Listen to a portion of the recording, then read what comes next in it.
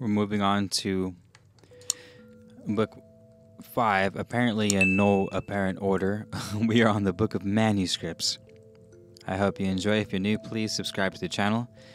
Um, this is Kolbrin Bible, book five. Thank you for the supporters and our new Patreon members and our new channel members. Um, you are helping us level up tremendously. Please share, comment, and like if you enjoy this. Uh, let's get right into it. The Book of Manuscripts. Men forget the days of the destroyer. Only the wise know where it went and that it will return in its appointed hour. Chapter 1 Scroll of Emad The writings from olden days tell of strange things and of great happenings in the times of our fathers who lived in the beginning. All men can know of such times as declared in the Book of Ages, but the gods had their birth in events and things which were in the beginning. It is told in the courtyards, and there was a time when heaven and earth were not apart. Truth echoes even there, for heaven and earth are yet joined in men. It is written that God once walked the earth with a man, and dwelt within a cave above a garden where man labored. God encompasses all that is and cannot be contained in a cave. Look to the sacred writings for truth.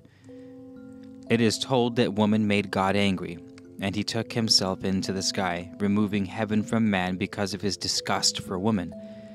It is also told that man offended God by imitating him. These are tales made by man. This is not wisdom for the sacred writings reveal the plans of God, and these things cannot be as told. It is the talk of the courtyard, it is the knowledge of the outer place. Men talk of the land of Oban, from whence they came. Not from Oban towards the south came men, for the great land of Ramakui first felt his step. Out by the encircling waters, over at the rim it lay. There were mighty men in those days, ends of their land the first book speaks thus Their dwelling places were set in the swamp lands from whence no mountains rose, in the land of many waters slow flowing to the sea, in the shallow lake lands among the mud, out beyond the great plain of reeds, at the place of many flowers bedecking plant and tree, where trees grew beards and had branches like ropes, which bound them together, for the ground would not support them. There were butterflies like birds, and spiders as large as the outstretched arms of a man. The birds of the air and fishes of the waters had hues which dazzled the eyes. They lured men to destruction. Even insects fed on the flesh of men. There were elephants in great numbers with mighty curved tusks. The pillars of the nether world were unstable, in a great night of destruction. The land fell into an abyss and was lost forever. When the earth became light next day, man saw man driven to madness. All was gone. Men clothed themselves with the skins of beasts and were eaten by wild beasts. Things with clashing teeth used them for food. A great horde of rats devoured everything so that man died of hunger. The brain eaters hunted men down and slew them. Children wandered the plain land like the wild beasts, for men and women became stricken with a sickness that passed over the children. An issue covered their bodies, which swelled up and burst while flame consumed their bellies. Every man who had an issue of seed within him, and every woman who had a flow of blood, died. The children grew up without instruction, and having no knowledge, turned to strange ways and beliefs they became divided according to their tongues. This was the land from whence man came. The great one came from Ramakui, and wisdom came from Zador. The people who came with Nadi were wise in the ways of the seasons and in the winsome of the stars. They read the book of heaven with understanding. They covered their dead with potter's clay and hardened it, for it was not their custom to place their dead in boxes. Those who came with the Great One were cunning craftsmen in stone. They were carvers of wood and ivory. The high god was worshipped with strange light in places of great silences. They paid homage to the huge, sleeping beast in the depths of the sea, believing it to bear the earth on its back. They believed its stirrings plunged lands to destruction. Some said it burrowed beneath them. In Ramakui, there was a great city with roads and waterways, and the fields were bounded with walls of stone and channels. In the center of the land was the great flat topped mountain of God. The city had walls of stone and was decorated with stones of red and black, white shells and feathers. And there were heavy green stones in the land and stones patterned in green, black, and brown. There were stones of saka which men cut for ornaments, stones which became molten for cunning work. They built walls of black glass and bound them with glass by fire. They used strange fire from the netherworld, which was but slightly separated from them, and foul air from the breath of the damned rose in their midst. They made eye reflectors of glass stone, which cured the ills of men and they purified men with a strange metal and purged them of evil spirits and flowing fire. We dwell in a land of three peoples, but those who came from Ramakui and Zador were fewer in numbers. It was the men of Zador who built the great guardian, which ever watches, looking towards the awakening place of God. The day he comes not, its voice will be heard. In olden times, when men lived in the ground, there came the great ones whose name is hidden Son of Hem, Son of the Sun, Chief of the guardians of mysteries, Master of Rites and the spoken word, Judge of disputes, Advocate of the dead, Interpreter of the gods, and Father of fishermen. From the west, beyond Mandi, came the great one arrayed in robes of black linen and wearing a headdress of red who taught men the secret of writing and numbers, and the measurement of the years, who taught the ways of the days and the months, who read the meaning of clouds and the writing of the nightlights, who taught the preservation of the body, that the soul might commune with the living, and that it might be a doorway to the earth,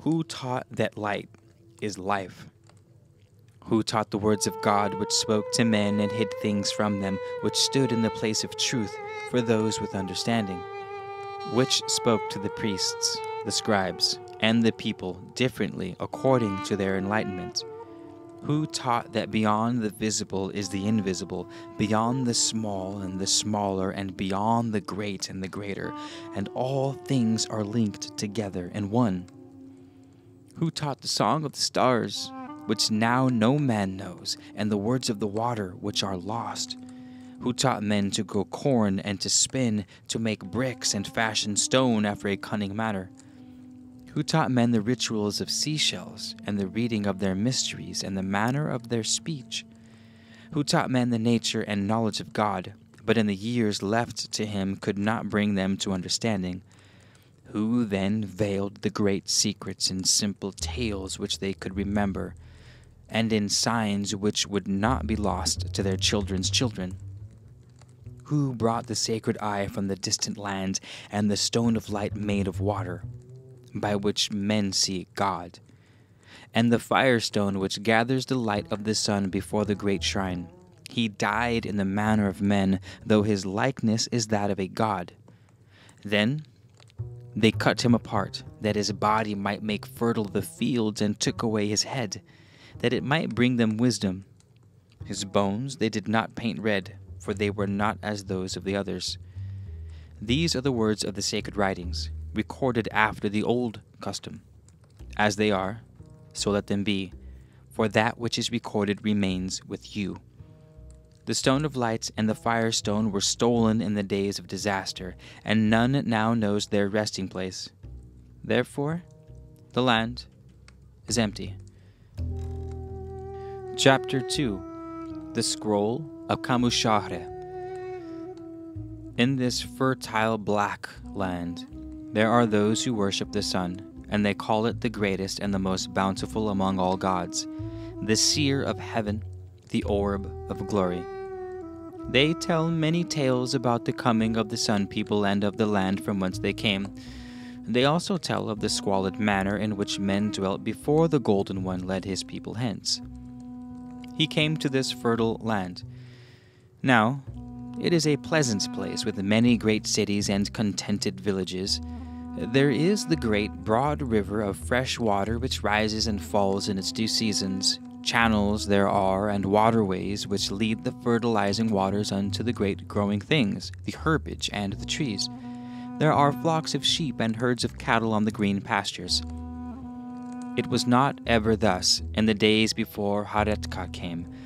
All was barren and desolate. Not divided the wilderness from the swamplands filled with reeds. Then there were no cattle or sheep, and the land knew not the hand of man.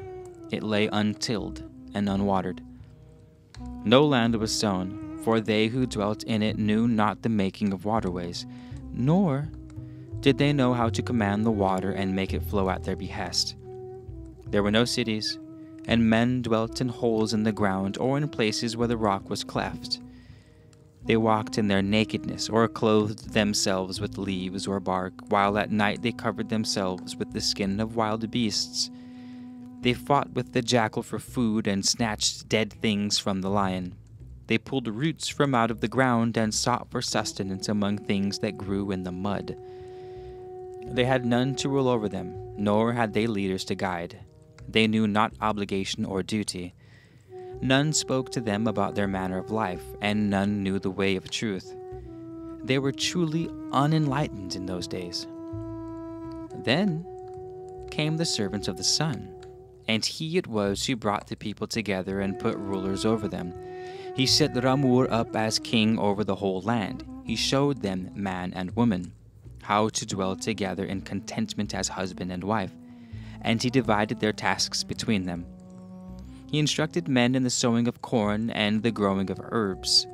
He instructed them in the tilling of the ground and the manner of cutting the waterways and channels. He it was who showed men the ways of the beasts of the field.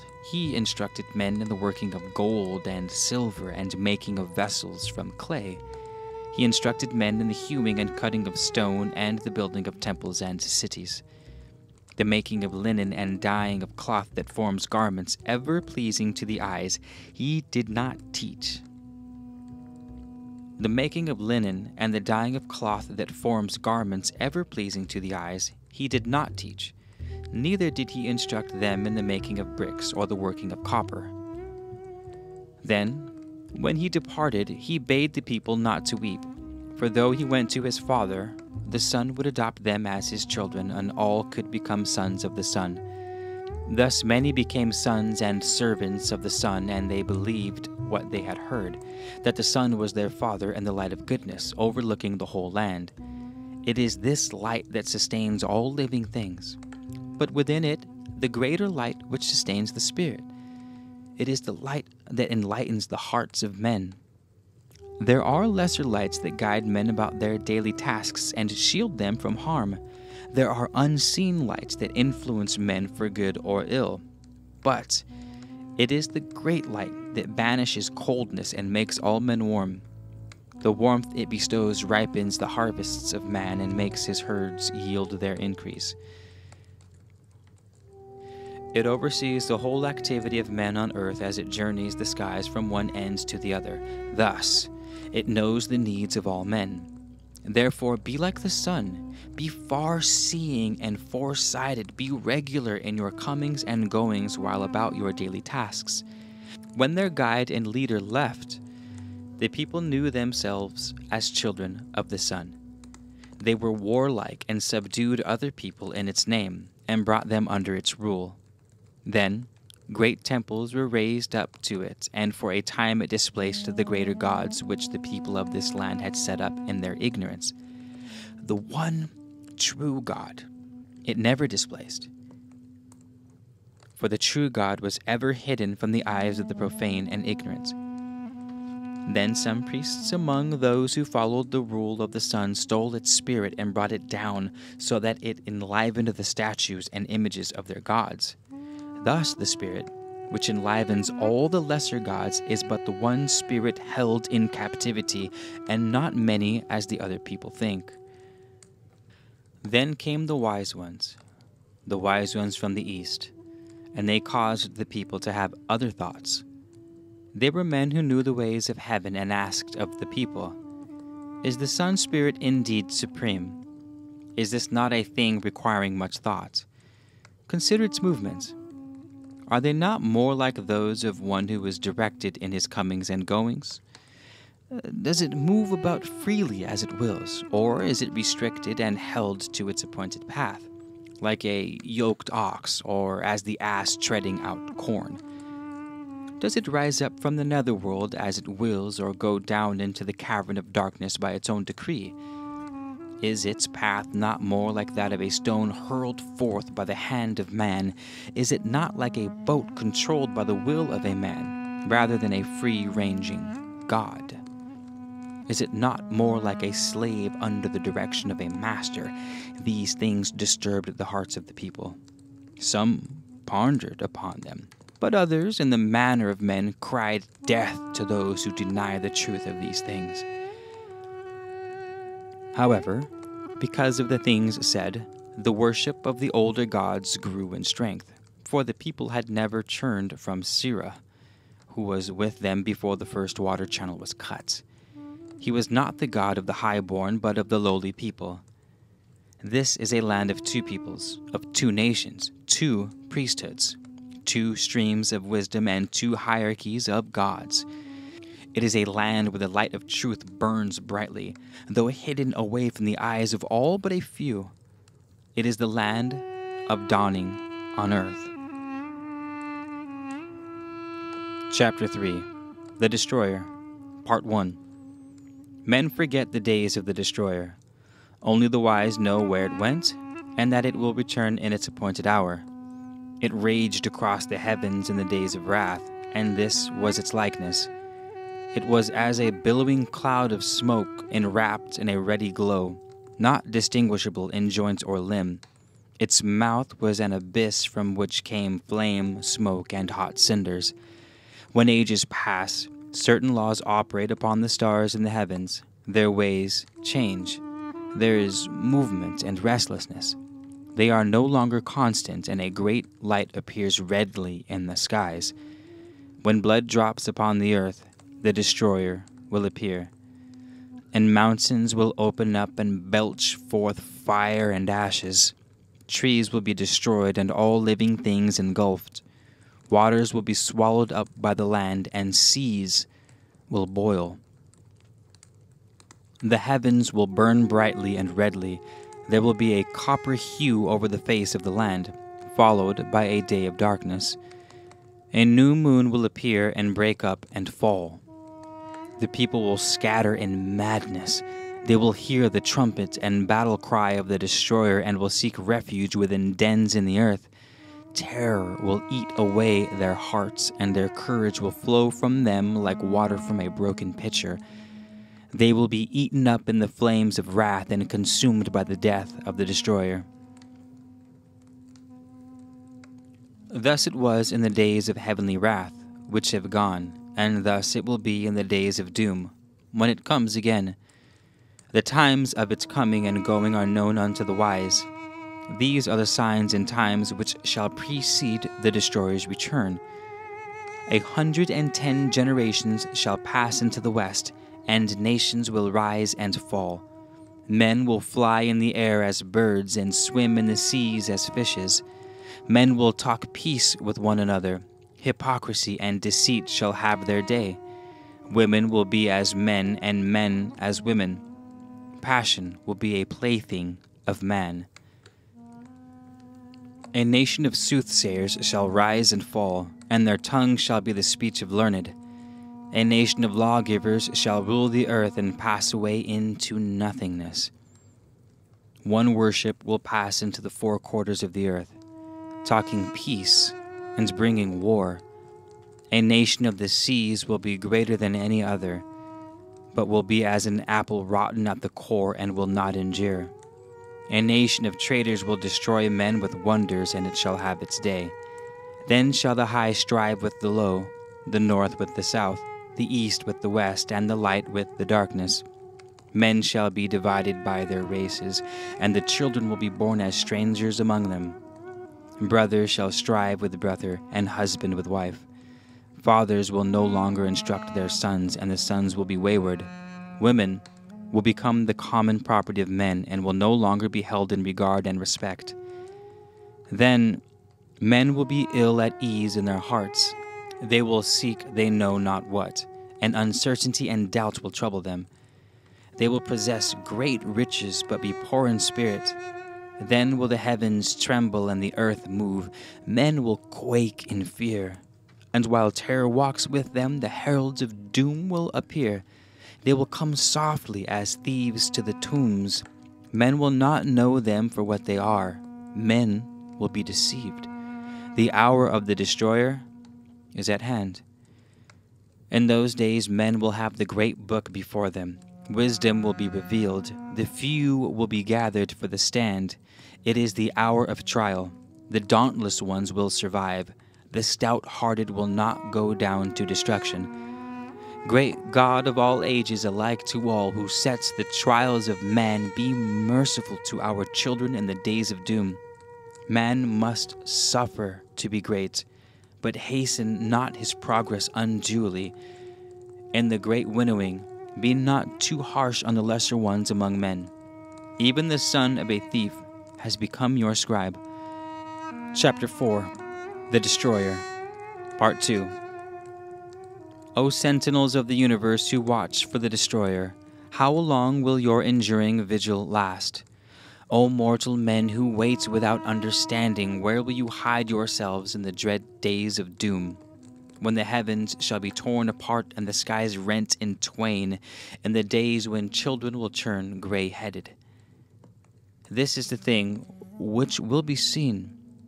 This is the terror your eyes will behold.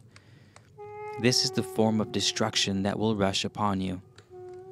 There will be the great body of fire, the glowing head with many mouths and eyes ever changing.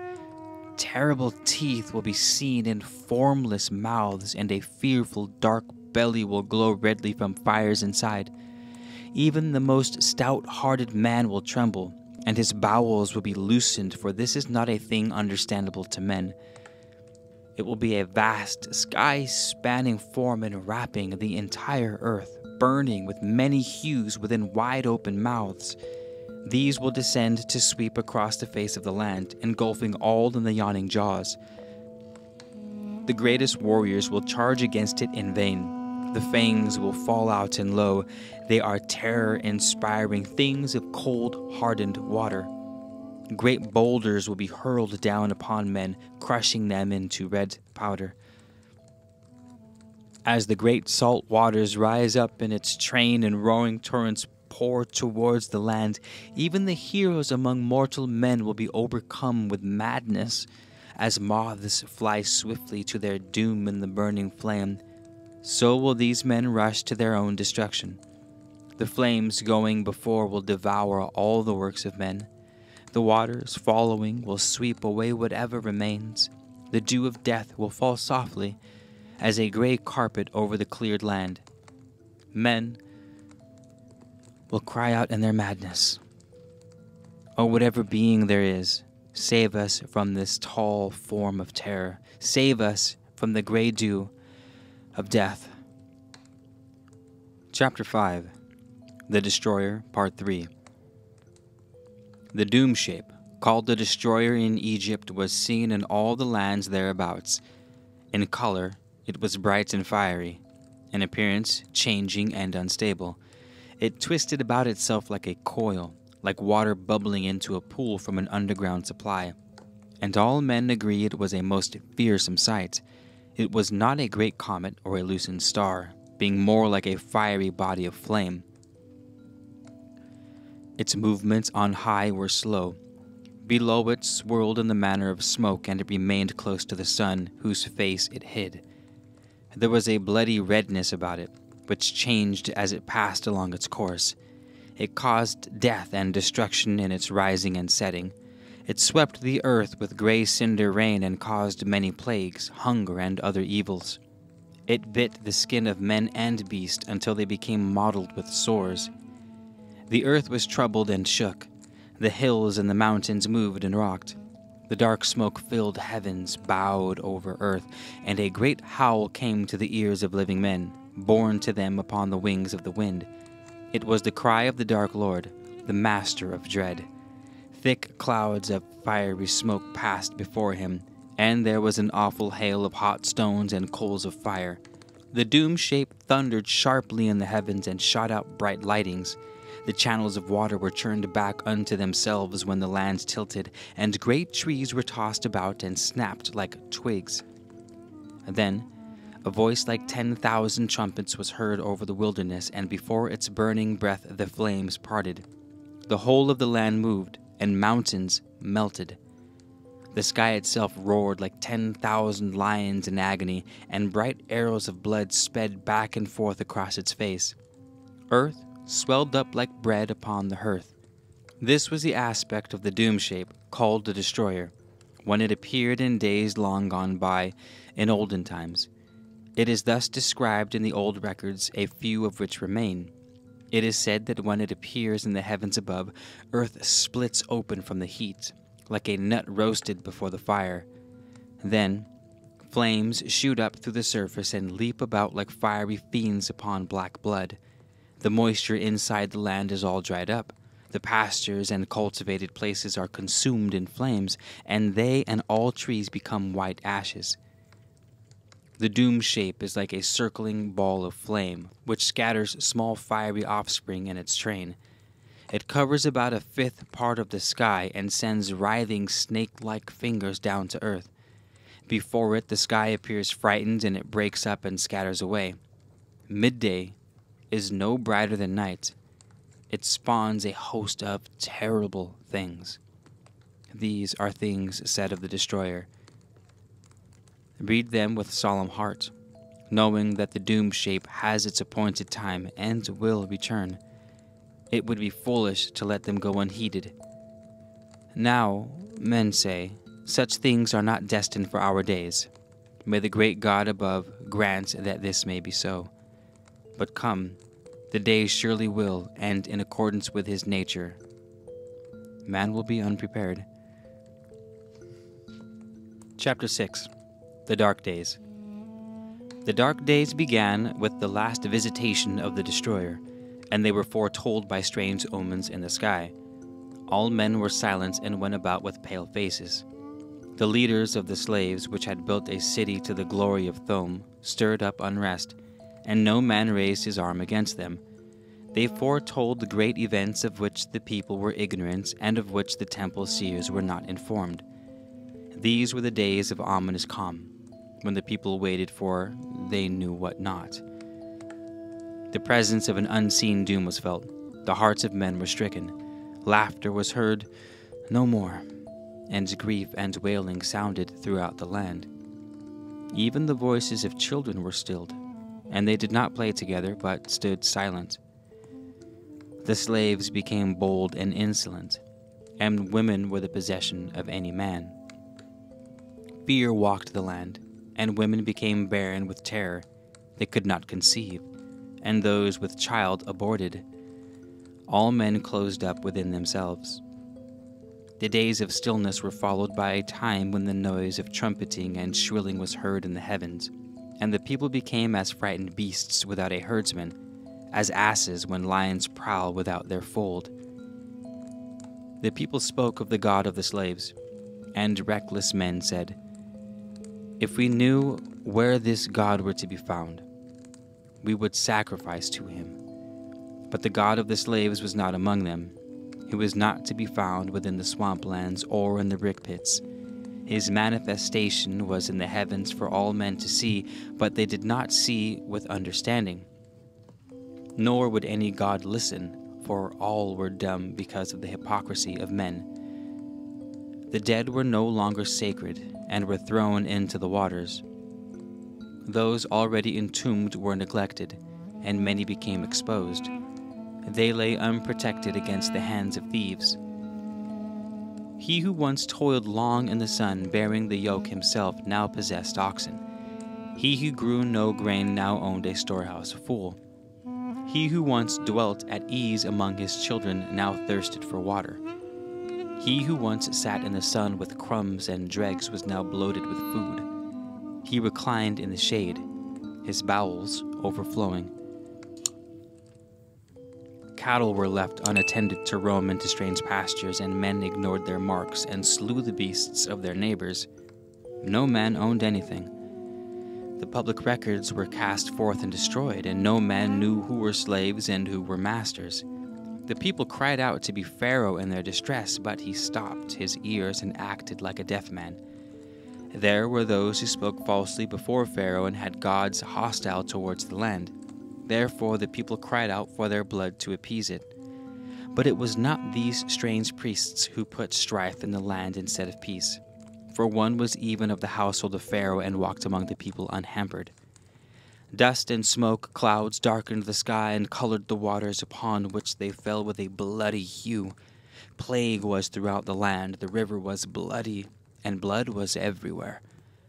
The water was vile, and men's stomachs shrank from drinking. Those who did drink from the river vomited it up, for it was polluted.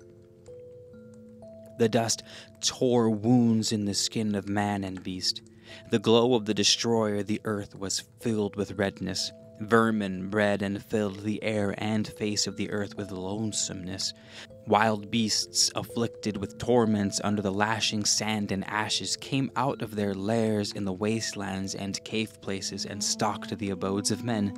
All the tame beasts whimpered, and the land was filled with the cries of sheep and moans of cattle. Trees throughout the land were destroyed, and no herb or fruit was to be found. The face of the land was battered and devastated by a hail of stones, which smashed down all that stood in the path of the torrents. They swept down in hot showers, and strange flowing fire ran along the ground in their wake. The fish of the river died in the polluted waters. Worms, insects, and reptiles sprang up from the earth in huge numbers. Great gusts of wind brought swarms of locusts, which covered the sky. As the destroyer flung itself through the heavens, it blew great gusts of cinders across the face of the land. The gloom of a long night spread a dark mantle of blackness which extinguished every ray of light. None knew when it was day and when it was night, for the sun cast no shadow. The darkness was not the clean blackness of night, but a thick darkness in which the breath of men was stopped in their throats. Men gasped in a hot cloud of vapor, which enveloped all the land and snuffed out all lamps and fires. Men were benumbed and lay moaning in their beds. None spoke to another or took food, for they were overwhelmed with despair. Ships were sucked away from their moorings and destroyed in great whirlpools. It was a time of undoing. The earth churned over as clay spun upon a potter's wheel. The whole land was filled with uproar from the thunder of the destroyer overhead and the cry of the people. There was the sound of moaning and lamentation on every side. The earth spewed up its dead, corpses were cast up out of their resting places, and the embalmed were revealed to the sight of all men. Pregnant women miscarried, and the seed of men was stopped. The craftsman left his task undone. The potter abandoned his wheel, and the carpenter his tools. And they departed to dwell in the marshes. All crafts were neglected, and the slaves lured the craftsmen away. The dues of Pharaoh could not be collected, for there was neither wheat nor barley, goose nor fish. The rights of the Pharaoh could not be enforced for the fields of grain and the pastures were destroyed. The high-born and the lowly prayed together that life might come to an end and the turmoil and thundering cease to beat upon their ears. Terror was the companion of men by day, and horror the companion by night. Men lost their senses and became mad. They were distracted by frightfulness on the great night of the destroyer's wrath, when its terror was at its height, there was a hail of rocks, and the earth heaved as pain rent her bowels. Gates, columns, and walls were consumed by fire, and the statues of gods were overthrown and broken. people fled outside their dwellings in fear and were slain by the hail. Those who took shelter from the hail were swallowed when the earth split open. The habitations of men collapsed upon those inside, and there was panic on every hand. But the slaves who lived in huts in the reedlands, at the place of pits, were spared. The land burnt like tinder. A man watched upon his rooftops, and the heavens hurled wrath upon him, and he died. The land writhed under the wrath of the destroyer and groaned with the agony of Egypt. It took itself, and the temples and palaces of the nobles were thrown down from their foundations. The high-born ones perished in the midst of the ruins, and all of the strength of the land was stricken. Even the great one, the firstborn of Pharaoh, died with the highborn in the midst of the terror and falling stones. The children of princes were cast out into the streets, and those who were not cast out died within their abodes. There were nine days of darkness and upheaval, while a tempest raged such as never had been before. When it passed away, brother buried brother throughout the land. Men rose up against those in authority and fled from the cities to dwell in tents in the outlands. Egypt lacked great men to deal with the times. The people were weak from fear and bestowed gold, silver, lapis lazuli, turquoise, and copper upon the slaves, and to their priests they gave chalices, urns, and ornaments. Pharaoh alone remained calm and strong in the midst of confusion. The people turned to wickedness they turned to wickedness and their weakness and despair. Harlots walked through the streets unashamed. Women paraded their limbs and flaunted their womanly charms. High-born women were in rags and virtuous were mocked. The slaves, spared by the destroyer, left the accursed land forthwith. Their multitude moved in the gloom of a half dawn, under a mantle of fine, swirling gray ash, leaving the burnt fields and shattered cities behind. Many Egyptians attached themselves to the host, for one who was great led them forth, a priest prince of the inner courtyard. Fire mounted up on high, and its burning left with the enemies of Egypt. It rose up from the ground as a fountain and hung as a curtain in the sky. In seven days, by Remwar, the accursed ones journeyed to the waters. They crossed the heaving wilderness while the hills melted around them. Above, the skies were torn with lightning. They were sped by terror, but their feet became entangled in the land, and the wilderness shut them in. They knew not the way, for no sign was constant before them.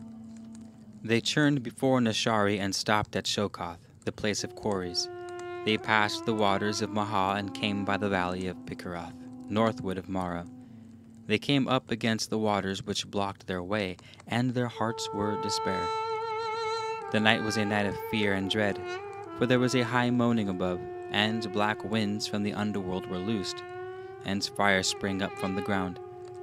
The hearts of the slaves shrank within them, for they knew the wrath of Pharaoh followed them, and that there was no way of escape.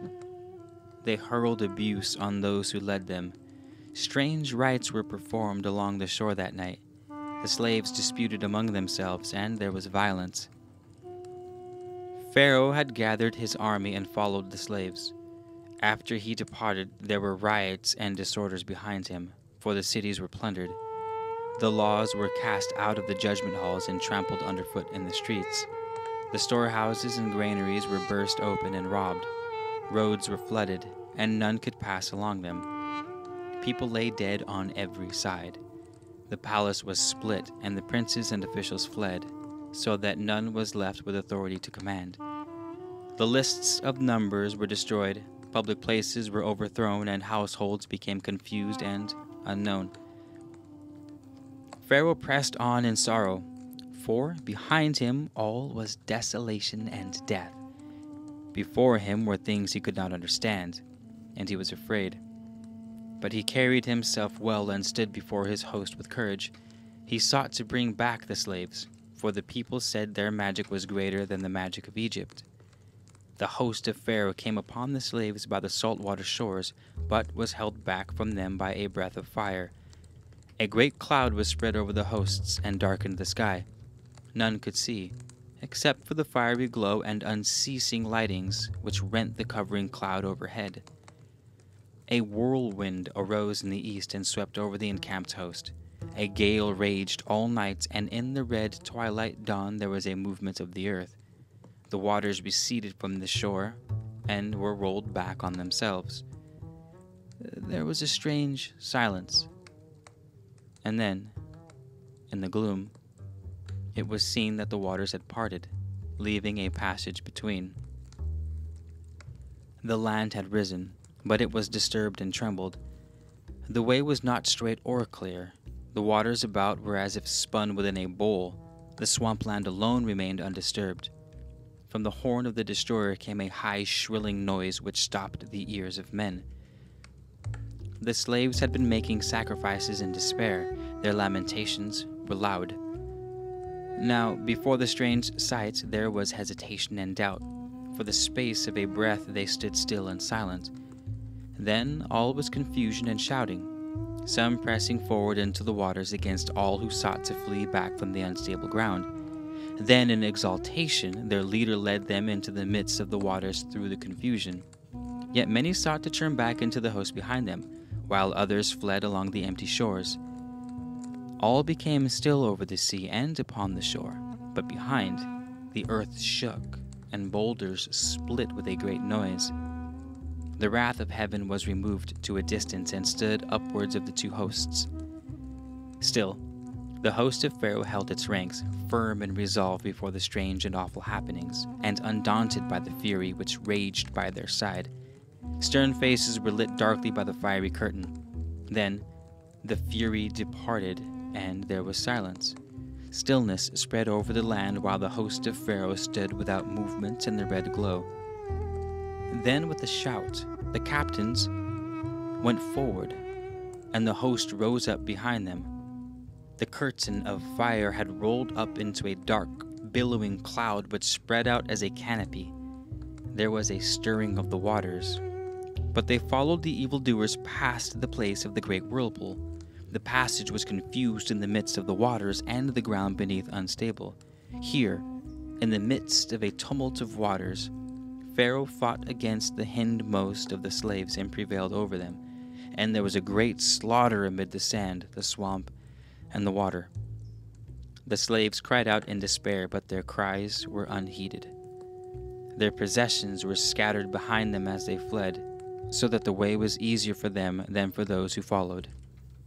Then the stillness was broken by a mighty roar, and through the pillars of cloud the wrath of the destroyer descended upon the hosts the heavens roared as with a thousand thunders. The bowels of the earth were sundered, and earth shrieked its agony. The cliffs were torn away and cast down. The dry ground fell beneath the waters, and great waves broke upon the shore, sweeping in rocks from seaward. The great surge of rocks and waters overwhelmed the chariots of the Egyptians who went before the footmen. The chariot of the Pharaoh was hurled into the air as if by a mighty hand and was crushed in the midst of the rolling waters. Tidings of the disaster came back to Rajab, son of Thomat, who hastened on ahead of the terrified survivors because of his burning. He brought reports unto the people that the host had been destroyed by blast and deluge. The captains had gone, the strong men had fallen, and none remains to command. Therefore the people revolted because of the calamities which had befallen them. Cowards slunk from their lairs and came forth boldly to assume the high offices of the dead. Comely and noble women, their protectors gone, were their prey. Of the slaves, the greater number had perished before the host of Pharaoh. The broken land lay helpless, and invaders came out of the gloom like carrion a strange people came up against Egypt, and none stood to fight, for strength and courage were gone. The invaders, led by Alkenan, came up out of the land of gods, because of the wrath of heaven which had laid their land waste. There too had been a plague of reptiles and ants, signs and omens and earthquake. There also had been turmoil and disaster, disorder and famine all with the gray breath of the destroyer sweeping the ground and stopping the breath of men. were gathered together the remnants of his fighting men and fighting men who were left in Egypt, and set forth to meet the children of darkness who came out of the eastern mountains by way of the wilderness and by way of Yethnobis. They fell upon the stricken land from behind the grey cloud, before the lifting of the darkness and before the coming of the purifying winds. Rajab went with Pharaoh and met the invaders at Harosheth, but the hearts of the Egyptians were faint within them. Their spirits were no longer strong, and they fell away before the battle was lost, deserted by the gods above and below. Their dwellings destroyed, their households scattered, they were as men already half dead. Their hearts were filled with terror and the memory of the wrath, the wrath which had struck them from out of heaven. They were still filled with the memory of the fearsome sights of the destroyer, and they knew not what they did. Pharaoh did not return to his city. He lost his heritage and was seized by a demon for many days. His women were polluted, and his estates plundered. The children of darkness defiled the temples with rams and ravished women who were crazed and did not resist. They enslaved all who were left, the old, young men, boys. They oppressed the people, and their delight was in mutilation and torture. Pharaoh abandoned his hopes and fled into the wilderness beyond the province of the lake, which is in the west towards the south. He lived a goodly life among the sand wanderers and wrote books. Good times came again, even under the invaders, and ships sailed upstream. The air was purified, the breath of the destroyer passed away, and the land became filled again with growing things. Life was renewed throughout the whole land. Kir taught these things to the children of light in the days of darkness, after the building of the Rambudeth, before the death of Pharaoh Ankhet. This is written in this land and in our tongue, by Luadar, who himself chose it for saving. It was not seen until the latter days. Chapter 7 Third Egyptian Scroll this is the manner whereby the sacred records shall be kept, and their number is twelve books and four hundred and forty two scrolls. Four copies shall be made, and each shall be rolled on a stick of blackwood. Each shall be enclosed within a pickled skin and bound with a leather thong. It shall be placed with spices in a box of copper, which shall be enclosed in a box of wood, bound about with hide and pitched. At each of the four appointed places shall be four hewn masonry receptacles, within which shall be contained the great arks. They shall be kept by the guardians at the four quarters of the earth, and no copies shall be made except one be destroyed. Nothing shall be added, and nothing taken away from the books, except to be done according to the books, and the signs of the books shall be counted according to the custom of writing. Chapter 8 fourth Egyptian scroll. Man directs his life by the laws of God and the statutes of men. The statutes of men, which are for the good of men, are to be upheld by the children of light who shall not live for the next life alone. These laws, though stricken on marble and set up on everlasting pillars at the gateways of the temples, are but diversions for the eye and exercise for the tongue, unless graven also on the tablets of your heart. Thus, you shall not fall into error.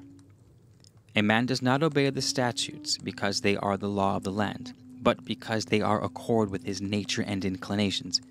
The true nature of man stems from the godly directive within and is therefore above the edicts of kings. In upholding the laws and statutes, the chief concern should be a man's good intent if he intends well and is diligent, he can be forgiven much. But if he intends well and is thoughtless, then he shall not be looked upon so kindly. Remember, men do not dispense justice, they can but hope to serve it. God alone knows who is good or wicked within his heart, therefore, he alone can dispense true justice. These are the laws by which man will live. A man will not have intercourse with a woman child. A man may not rob another with violence or plunder or steal. A man will not slay wilfully. A man will not cheat another or act deceitfully towards him. A man will not utter lies to lead another into error. A man will not carry off food so that another is deprived of the fruits of his labor. A man will not utter words of blasphemy or use foul language. A man will not trespass upon the privacy of another or violate the sanctity of his household. A man will not pillage the grain land or spoil the pastures. A man will not listen in secret to the speech of others. A man will not practice degrading things. A man will not slander another. A man will not have intercourse with the wife of another man. A man will not pollute himself. A man will not leave his household to go abroad about his task unwashed. A man will not terrorize the unprotected or unreasonably attack any man. A man will not break the just statutes of the land. A man will not stir up strife maliciously. A man will not make women and children weep in fear. A man will not commit any deed of impurity. A man will not pass judgment hastily or in the grip of wrath. A man will not unnecessarily associate with half men or cowards. A man will not be foul running waters. A man will not curse the sacred things. A man will not reject his kinfolk or leave his children unprotected. A man will not use what another has used after his death.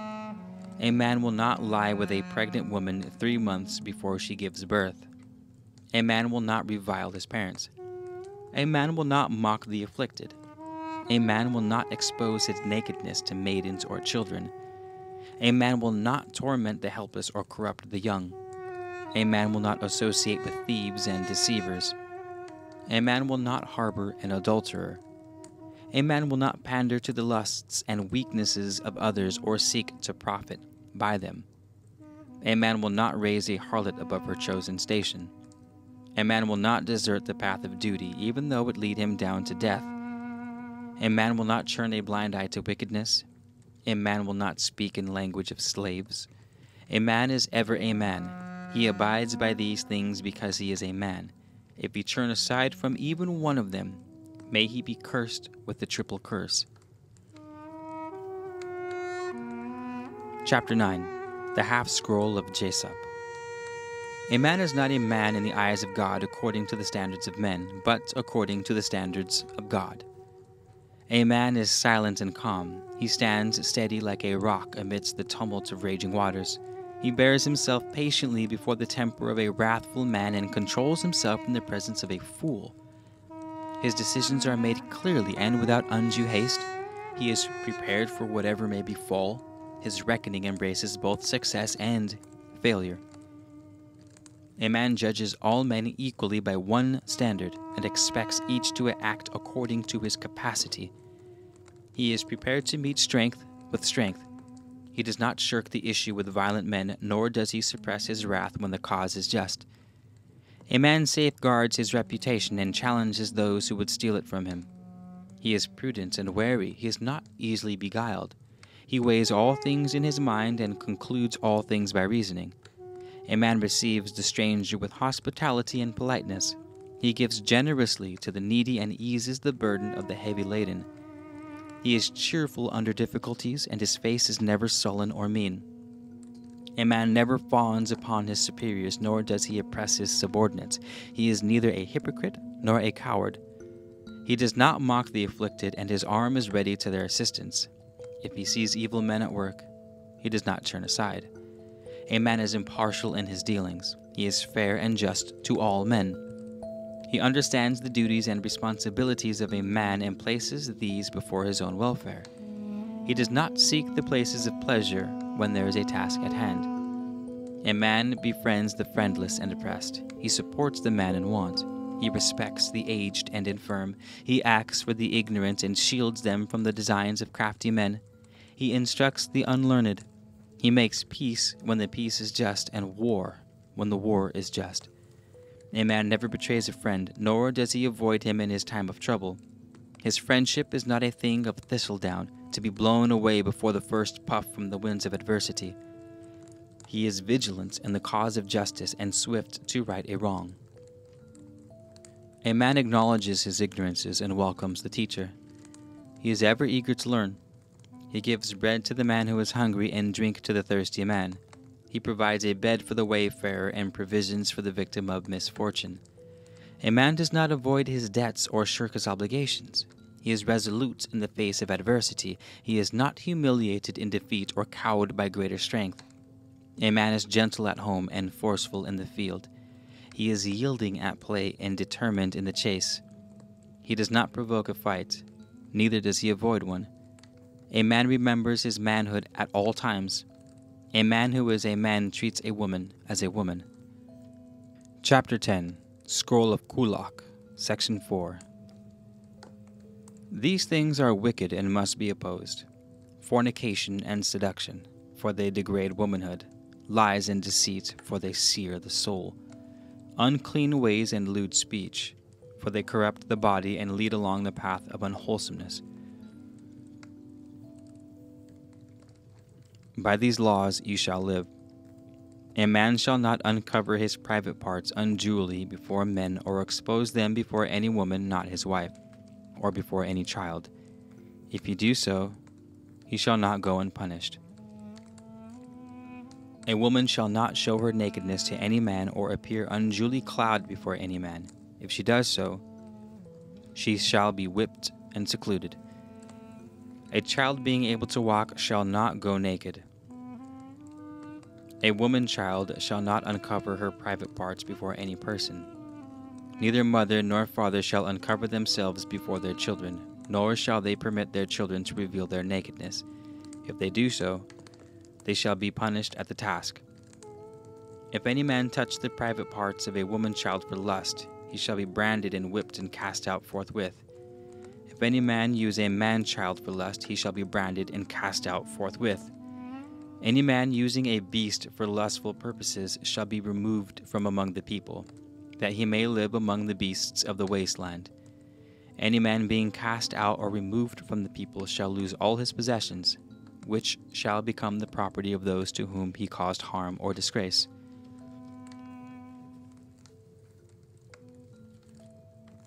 Chapter 11 64th Egyptian Scroll. The voice of the people cries out for the blood of the learned, and upon their heads the blood shall be. It is a time of sorrow, it is a time of distress, it is a time of tribulation. It is the dark night of wickedness, when ignorance covers the earth. Yet though the pillars of heaven fall, though the great abyss open, the earth shall not end until its purpose is fulfilled. This is no new thing for the darkness of ignorance has often followed the bright days of spiritual illumination. But we who dwell under the shadow of darkness see not but the sorrows of our times. When the sunship lies at anchor, then will dawn the day not followed by darkness. Look in the places of judgment. They are filled with the low people, and unclean feet rest upon the footstools. Priests grow fat on riches bestowed for the preservation of the body while those who speak of the preservation of the soul are tormented. Men talk of the delights of life, but who cares for the eternal life of the Spirit? We are as carrion yet unseen by the vultures, or as a tomb laying open to the despoilers. Our doctrine is as a leprosy upon us, for the life of a man who cannot impart his knowledge to another is futile Men live to learn and also to teach. He who learns but does not teach takes all and gives nothing. Dark looks are cast upon those filled with the ancient wisdom. The people's pleasure is with those who perform deeds of deceit. Then there are those who seek acclaim in lewdness. When they perform some filthy deed, the people say, This was the custom of our fathers and our fathers' fathers before them. Therefore is it not permitted even before the one God but they reason wrongly. For he cannot condone any deed of filthiness or evil, and he abhors unclean ways. Men say, Our eyes cannot deceive us. The eye sees that which is real. That which the eye sees is not unreal. Foolish people, who know not how little the eye sees. The real is real of itself. Neither the eye of man nor his understanding makes it real or unreal. Is a stone a thing unchanging, or is a star always a star? Who among you, people of ignorance, can see the bond between star and stone? Yet there is kinship in all things. The stars hanging above are not wholly apart from the heart of man. In the law of all things are united, it gives stability to everything. To it all things conform. Even the great God, for he will not break his own law. Man cannot, for even in his working of wonders and deceit, he must conform to the law. Our doctrine is the teaching of the law, that and no more. He who seeks to know the great secrets or probe hidden mysteries must first pass through the purifying fire of the law. Without having done so, he might as well seek to tie down the sun or cast a net around the stars. Behold the secret places of the great God. There, no magic is performed. There, no wonders displayed. There, all is peaceful and normal. There, silence reigns. The great temples shall pass away. The tumult and shouting of the people shall fade into the silence, and their habitations shall be ground into dust. Then shall still remain the hidden place of the great God, and still it shall be peaceful and normal stand in the concourse of the people. Does not good appear weak and wickedness powerful? It is true, but ten generations, a hundred generations hence, there will be more good on earth, for generation by generation good eats evil. Men say, There are many gods, therefore which among them shall we worship? We cannot know. They are confounded by their own foolishness, for choice is easy. They worship where they find inward peace and contentment, for spiritual illumination is found in more than one place. The pillars of all wisdom are numbered as the fingers upon a hand. Five things alone are the concern of man. What is man? Where does he begin and where does he end? Why does he exist and how can he conduct his life in a manner best for him? The earth at his feet, the heavens above the great god of gods or the unreal gods of men, the night dreams, the inhabitants of the netherworld, the spirits good and evil, all things seen and unseen are no concern of man unless they affect him for good or ill. That which does not affect man is of no importance. This alone is wisdom. Chapter 12, 87th Scroll. Our deeds are as thistle down launched upon the wind we know not whence the winds of change will bear them, or whether they will take root or be borne away, as though they were never there to begin with. Our works are as edifices of mud built upon the river banks, which are swept away by the rising waters. The one certain thing in life is change. Men make plans, they are as naught. They are as words written on the waters, as commands given to the winds. Wise is he who knows the plans of God, for to them the whole earth conforms. Men cry out at the tribulations of life, not knowing that by adversity alone can they find their souls. They say, Why are we beset with trial and tribulation? For they cannot understand the contest. They say, Why must we seek and never find? Knowing not that life is not but a search, and at the end man can discover nothing except man. O man, gaze well upon the earth. See, is it not by its nature a place of labor and not a garden of pleasure, or a panderer to your weaknesses? Truth is found in the book of life, but it may be understood just by degrees. For who among men receiving the whole would not be overwhelmed and destroyed? In general, men are childlike. Give the people deceitful things, and they will rejoice like children. Show them amusing things, and they will acclaim their pleasure. The gods of fear are held in reverence, but the great God who banishes fear they despise. O foolish people! O foolish generation! With dust on my head I mourn your ignorance. With loud lamentations I decry your folly. Yet the path you have chosen, you have chosen freely. Ease and comfort appear to be your end and purpose. The gods of deceit have temples of splendor, their priests are well clothed and overfed, but the great God of truth has no more than a hidden cavern. His servants are garbed in rags, and their bellies are empty. The gods of lust and cruelty have storehouses of treasure, but the God of kindness has not even a field. The people worship gods that oppress and ignore the God who frees. They give to the gods that take and spurn the God who gives. Oh, misguided generation. Oh, blind and ignorant people. To cherish the stone gods of death and mock the God of life. Oh, misguided generation. To clasp to its breast the things that inherit decay and spurn the things that inherit everlastingness.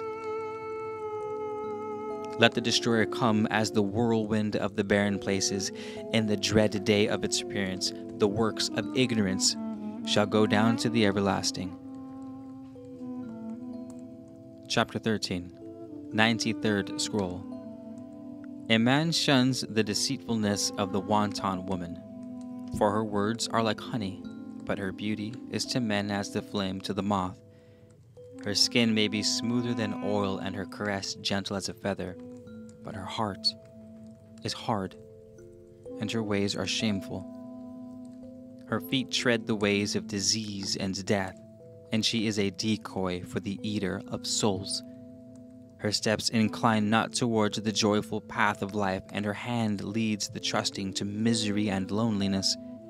A wanton woman is man's greatest affliction. She wanders and is unpredictable. Though she be bathed in perfumed waters and anointed with its sweetness, painted and clothed in fine linen, her adornment is no more than the crust over a quicksand. Within herself, the betrayer of womanhood is unclean and polluted. What is the desire aroused by the deceitful beauty of the wanton woman but something spawned in wickedness? Her provocative eyes may stir your manhood, her moist lips may call to you in the stimulated language of love, and her lithesome form may quicken your heartbeat. But what is the lot of all the harlot has? Not more than one loaf of bread or a measure of corn. Yet, her cost is the wholesomeness of man. A man may not handle hot coals and remain unburnt.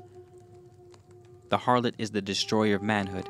She blights the soul. She is the dweller in the antechamber of unclean things, the servant of horrors, the handmaiden of disease. The womanliness of a harlot is as a silken robe on the back of a swine. The forces of whoredom are strong. They have servants in the fortress of man's body. They strike when he is weak. They rob and they destroy. They take that which cannot be replaced. Flee from all harlots as from a leper or those with the disease of running sores. Let not the pollutions of harlotry enter the household of your body. A man who is a man is worthy of a chaste wife, clean in body and pure in thoughts. Her wholesomeness shall gladden his heart, and in her hands his contentment is secure. With her he shall find fulfillment and joy.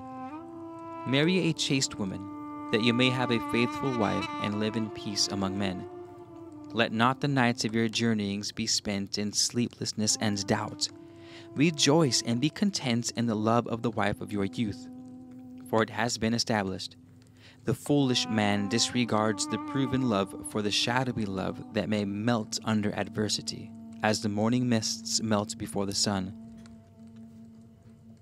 Through all the eternal ages, women who are lovely and wayward have been and will be the sorrow and ruination of man.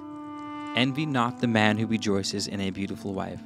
She may be his secret sorrow, Far more to be envied is he whose wife brings him contentment and joy.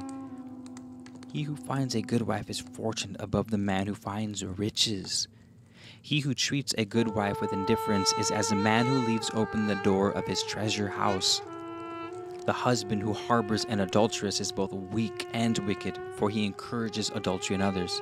He is selfish, for he thinks of one man and not of all men. He condones the mockery of love, and his weakness contributes to the sorrows of better men. The wrong is not great when a hungry man steals bread, and less when he steals it for his hungry children. The adulterer steals that from which he gets no benefit, and in doing so brings sorrow and shame on the heads of the innocent. Where is the joy when he gathers a woman to his breast, not in peace and contentment, but in the manner of a thief? Furtive love is false love. At the best, it is love betraying itself. Stolen bread is often the sweetest, and hidden waters the most pleasant, but under the hand of the adulterer, the sweetness putrefies, and the pure becomes unclean. Is it not written in the statutes and in the nature of man that if a man come upon his wife in adultery and in his just wrath shall slay, then he commits no great wrong? It is the duty of a man to protect his home, but he owes a greater duty which decrees that he uphold the sanctity of every home. He who lets adultery go unpunished condones it and mocks the things a man should cherish and honor. The lion maintains the sanctity of his mate, the jackal is indifferent. A man will follow the ways of men, a cur the way of curs. My son, the day comes when your heart reaches out towards women and you desire a wife. It is well to choose her with prudence, to select carefully without passion and without lust. Who is the woman who claims the heart of a man, whose love is the sun of his dwelling, and whose pure radiance he delightfully bathes? She is modest and quiet spoken. Sweet womanly innocence blooms on her cheek. She is diligent in seeking work, for her hands and foot do not stray from her household. Observe her in the house of her father, note her ways with care. She takes delight in simple pleasures, her demands are moderate, and she behaves with decorum. Lewdness is silenced before her glance. She is attired with neatness, and her adornments are not over many. Her voice is low, gentle, decency and mildness of speech are virtues from which she never departs. She walks with prudence on one hand and chastity on the other. Before her go discretion and decorum. In her eye is the light of love, and her smile is the caress of affection. Her overwhelming virtue grips the tongues of lewd men, and they are silenced. When the mouth of scandal is abroad, the doors of her ears are closed. Her delight is not in the misfortunes of others, nor does she find pleasure in the retelling of their misdeeds. Her thoughts are a fountain of purity, and she remains unsullied by the wickedness splashed by others. When she marries, her dwelling becomes a haven of peace for her husband and a well of wisdom to quench the questing thirst of her children. Her delight is in the care of her household, and her good management a joy to her husband. She fashions the thoughts of her children with example, and the words which fall from her mouth are heard with obedience. Withal, her character is strong. Were it not, she could not be as she is. Fortitude and courage are not the least of her qualities. How joyful man who calls her wife. How joyful the man who calls her wife, and joyful the child who calls her mother. Among all earth's treasures, she is the greatest, and too often the least valued. Chapter 14 96th Scroll I am ashamed, for naked bodies are exposed to lewd glances and lustful looks. There is foolish laughter and foul words spoken among the onlookers. Yet it is not the naked body that is degraded for our bodies are things of beauty. In the beginning, God molded the body to its shape, knowing that in the days to come His Spirit would dwell therein when entering the matter of earth. It was shaped slowly, with care and foresight. Loving hands wrought its wonderful form, and the day dawned when it became the abode of a living soul. Then God commanded, Respect this, the vessel of the ever living Spirit for it is a great and delicate thing meant for communion one with another. It is my supreme achievement upon earth. Therefore, though the body be not supreme, it is a thing of greatness. It is a glorious temple meant to be the residence of a God. It can speak, and words bring it into companionship with other souls. It reflects without the Spirit dwelling within. The smile, the laugh, the eyes, they reveal it. The body is a thing of glory, it is the greatest of all material creations. Man and woman embrace and unite. Two bodies and two spirits join together in the search for another servant of the Supreme Spirit. There can be no greater responsibility for their task is to find a worthy one. To man and woman has been given the power of creation. They can use it for good or for ill. The beasts know not what they do. They mate in blind ignorance, impelled by desire and desire alone. Yet never do they bring forth creatures unsuited for their purpose. Man and woman, with freedom of choice and knowledge, do not do so well because, impelled by unworthy desires, they choose unwisely.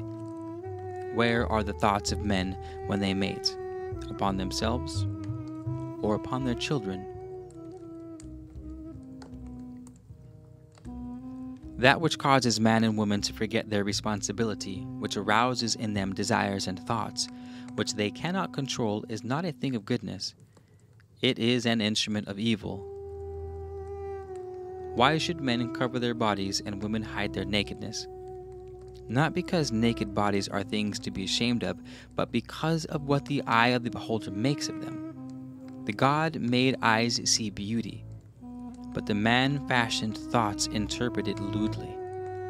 Did the sight stimulate him to goodness? It would be good, for all that serves good is good. The simple and thoughtless woman may display her secret charms in innocence, for she cannot see into the thoughts of lewd men. Her wrongdoing lies in the fact that she feeds their lustfulness and panders to their evil thoughts. Anything a woman does which stimulates goodness in men is good. Whatever she does to the contrary is wrong. Oh, change our thoughts and outlook, that our feelings may become servants and not masters, that they may serve the cause of good, which is the cause of man, and not the cause of evil, which is the degradation of man. Make our bodies wholesome residences and not foul prisons. Purify our thoughts that they may properly direct our bodies and dedicate them as fitting vehicles for our journey through life. Let this glorious material creation be fittingly inhabited, and let it be illuminated from within with the flame of a pure spirit. Chapter 15 Scroll of Kullak, sections 2 and 3. Thus it is written on the tablets of fate Whatever may be accomplished at the sun rising, let not the sun setting find undone. When you build, Build us forever, and your fame shall be sung among the greats in the everlasting halls. He who has done you with one good turn will be more ready to do you another than will the one to whom you have done a good turn. Expect not that the deeds of men should accord with the dictates of reason or be ruled by the consideration of right. There are men who live for themselves alone and their souls are smothered in the deadly winding sheet of selfishness. There is no greater loneliness than that of a man who lives for himself alone. He looks about him and says, All men seek to do me wrong. All men seek to be over me. His life is a problem, and his days are filled with anxiety. He says, What if tomorrow I shall not eat? And furtively steals from his friend. He hoards that which he cannot use. His soul is twisted and ugly, his countenance is mean, his days are a burden, and his nights sleepless. He deals harshly with those under his hand, for secretly acknowledging his own inferiority, he distrusts all men. These things are written in the third section of the scroll of Kullak. Consider the petty man. His deeds are mean and his manner servile. His heart shakes in a small breast. See him among the concourse of the people, and his eyes shift from side to side. He shuffles about his affairs, and his path is not straight. He is spiteful and malicious. Like a snake, he crawls into the dust, ever ready to strike blindly at those above him, not knowing that their eyes are fixed far above his element and he is unseen. He gossips and prattles like an idle woman, and men look down upon him, for his ways are those of a half man. His pettiness is an irritation to all. His residence is a place of torment, for his wife despises him, and his children are wayward. He has no friends, and men visit him for naught but their own benefit. His time is occupied with matters of small moment, and bigger undertakings overwhelm him. The deeds of greater men he cannot understand and therefore derides them. Consider the vulgar man His voice is loud and his words body. Like the ass, he laughs without understanding. His tongue rattles in his head. He makes noise, but not sense. In his ignorance, he pushes himself forward, when, with his meager talents, he should remain behind. The tongue of a vulgar man betrays him and holds him up to mockery. His companions are petty men and hypocrites. He is jovial in the midst of sorrow and speaks loudly when others whisper. He is a man afraid of silences. He is a man afraid of himself. He has no understanding of the innocence of children and no respect for the modesty of women. He is a man well left to himself. Consider the cowardly man. His mother does not grieve at his absence, for she is ashamed of his face. His father shuns him, and he becomes the companion of hypocrites. His wife goes in fear of every man, while her thoughts turn to better men. His children are mocked, his father insulted. His son has to establish his place, and his daughter commands no respect. For a coward to marry is wrongdoing. He has no friends, for all men avoid him. His manner is furtive, and he slinks from place to place. He can put on a bold front and may deceive foolish women, but underneath his heart is craven. Put to the test by men, he is found wanting. Consider the man of no account he is improvident. He is wasteful. He speaks of his own importance, but deceives none but himself and the foolish. The easiest person for any man to deceive is himself. The man of no account walks the marketplace to buy a stone. Without merit himself, he appeals to the deeds of his forefathers for credit. What good is it to the blind man that his father could see? What benefit to the illiterate that his father could write? In what way can it raise the standing of a man of no account if his father's father was of good standing and repute? Is it not more to his discredit that he is what he is? He who walks in the shadow of his father's reputation has none of his own. He who establishes his reputation upon that of another erects a building without foundation. The ass of Pharaoh is still an ass, a worthless man does worthless things. His death removes an encumbrance from the earth. Now consider the man of honorable estate. His wife is fully married and not made ashamed by a life under the double law. His household is well fed and his servants obedient. He uses his strength to protect the weak, and his arm is swift to right an injustice.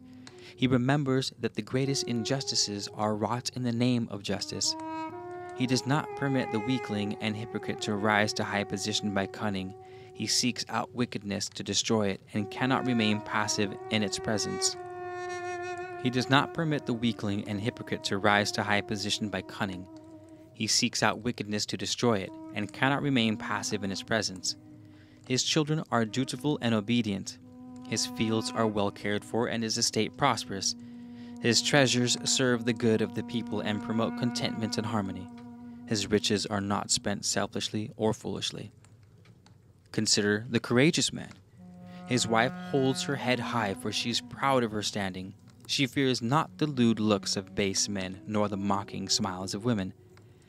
The courageous man has many friends, and men turn to him in times of trouble. He is as a rock among raging waters. He is the shield of the unprotected and the sword of the weak. His arm is steady, his thoughts clear. He walks among the people with head held high, for he fears no man. Lesser men give way before him, and he is followed by the admiring glances of women. Consider the half man. His ways are the ways of women without her charms. He sickens the stomachs of men, and women turn from him in disgust. He is ever treated with scorn and contempt. He fawns and makes himself lowly, that he might please true men. He is unclean within, and filth lurks on his lips, ever ready to fall and pollute. He is small hearted and seeks his pleasure among vile things. He is an abomination to true men, for he is a man in form alone. As his vile thoughts mold his speech and actions into a mockery of womanhood, so do they twist his soul into an image of horror. He who is not wholly a man is no man. He who is the companion of a half man is a half man himself. Chapter 16 Scroll of Horemaketh. This is the revelation of the All Glorious One, who was with us on earth as a master and now dwells in the place of eternal brightness. I am as I was, the devoted friend of the friendless, the servant of those who sat at my feet, and the lover of all. I dwell amid brightness and endless joy in the place of blending, for when flame unites with flame, there is but one flame, and when waters mingle with waters, there is but one water. When all is merged in one, then the difference is removed. That which was once heavy is now light. As once I was in the body, so am I now in spirit. All that was once impure has been purged away, the painful darkness of earthly life is no more. The heavy burden of restriction has gone. I am free. The deluded eyes now see clearly. The stifled tongue is freed and the insensitive ears are opened. Life is an everlasting melody of glory. The falsehoods taught by the body no longer hold me in bondage. The fetters are struck off my limbs and the bandage removed from my eyes. I no longer seek the things unearned, nor do I refuse the enjoyments of my gains. I stand alone in wisdom and peace. Beyond the range of earthly senses, the past is no longer a shackle at my ankle. I am garbed in my own true, changeless form. I stand forth in truth and all may see me as I truly am. I am firm and changeless, unalterable in time. I perform the tasks that come to my hand, and amidst inactivity, I perform unceasingly. I am not apart from bodily activities, for that which once held me captive has been exchanged for a form infinitely more glorious. The heart gladdening enjoyments remain, and the nectar of wisdom still feeds me. I am nourished by knowledge, and the way of inquiry remains open. I am unrestricted in movement and see through limitless space. I am as a prisoner unbound. That which is seen by you is seen by me. That which is unknown to you is not unknown to me. I know the nature of the firmament which came forth from God, and of which all things are made. I know the nature of the forming force which unceasingly shapes things out of formless matter. I know not past or future, yet I am not without them, and all merged into the present. In truth, I know not eternity yet, for that still remains beyond my reach.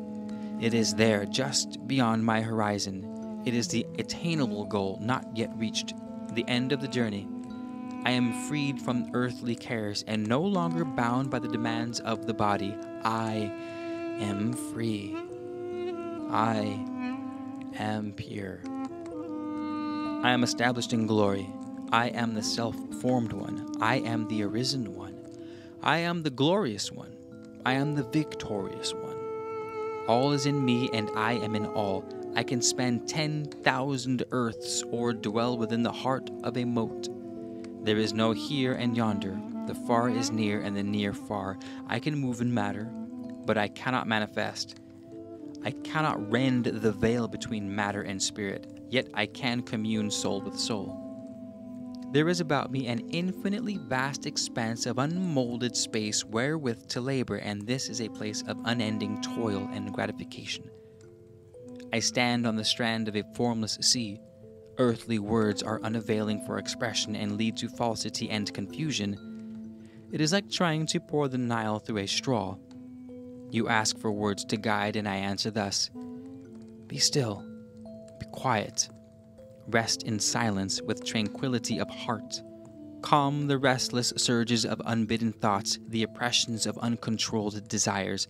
There, in the stillness and silence, you will be a shining, motionless, unflickering light, like a flame of a candle on a windless night. That is the pure flame of self the light that guides towards divinity. It is a small light of eternal wisdom lit from the infinite flame of truth. Of all things on earth, truth is the hardest to find. Men who have not expended effort say they possess it, but it is not for them. Truth is the supreme reward for those who have successfully passed an almost unendurable test. It is not a prize awarded in a simple contest.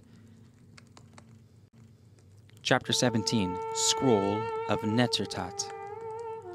Your servant Netertat, priest at the temple of the seer of heaven at Nethom, found this writing when he was the opener of doors for Pennican. It is a writing so old that few could be found who knew the nature of its signs, and they know more than servants of the Kohar.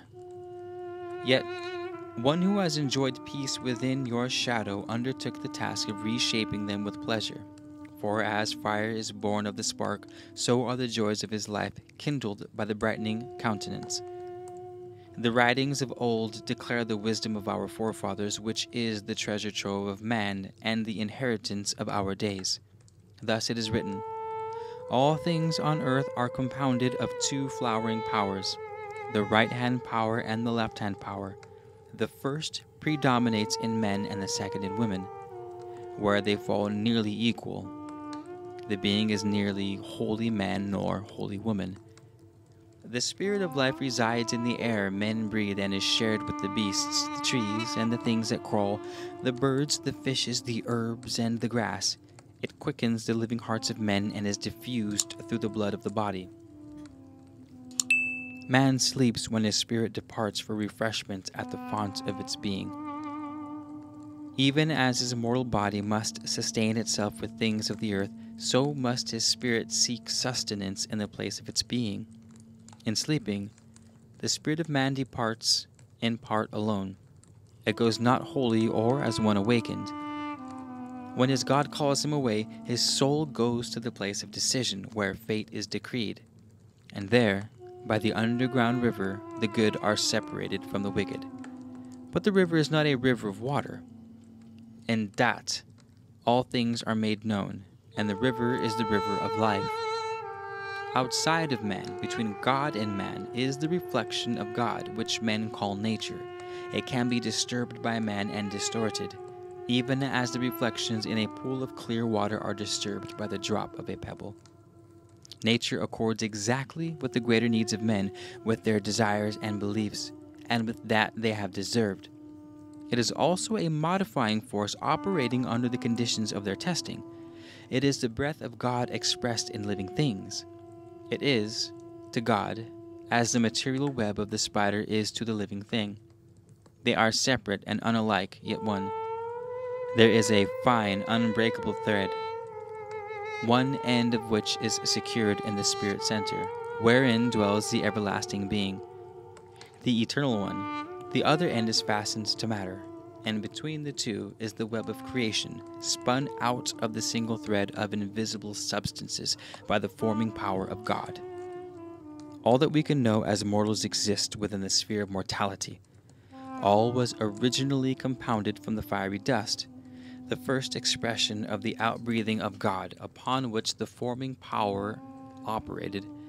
As hair grows from the skin of the head, which is nothing like hair, as a tree sprang up from the soil, which is nothing like a tree, as the spider spins its web and then withdraws, so does mortal matter come forth from the immortal spiritual substance.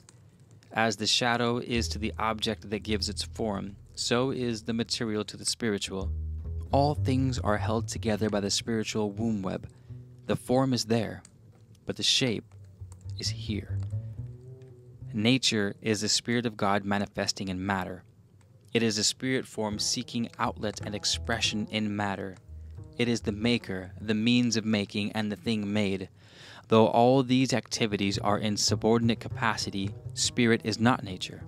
Spirit is the source of all consciousness which experiences both pleasure and pain. The spirit of a man, when in contact with nature, feels the ever changing conditions of nature. He who understands that activity anywhere is but the working of nature and that God oversees this labor and understands the truth, nature is never still, it is ever moving. Man is a creature bound to things ever changing. On the great scales, he is balanced between the eternal adversaries, good and evil. At death, the senses perish, but the memory of them endures.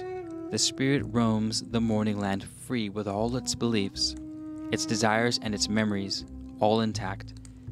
The arisen man awakes as from a brief sleep and finds himself in the place of decision.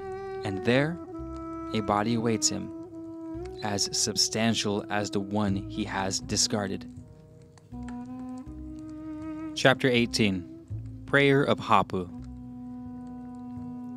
O my Lord of wisdom, I have been laid low by sickness and smitten by every disaster that can befall a mortal man.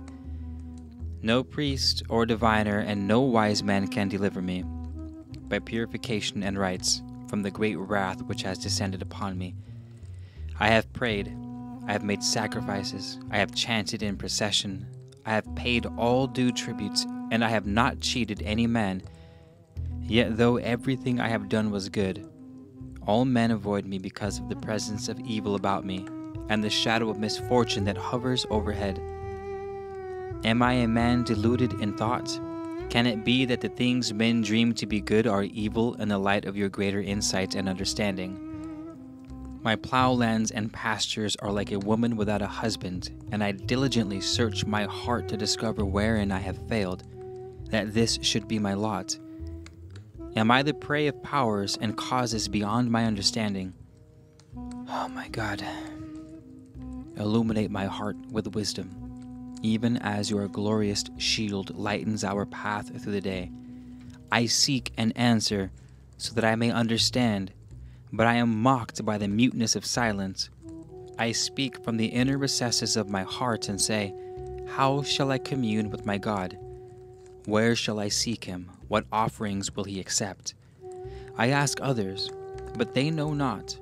I seek the counsel of the wise, but they talk in riddles. I am told that my wickedness is the barrier between us, but what have I ever done to hurt you? What could I, a mere mortal man, do to have ill effect upon the greatest of all divinities? If in my ignorance I did wrong in your sight, it was not my will, it was an illusion. It was thoughtlessness, bad temper, or beer. The weak are led astray by stronger men. Even when asleep, men are led astray to sin. Therefore, O Mighty One, overlook my errors. How shall I call upon you, my Lord? I who am the ever loyal and loving one. I who have remained constant under oppression and adversity. I have faith, not without doubt, yet I am not dismayed. I can see that to progress man needs both, for he who has but one unleavened with the other is easily misled. Though no sign has ever been given me, I am not cast down. For I have not known one who has enjoyed the full splendor of inner vision and the communicating ability. Where do we differ, he and I, in your sight? I search my heart truly, and I can find no great wrong done to others. What small wickedness I have committed have been done in hot headed haste, or while led astray by strong drink, or in thoughtlessness. I have never wilfully done harm to another fellow being. What is there in man that sends his thoughts afar, seeking the unknown? Who first struck the spark of life and sent it forth on its mission to fill the earth with its glorious burning flame. My pen sets down these words, and behind the pen is my hand. Behind the hand are my heart and will, and behind them my loving spirit. What stands at the other end of the chain reaching upward from these words? Can it be that man is unable to see you are the directing power within his thoughts? Because his thoughts are themselves within you? Is it that the within cannot see the without, though the without sees the within? Are my thoughts in a tangled skein which I lack the ability to unravel?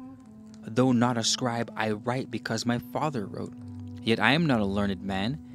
Can it be that things hidden from me are known to other men?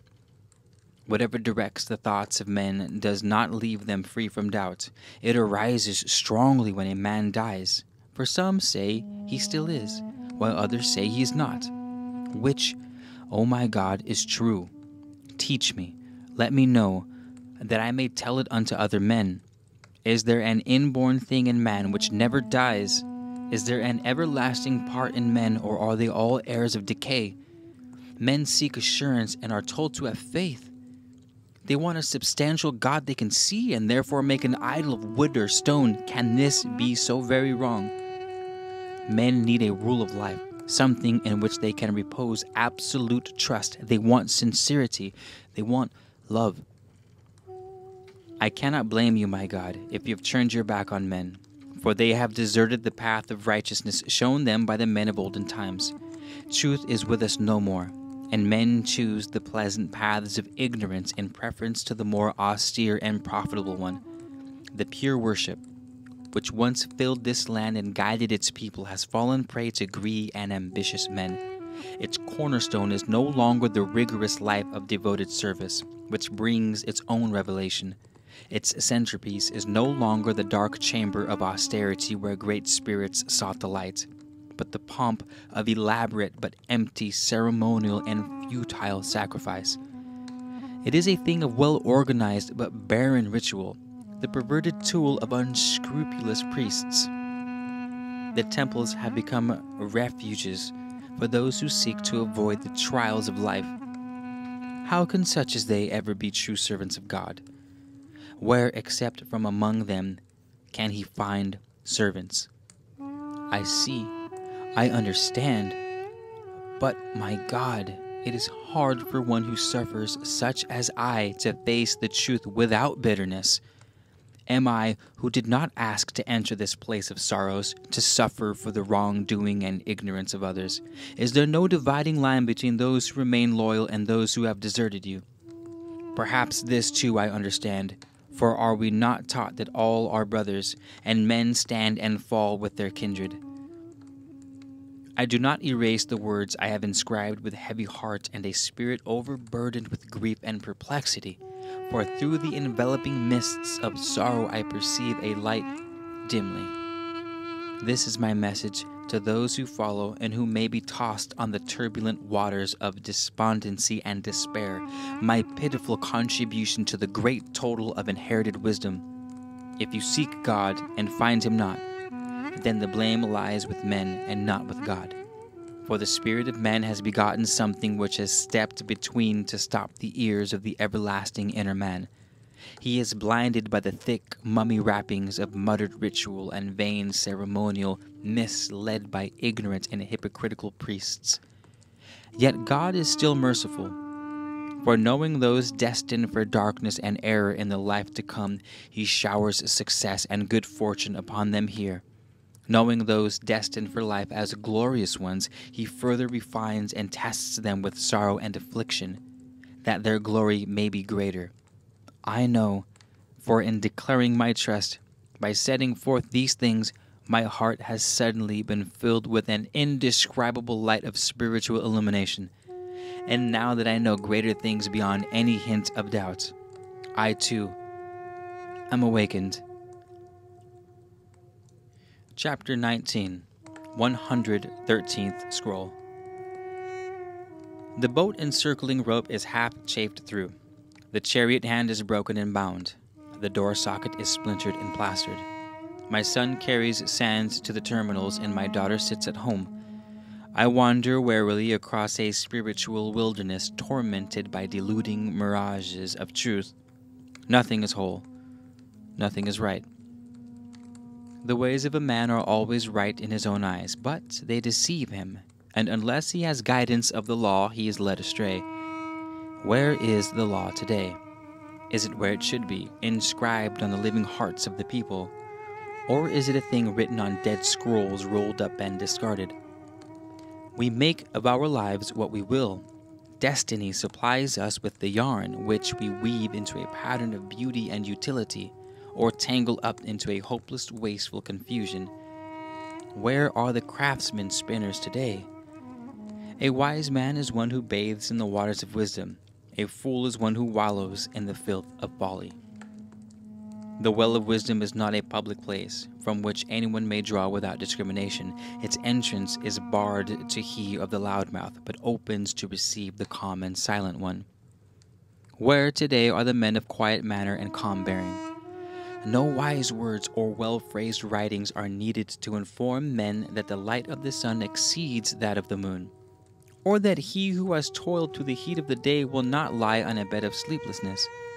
Those are things experienced by a few that are unknown to the many, that have to be explained.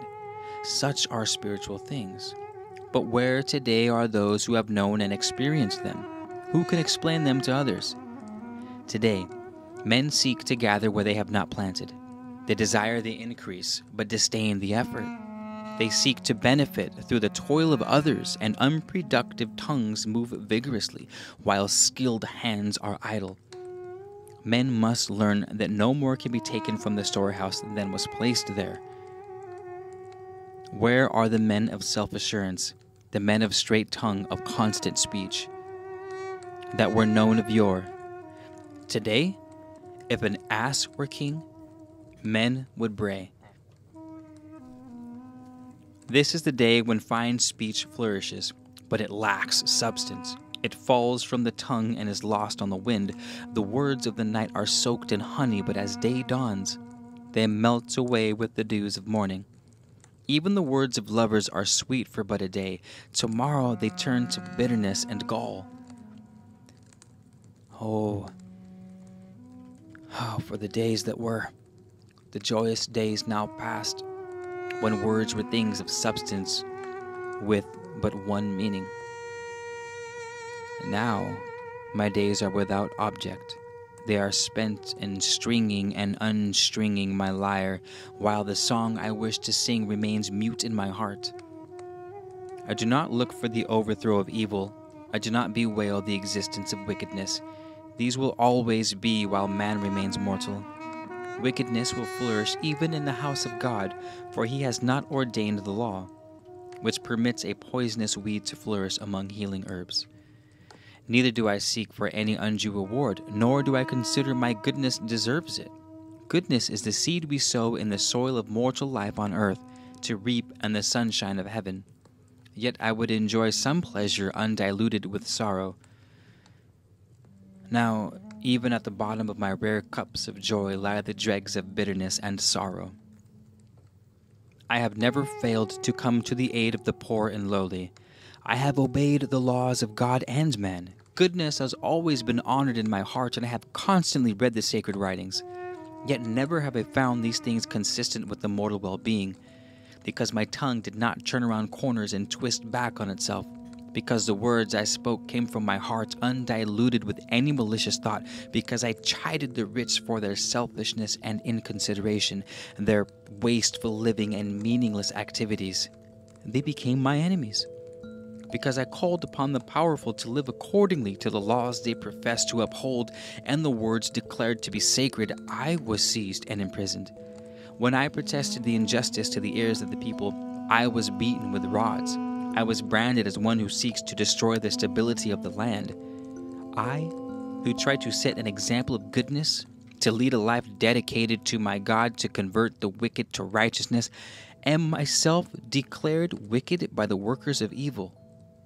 Why is this?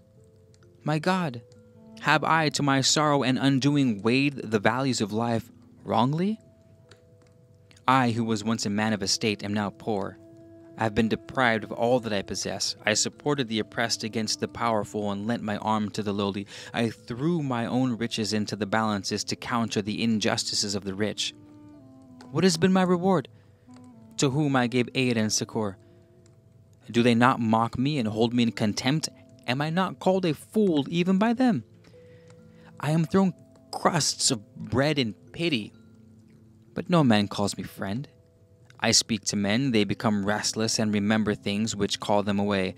The sight of me causes men to quicken their steps and change the direction of their journey. Has goodness then become a plague in the land? Yet I have sought but to turn others from wickedness and to replace their misdeeds with deeds of goodness. I have sought to revalue virtue so that it becomes honored among men, not merely a plaything of words, but a treasure held in the heart. Yet men mock me they say, These are things in which we too believe, but no man can wholly live by them. They are not the substance of life, and none but a fool discards the substance for the shadow. Where is my dwelling? Is it not occupied by one who wrings tears from widows and steals the food of orphans? The wicked one sleeps on a bed of comfort, the righteous one lays his head upon a stone. Where's my tomb? Does it not await one whose foot is heavy on the necks of the humble, and whose yoke bears down intolerably on those who labor. The wicked one contemplates his end with contentment, a place of honor awaits him. The righteous one will mingle his bones with those of dogs and cattle. Where are my servants? Do they not toil for one who deals with them harshly, who rejoices at the sweat that pours down on their labors? The wicked one sits on the seats of comfort, he wallows in an overabundance of good things, and the righteous one squats in the burning sun. He is grateful for a few crumbs and a little water. Where is my wife? Is she not cast into bondage, an object of abuse and amusement? Is her master not a man of many useless words, one who dispenses lewdness for pleasure? What misery and degradation she suffers! The wicked one never lacks the delights and services of women. The righteous one lacks even a smile of compassion, a hand to touch his head. And where are my children? The comforts and consolation of an old man. Do they not labor with bitterness of heart, bearing the scorn poured upon the gray head of their father with unrewarding fortitude? The wicked ones display their riches and mock my children, saying, All this is ours to enjoy or give others at our pleasure. Where then is your reward? The righteous one cannot give even a piece of rag to patch the garments of his offspring, or a morsel of food to ease their hunger. Where are my riches? Where is my estate? Are they not enjoyed by the avaricious and haughty, the sly man and the cunning man, the hypocrite and deceiver? The wicked ones have no thought of righteousness and virtue. They are clad in comfort and filled to fullness. The righteous one has half a garment, and his next meal is unseen. Is earth the heritage of the wicked, or the heritage of the good? If goodness is to be won for earth by example, then what must I do? If by words, what more can I say? If by weapons, can an unarmed man fight a multitude? Where have I failed? I do not know. I have no answer. I believe, I hope. I am an old man bowed down with the cares of an old man. The fires of youth are burned out, leaving just the gray, comfortless ashes when men ask, I answer, I do not know. Can any man answer more truthfully? Ramotip, son of Yugab by Elipa, daughter of Pasinesu, commander of the royal protectors, found him by the road to Basiros as he journeyed to meet the great bride. Ramotip took him to the shrine of the flame at Nozab. He had come home the name Ramotip is honored forever. Gold and silver, there was none. He came to the mooring post among friends. Two alone in the house of the Lady of the Sycamore remain steadfast on the hard, grim road. They are protected by her illustrious mantle. They are hidden in her shadow. His scroll is placed among the scrolls that last forever. Though it be but a splash in the Nile, it is his memorial. His name is on the great scroll. His success was in his failure. In trying to change others, he changed himself. Each effort was a shaping stroke to glory. Earth is as it should be, it cannot be changed, but if a man would change himself to his own benefit, he must ever strike and seek to change it. The message of this writing is not one of futility, but one of hope. No man could have better shaped his future. These are the later days, yet things remain unchanged. The good suffer while the wicked prosper. Whose fault is this? Certainly not God's. This is a man made state. It was built by strength, and strength must smash it down and rebuild. The good have been too passive. Arise from your knees and look the foe in the face. Strike a blow for God and for good. Chapter 20 Commentary of Frater Astoros from the days of the ancients have been heard the lamentations of the woeful and disheartened. And they ask the winds, Where have we failed for the God we pray to to remain unresponsive? They air their goodness and virtues and ask why these have gone unrewarded. It becomes a grievance with them, and they know not where to seek the answer. In this generation, our generation, goodly men have been robbed of their estates by warlike strangers, and their wives have been ravaged by men who have studied the ways of weaponry. Their possessions have been sold to provide earthly pleasure for those who revel in things of the earth, and their households have been despoiled to give pleasure to fornicating fighters. In their dire despair, they seek to lay the blame upon a God who does not strike down wrongdoers and seemingly rewards those who are earthwise. Wherein have they failed? This is the echo in the corridors of the ages.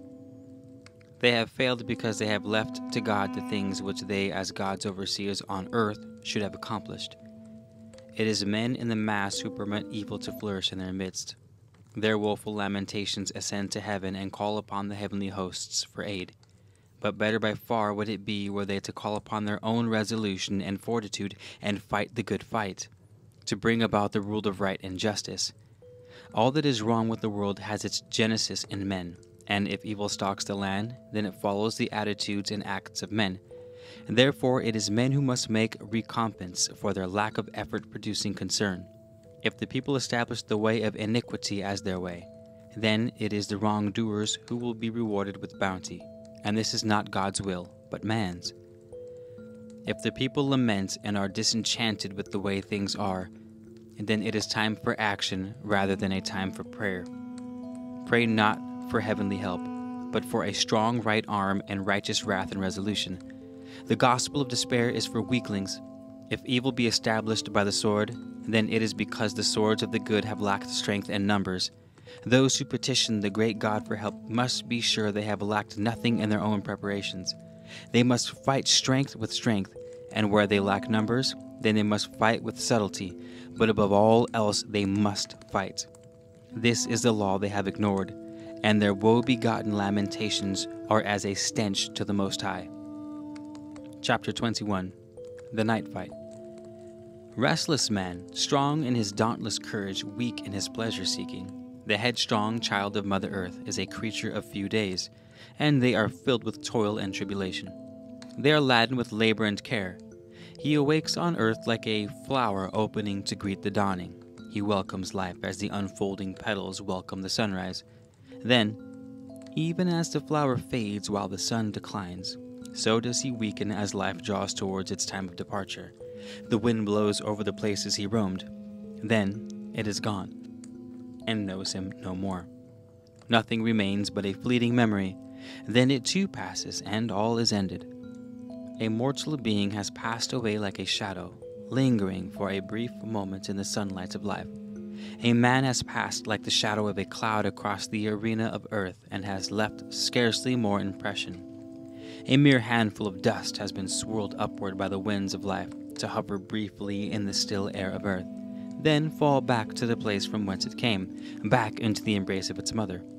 Life, fleeting as a shadow, comes with the daybreak and departs with the evening gloom. It is a thing without substance, a shadow born in the light of sun.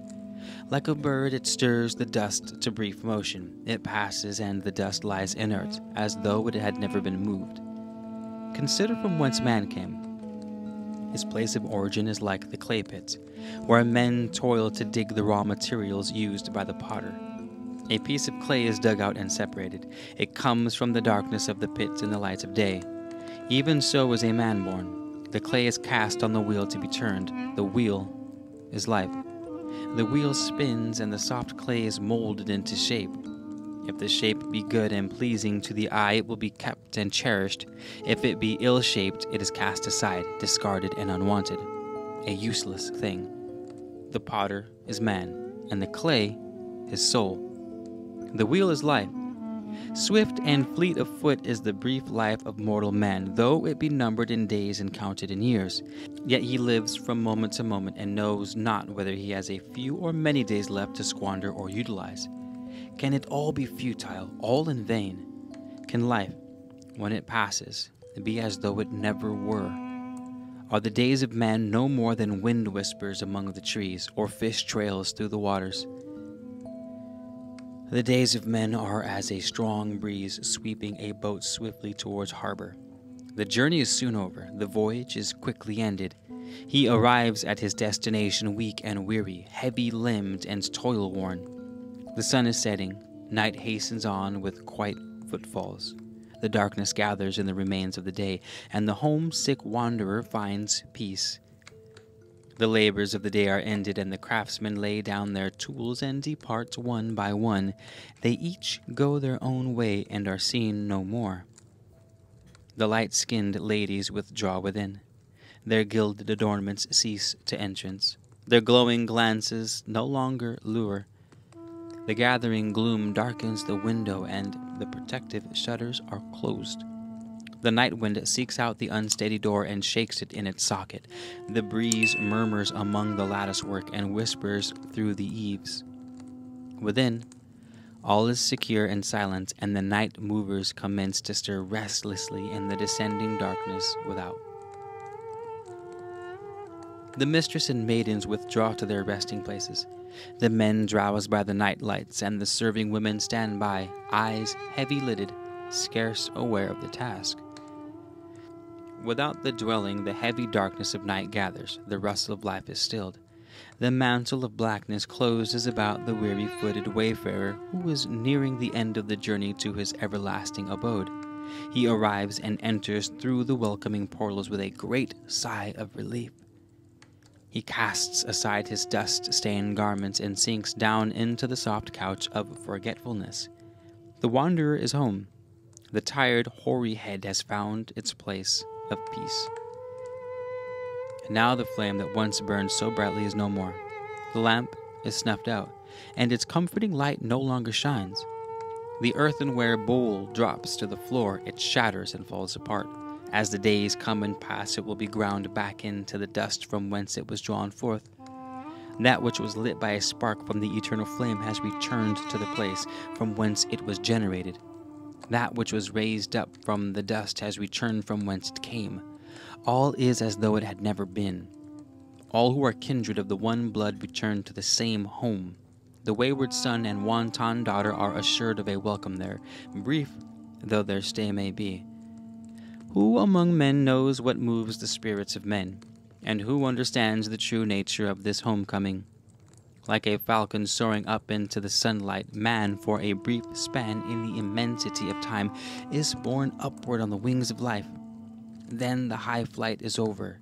He descends, the wings are folded, and he seeks the solitude of his silent resting place. There is an end to all earthly things, and all men must come at last to the appointed place. None has gold or treasure enough to buy even one more day of time. There is no way back. It is the place of no return. And here, the prince and the bondsman are alike. Here they stand side by side, and none can tell who was the man of high rank and who was the lowly one. That which distinguishes them now is something not of earth, though that is where it was acquired. As the waters drain away from the land into the channels, and from the channels into the river, to be borne away and lost in the great green sea, so does man sink down into oblivion, never to rise again on earth, never to return as himself. He has gone from earth forever, back to the place from whence he sprang, back to his eternal home.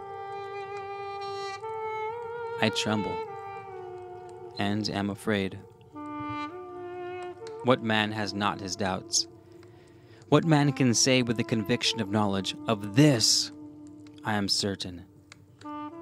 Our fathers of old and the twice born had the confidence of certain assurance, but I am no more than a humble scribe, whose life has been devoted to the fulfillment of his trust. I sought no great reward and received none, but I was content. Perhaps that contentment was my undoing. I am like a pot holding a precious draught, none of which belongs to it, or a chest containing a treasure it cannot utilize. What eyes see in the dismal darkness of the tomb? What breath stirs the heavy dust? What flower of love flourishes there? What voice can echo in its silence? What does any glimmer ever enlighten the oppressive gloom? Does any memory ever arise to soften the stark surroundings? The thoughts of an old man taunt him when the security of youth is left behind.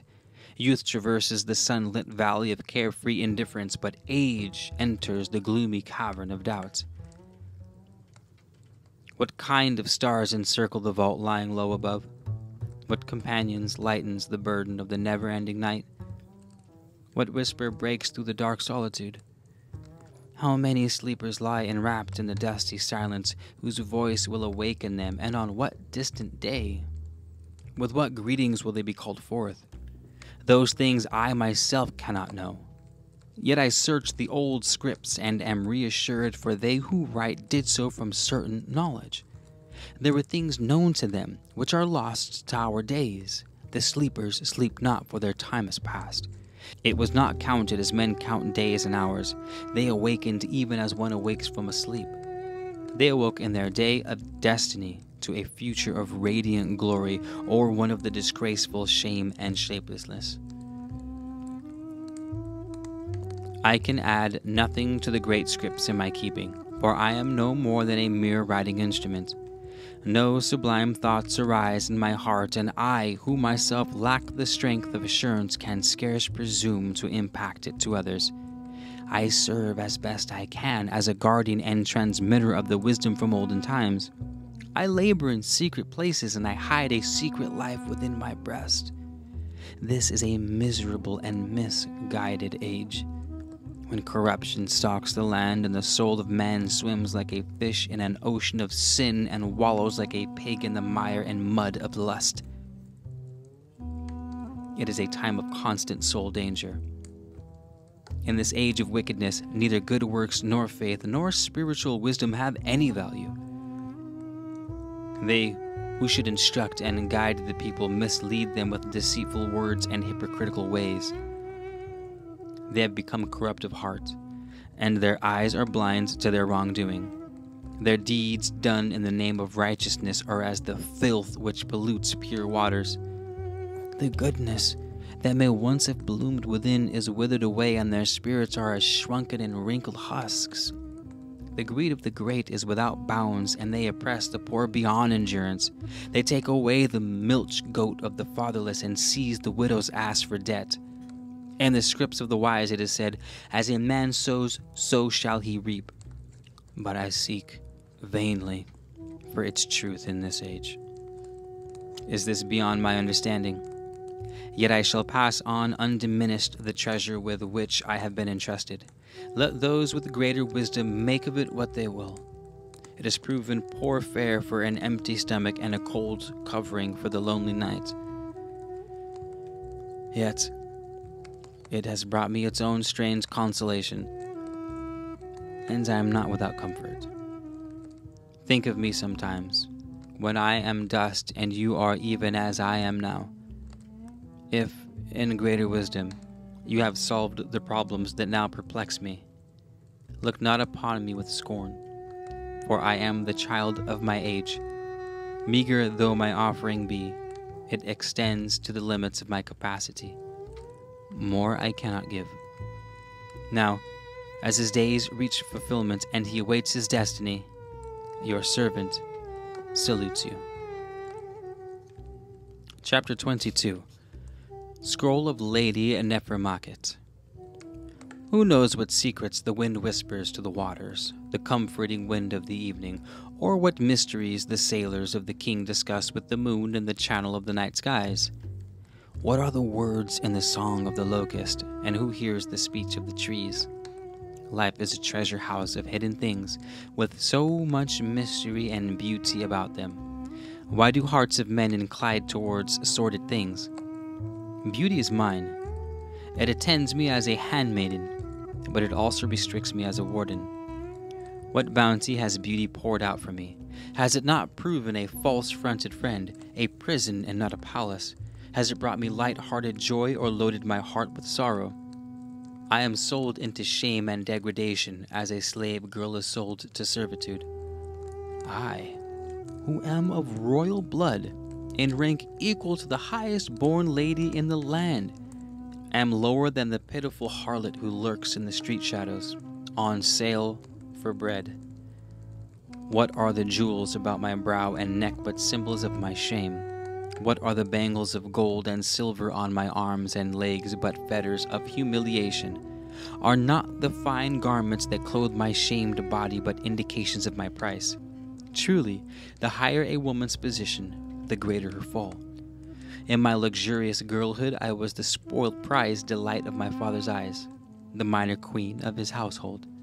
As I stepped over the threshold into maidenhood, great musicians composed delicate songs on sweet, soft stringed instruments extolling my beauty.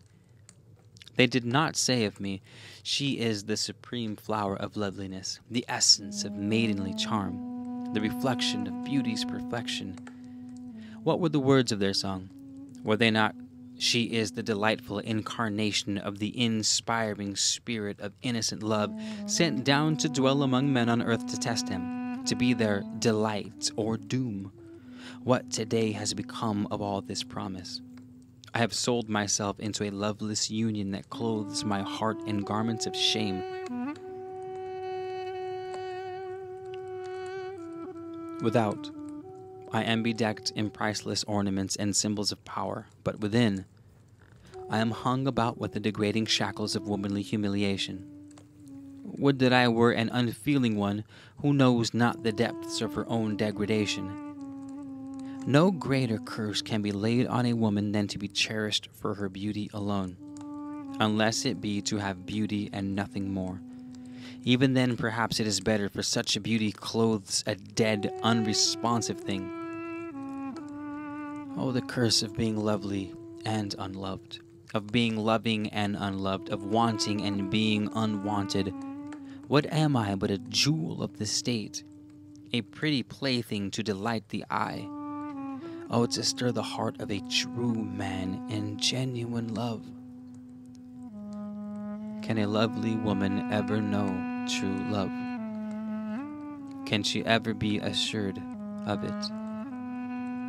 How can she know she is loved for herself alone and not for her beauty? People say of me, How can she who has everything lack contentment? True, I have beauty beyond the hopes of most women, riches beyond estimation, power and position above any other. I am envied by all. Yet I lack that which even the poorest shepherdess can attain. Gladly would I change places with the least of my handmaidens, were she but truly beloved. And I unduly discontented, having so much and sighing for one thing I lack. Judge me not unless you can read my heart and know the anguish of an overladen storehouse of unwanted affection. Say not that with such beauty such as mine I could claim the heart of any man. Could I claim it with honor? Could I take it in honesty? What think you I need, a man or love? A dead and empty embrace will not suffice. I am not a she dog in heat should I degrade the glory of love to snatch a fleeting pleasure? I would be unworthy of the very thing of which my heart yearns. Oh, miserable one who, having so much, lacks everything she desires. Sad is the lot of one who, while yet young, must look beyond the grave for her goal. I labor under the burden of beauty. Oft have I heard the unspoken question asked Can one so beautiful ever love truly, or would her love be fickle as the whims of a butterfly? And in my heart are tears as I cry to myself Can a lovely woman ever know true love? She may, but can she ever be assured of it? Messinita lacked both beauty and wit Yet she never doubted she was truly loved, nor did she ever have cause to doubt. O fortunate woman! Why are beautiful women, though fickle and wayward, honey baited traps to lure men to sorrow? Why do other women seek to see them in the role of temptresses?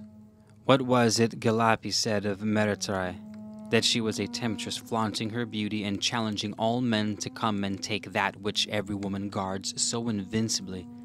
How wrong! A truly lovely woman neither flaunts her beauty before men nor uses it to tempt them, for thereby it is sadly lessened. Beauty, like riches and power, carries a heavy burden of responsibility, and woe to one who lacks the strength to bear it.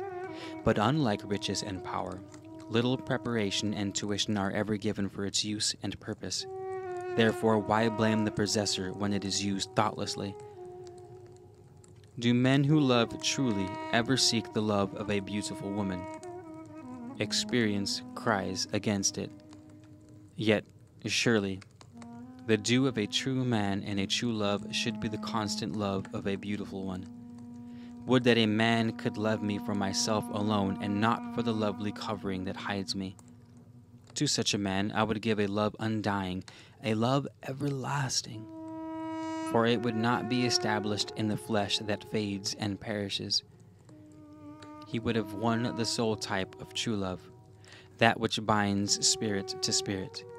That which binds flesh to flesh is not love, nor yet even its imitation. What, after all, is beauty but the jewel box that hides the jewel within?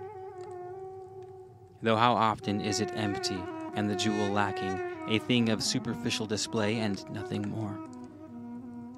Envy me not, my sisters, for life lacks savor for me. I am neither contented nor joyful. May better times dawn when things are different. Chapter 23 122nd Scroll O Egypt, great fertile black land amidst the encircling red plains, what have you now done? You have departed from the light to wander in twilight. You have turned to gods that are not but the spirits of men returned to dwell in wood and stone. What can such as they do for men? The great self generating God gave you all you have and hold. The people of the West cannot oppress you, the people of the South cannot afflict you, nor can the people of the East command you. The dwellers in lower regions are subject to your powers. Turn not from your true God. It is He who gave you the adornments of waters and greenery. He built you up in the midst of the fertile waters. He sends you the fertilizing floods in their due seasons, the fine fish bearing waters which nourish you, the dark waters that fertilize the field pastures and fruit bearing trees. The dark waters that fertilize the field pastures and fruit bearing trees. You are not as other lands your borders are closed to the people of the east, whose hand stays their march. Your borders are closed to the wild men beyond the cultivated land, whose hand holds them back. Your borders are closed to the ignorant men of the south, whose hand restrains them. Are not the waters to the north as a wall? Forget not the God within your gods. He is the heart and soul of the land. He saved you from every evil of the dark one in the days gone by. His servant is the great light of day, God given to you that you might dwell in its light. He darkened your face, that you might not be barren as other lands. He thrust the clouds from off your brow. The cool north wind is bidden caress your cheeks. Truly, you are the favored among nations, the chosen one among all lands. Chapter 24 An Early Egyptian Scroll. A craftsman in the words of God and teacher of writing, the grand scribe of his Lord, a faithful servant of a noble master, before times keeper of the royal writings, whose father's father's father was chief overseer of the great Pharaoh, follower of the wise one, whose wisdom and goodness reveal the divine essence son of the master of the secret ceremonies, captain of craft in the journey to the islands of the outer seas, may you live forever in prosperity and health, and may life bestow its favors upon you. May the protecting spirit spread its wings over you, and may your rewards hereafter exceed your expectations. May your servants dutifully transport sand for your fields, and may your form in the unseen place be that of a god. And to my brothers in wisdom, who follow the sacred path, May your may be made smooth and the yoke be lifted from your neck. May you dwell forever in the celestial mansions. In the month of rising waters, while all men yet bore the signs of lamentations for the departure of Pharaoh's father, and the great gates remained barred to wayfarers, the ships were prepared and pitched, and all was done as the king decreed. None but he who commanded our movements knew the preparations within the preparations. Then, to the place of mooring, I was carried in a high chair of ebony inlaid with brass the bears of which were of chesonam wood bound about with cowhide, on the ship which had come laden with merchandise from the land of Pontus, lions' tails, cowhides, spices, worked and unworked ivory, blackwood, oils, and paint. From the land of Egypt went wrought copper and pitchers, stoneware, linen, and the finery of women and men. There were instruments for dwelling places and corn in jars, beer and stones and the works of craftsmen. I boarded and was greeted in a befitting manner, for my renown had gone before me. I am the one who stands fast under assault, who does not waver at the crisis nor run from the foe, whose arm is cunning in battle and never strikes twice to slay. With the craft were men of the Kadanas, a host of men fierce of countenance and bold. The vessel was one hundred and fifty cubits less 10 overall, and in beam 50 cubits. With us there were 150 men of the sea. The other craft with us was 100 cubits overall, and in beam 30 cubits, and had 90 men of the sea.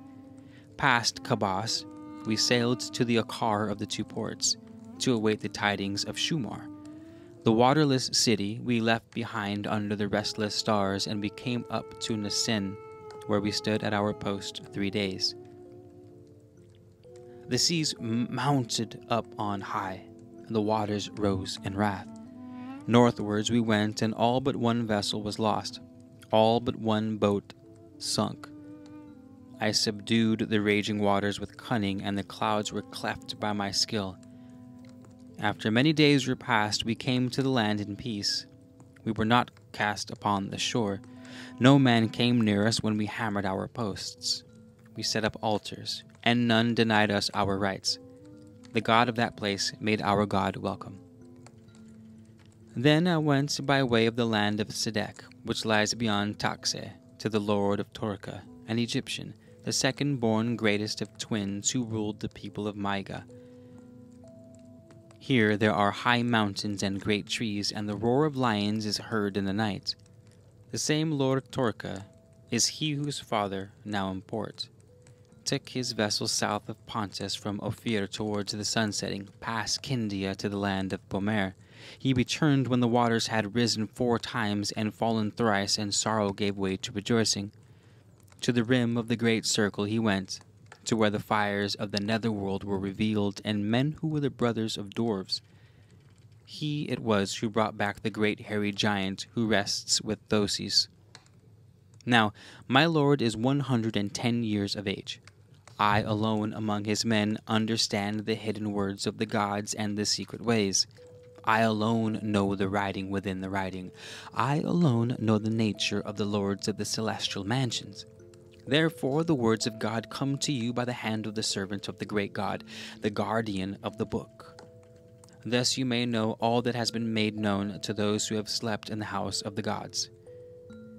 Keep the writings as they now are for your children and your children's children. Nothing is perfect on an imperfect earth, but that which flows down and reaches us from the heart of God comes the nearest to perfection. The pure waters are sullied only by the imperfect and impure vessel in which they are caught.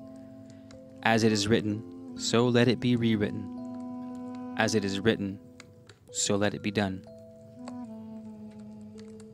Chapter 25 Song of Sacrifice They came like spoilers to the tomb. They came in the night. They were as robbers carrying foul deeds in the darkness. They came as night creatures fearful of the light. Rasmus they slew in the antechamber. He died not from the blows before his face, but from the steward's knife behind. Evil men lurked within and without. He died in the midst of his manhood strength, and his spirit was not unaccompanied in its journey. Neferlehi they took, they carried her off, proud and upright, she went to die in a foul place by the terrible hooks of the tormentors. Her greater loveliness will live forever in the halls of eternity. It will exceed the radiance of the sunlight and enfold the heart like the pale glory of the moonbeam. The son of Rasmus and his children they slew and tormented. His residence they defiled and laid in ruins. They sought the abode of the great God within its walls, but found it not. Brick and stone cannot fashion a residence for the true God. But they were sightless men. They did not see what lay before their eyes. Beauty and strength have been destroyed. The love that once adorned earth now graces a greater place. All things pass from earth. Nothing remains but the never ending struggle of the great God, which everlastingly transmutes earthly things. To it, we are what grains of sand are to the whirlwind that whips up a sandstorm. The records were not exposed to the workers of wickedness. They survive, they journey on, and they come to you. They come not that you might live, but that you might die.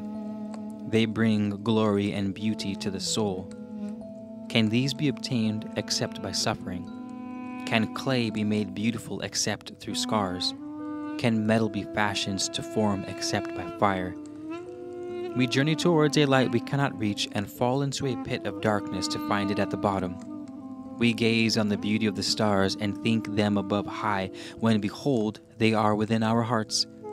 Man is not born to play, but to labor. Life is a basket which must be filled with sustenance for the future. The fool fills it with empty, unwholesome things. The wise man fills it with things of substance. Earth is a place of unreality. That which seems substantial here may have no true substance. That which seems desirable here may not be wholly desirable. That which serves here may not serve everywhere. Man is born to live, but he is also born to die. It is no more natural for him to live than it is for him to die. Death is no harder than birth. It is no more difficult than life. The best of today is gone. We console ourselves. Better will arise tomorrow. The earth gets better or it passes away. Men improve or perish. That is the law. May you find eternal springs of strength and courage welling up in your soul at the time of your testing. We, your brothers, go our destined way, and we shall not meet again in the same likeness. May your future amid the fountains of light be glorious and beautiful. And may you span the great gulf of the eternal years in splendor of form and spirit. I commend you to care upon it. May he protect you and keep you from evil. Chapter 26 The Scroll of Kabel, Section 1 The words of the great scribe of the universe by Laman, keeper of the water gate by the outlines. To the children of Laka at Kemwar, keepers of secrets, wise in the words of God, greetings. May your days be long in prosperity and peace. May the great sun of life endow your years with greenness. May you walk always with a feather in your heart, and may the wild fig tree flourish in the sand of your courtyard. Success in your journey to God's land. The guardian of sand wayfarers protect you along the road. These are God's words on the hidden portal, struck by one who slept within the temple and who knows the will of God. If they be heavy, they are also sound. My children shall pass across the wilderness and sea, and my wisdom shall go with them. The whirlwind shall not strike them, nor shall they be consumed by the sea monsters. When all this generation and its children shall be as swathed bodies in their coffins, my children shall not be at rest. They shall come to a land of many waters, where gold is found and there is copper in abundance. There they shall erect a temple to be the glory of God, and they will prosper and increase. Their women shall be honored by the water beast and be joined in their good fortune. These are the words they shall remember and strike on marble at the temple gates. These are the words they shall engrave forever. Good deeds must outweigh wicked ones on the great scales. Otherwise, the spirit is doomed to darkness. A man is expected to strive for perfection on earth, but not to achieve it. Let him be judged according to his efforts. Bewail not if prosperity departs from you, it passes from the good, for they have passed its test. The day of the destroyer will come again, and the land shall be laid waste. It will strike out of heaven at a time when there is prosperity and peace, though the minds of men shall be perplexed. It will be a time when men worship the works of men and say, There is nothing greater than these. When women are as men and men as women, when the hearts of men are in turmoil and all men seek pleasure and gain when craftsmen are inefficient and workmen are idle, and all men seek ease and comfort. Be alert and strong, my children. Be ready for the day of the next visitation, when doom reaches down from the skies and man is blasted with irresistible power. These are the laws in which you shall find the strength to survive. Throughout the days of your hardships, remember them well, for they will bear you up. No man shall eat to excess or drink until he staggers. No man shall waste his substance in fornication. No man shall cut himself after the manner of the Easterners or suck blood. No man shall act with a man as man acts with woman. These are the rules by which my children shall survive. They are not for the survival of each man or for everyone, for many must perish. Where some must die that others live, the weak shall die, and the strong shall live. Where the choice of death is between man and child, or woman and child, the child, being instructed and capable of survival, shall live. The means of life shall be placed with the child or woman, and the man shall take his chance. Where the choice of death is between a woman with child and a woman without child, the mother shall live. Where the choice of death is between young and old, the young shall live, and the old shall die. But if the young be weak and the old strong, then the old shall live. Where the choice of death is between the wise and the foolish, the wise shall live, and the foolish shall die. Who shall decide? The foolish think themselves wise, and the wise are weak voiced. Let one who is to die decide who shall live. Where few among many can hope for life, the craftsman shall survive the unskilled man, and the wife shall survive the maiden. The husband shall survive the fighting man, and he who has no wife.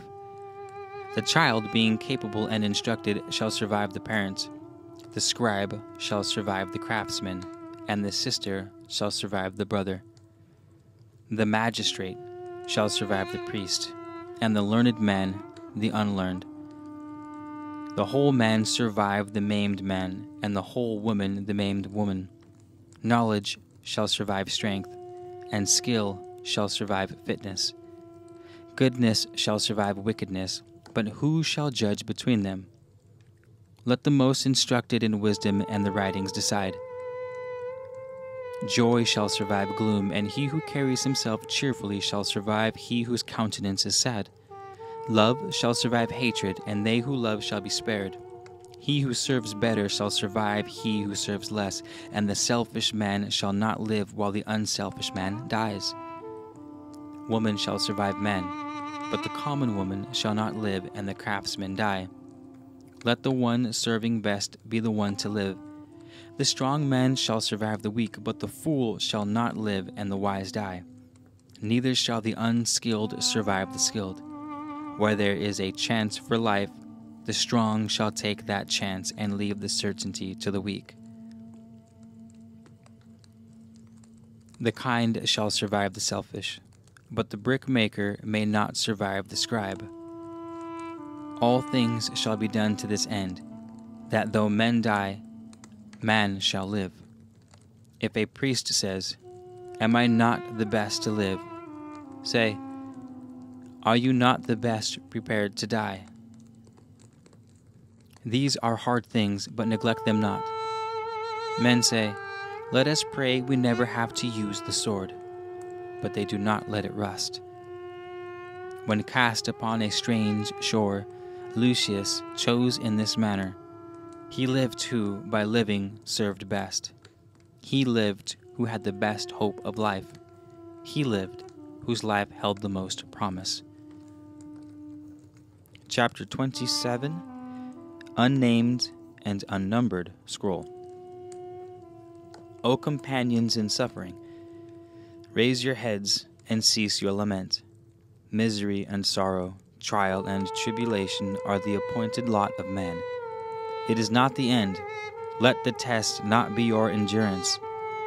This spoke with the voice of the God and said, All who worship the unknown God must be brought to judgment. Then it was the God's will they should be taken out into the wilderness, where none should see them die. Does he come to us as a friend or as one who would place a knife in our backs? What do we know of his thoughts? Is he with us? Even though he be ignorant of our ways. Let caution take priority, let prudence be our guide. In the night, the voice of God spoke on the west wind through the columns at his mouth, and said, Though not one of us, he serves us well. The feather is in his heart. Even the little gods weighed down heavily when asked to speak, and he found favor before them. He found favor in strange places. This is not the hour to cry the tidings in the concourse of the people. Be not unduly impatient. Every new thing has the hour of its birth. Many generations shall yet live and pass into dust before the child now conceived shall be born. Let it not be disturbed within the womb. Therefore, deal not with things best left alone. Arise, be strong in heart. Go from one to another, gather the companions in suffering, and let them come this way. Say to them, This is not the hour, nor is this the generation of the test Gaze upon the warden of the night. Does he falter on the path? Is it not written that he shall be the herald for the coming of doom? Where then is the sign? Therefore, look not unduly towards your destiny in the netherworld.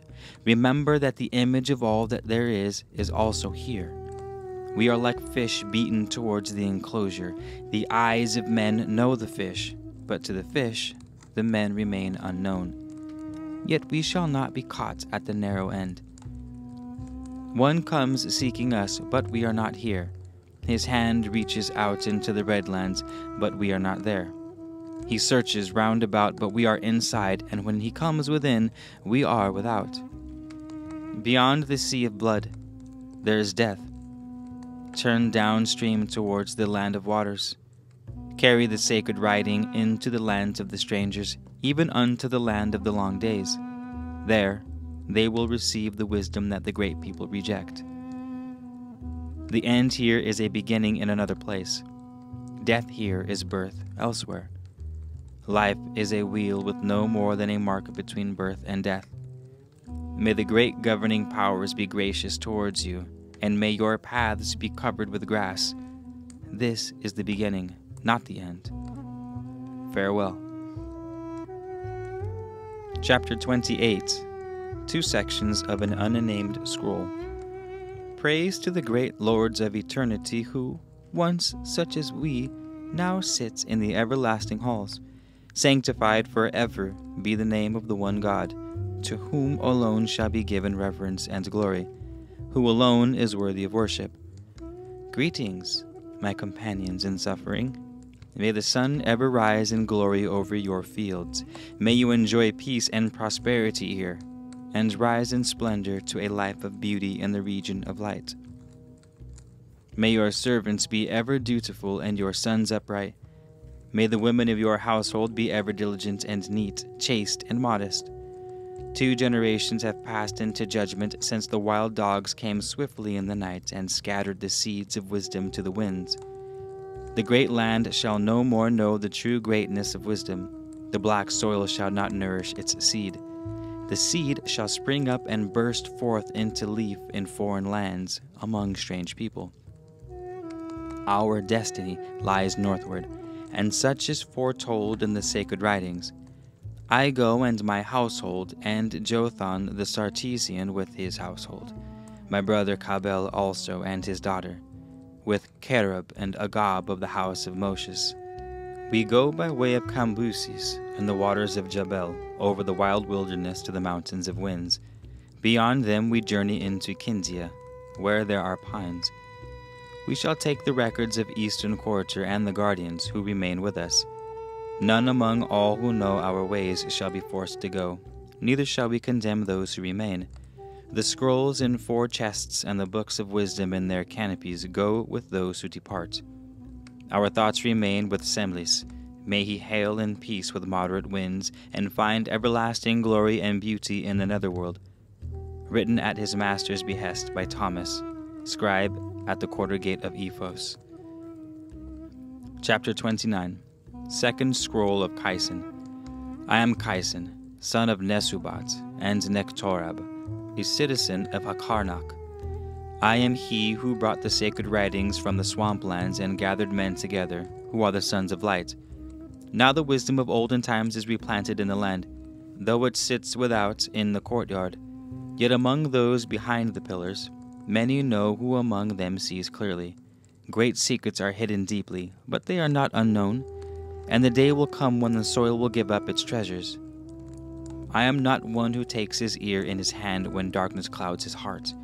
I came from out of the land of security to a place where all men would raise knives against me, where their eyes opened. In baskets of barley on the backs of asses came the sacred writings, containing words to guide the wise and knowledge to dispel the powers of darkness. No magic could prevail against the superior spells I carried, and the treasures remained unseen. Men sit beneath the trees and nod their heads solemnly and roll out long books to read things that evaporate in the air. I deride not the books, but one blow of the sword can destroy ten thousand strokes of the pen. Those in high places persecute us, not because of the whole of the writings, for much is common to all, but because we seek to change the established order of things. We seek to change the ever present state of affairs because, too, we have a God who is not the holder of property or a God of the rich and powerful. Who benefits from the riches and estates of other gods?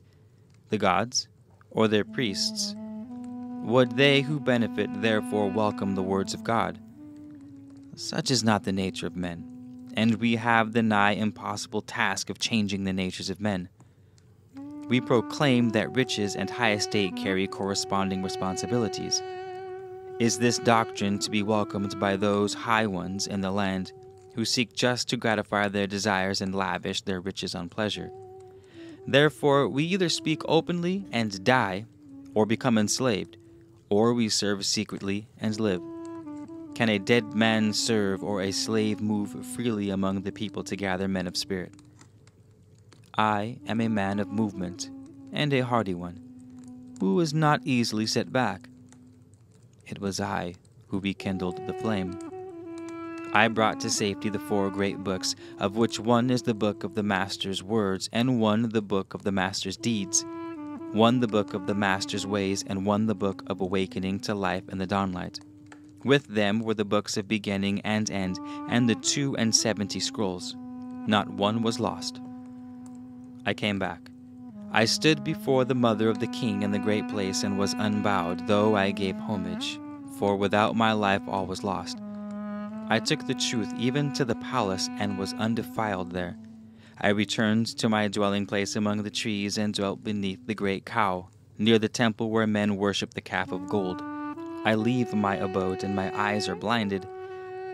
Therefore, when the earth is as if dead, I prepare my books, and men come and are refreshed in the coolness. Yet men who sit with books and men who do deeds are not alike, and each has his task. Therefore, let not one despise the other, but let both go forward together, each bearing his own burden. Now I make ready to go downstream to the abode of light that wisdom and truth may be carried to the appointed place under the everlasting stars, and there made secure to men in generations yet to grow up in the light. They will be seen in generations to come. I shall go on the wings of the sun before the retinue of the breaker of heads. I am one acknowledged as being pure of hands, and shall be with those who serve under the head of the Great One. My name henceforth shall be Hemnetar and I shall not eat of fish or beans until I come to the place appointed to fit my station. I shall wear linen, and my sandals shall be made of grass, so that none shall perceive my greatness. I will hide great things within my heart, and a bridle will ever hold my tongue in check. I shall pray among the empty hearted, but my prayers will not be as theirs, but as those offered in the days of our fathers, who sat enfolded in silence two hours beforehand. Now the marks are changed by the hypocrisy of men. With me shall go Methumim, my brother. But Nephanethrith shall remain and provide for our father in faith. We shall be with he, whom men call Nanpeka, for his foolishness in his father's abode. Kenamun shall be with us as chief overseer. Behind us we leave many in sorrow, but our stature shall not diminish, for greater things are always believed of those who are distant. Nofret, I depart from you in sorrow, but are not great loves increased by absence, while little ones diminish. Parting is the test of love. Let the years speak and enlighten us unto ourselves. Have we spoken truly one with the other? My son, my unseen little one, now asleep in comfortable darkness, gathering your strength for the coming struggle. May the great God of life add his strength to your strength. You will be a great one among men, for you were conceived in love and not in lust. Within the guardian of my heart, you remain as a wonderful mystery. I am overcome with awe, for within you there is something God inspired. It bestows strange powers upon you, so that at the appointed time you fight for air and light. You will be a man of courage, for such men are born to the fearless and good. Strength and beauty, courage and modesty have mated, that you might be the heir of their gifts. Your heritage was chosen by those who gave you life. It is your fate, my son, as a child born of woman, to fight and grasp to grimly hold on to life as you reach across to this side of the earthly portal. There are dark powers that would drag you back, but you are not for them. Let the great light be ever with you, as a watchman's fire on a lonely road when the evil powers beset your way. I pray from the very inmost recess of my heart that the lords of form walk with you and ever protect you from the formless ones. As you grow, may your thoughts ever seek to inquire May you be filled with the heady wine of gods, the gift that spurs men to venture forth into strange places, seeking the unknown, which leads them to seek green pastures beyond the desert, the dawning over the sea rim, and the light beyond the circle of darkness. Adversity may be your lot, but your adversity is the greatest tutor. It is something welcomed by men as the measuring stick of their manhood. Adversity calls men forth to seek God and truth and drives them upward along the great path. May you ever seek the unknown and strive courageously against the unseen. May your spirit be high on the journey in this place, where so many men grow weary on the road. Be not one who sits following the ways of other men, but one who moves along a path of his own choosing.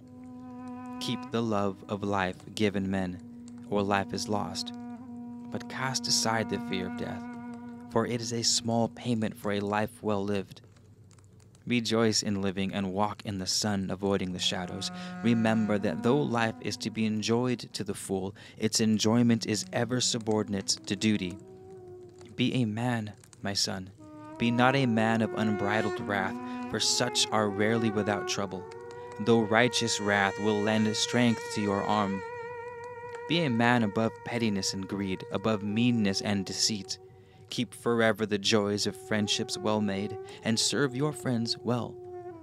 Never betray friendship or turn it to serve your own ends, lest you become something less than a man. Carry high gladness in your hearts, and never cease to wonder at the marvels of life. Not a day shall pass, but you will see something new to enrich your thoughts. Look at life as a man and not as an ox. Wonder at the great and awesome manifestations of God, such as sunlight and thunder, the dew and the stars, the sandstorm and the murmur of waters. Never let your eyes become dulled to the growth of trees, to the rising of the waters, and to the return of the harvests. Let your heart be hungry, hungry for knowledge, and your hand be ever seeking some skill. Hate lies and shun the coward. Walk with the men and learn manly ways. I know you will do the right thing, my son, for a bird does not beget a crab. I must tread a path you may not follow for many a year. I go, ashamed to leave you in surroundings unbefitted to your blood, but so it must be. Can the wilderness hold down the eagle, or waters restrain the wild goose? No, neither can a true man be ensnared by his condition and circumstances. I go, my son, for go I must. I cannot delay. I kiss the lovely forehead of your noble protector. It will soon be the time of farewell. I will not be here to greet you, to welcome you at your first cry. I will know you not before I depart. Woe to a sorrowful father who can bestow not upon his unprotected child but a piece of stone and some writing. These are my words to you, my son. Live the life of a man, such as, if all other men lived likewise, the great God Himself would leap out of His heaven to welcome their race into the realm of gods. Live not as other men do live, but as they should live. Fare you well, my son. A good morning and a clear dawn. May the great wings enfold you until we meet. My old friend, upon you I have laid a charge not unworthy of your integrity. For you, the days of deeds are near past, and you therefore now stand on the threshold to the years of wisdom. Age should not think while youth should act, but youth needs the considered guidance and restraints of age. Old men for counsel and young men for action. You have aged wisely and carry no regrets, therefore is your counsel ten times valued then too you have lived well. And is not the old age of an eagle better than the youth of a sparrow? I leave you the two garments becoming to you, and one for your wife as a departure gift. Mine henceforth shall be those of the pure handed. You know the things that are written on my heart. From Kyson in the land of cedars by the hand of Catullus, to those who journey on across the great green waters, by Jamulus to Sophir called the stranger, peace be with you and with your household. May your God be blessed as he blesses, prosperity attend you and a safe journey. I kindled a fire for you, and the smoke arose straight up with the savor of the meat, and my heart rejoices for your protection. Now I say, declare these words clearly and with a true tongue. Neither suppress any nor add to what is written.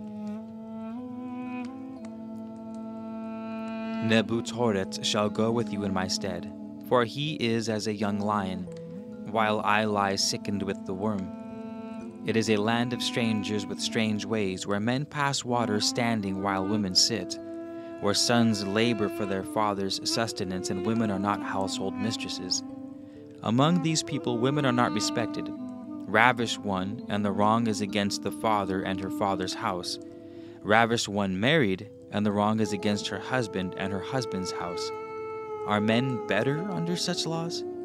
Unless the soil be treated with a husbandman's care, can the fruits from the sown seed be bountiful and good. There is no stability of rule, and princes strive one with another. The seasons come and go uncontrolled, and there are no records of harvests. In the public halls, many men talk, but none writes. The speech of the people is an uncouth babble. Thieves go unpunished, and those who slay buy their freedom with gold. Robbers purchase wives with their spoils. Sons do not obey their fathers, and daughters are wilful.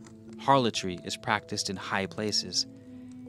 You who leave are better served than I who stay, for I am able neither to go forward nor go back. I am not a man wise in words who counsels, but a man of movement and deeds. But of what good is a fig when a worm inhabits it? The broken pot does not go to the well. So go in peace, and fare you well on the way. If the sea journey be not smooth, then console yourselves, for it will strengthen the faith of those who waver. There are many who doubt the existence of God in fine weather, but quickly recover their faith as the winds and waves rise. Take Nebuchadnezzar, for it is fitting that he go.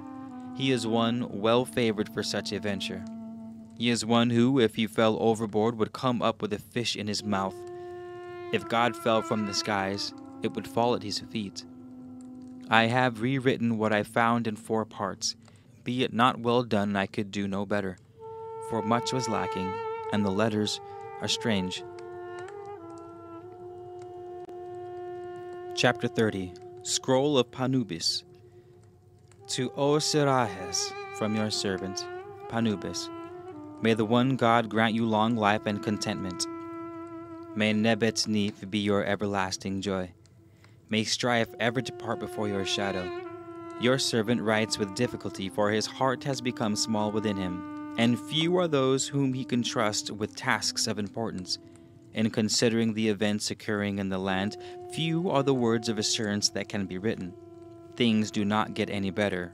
From year to year, they get worse.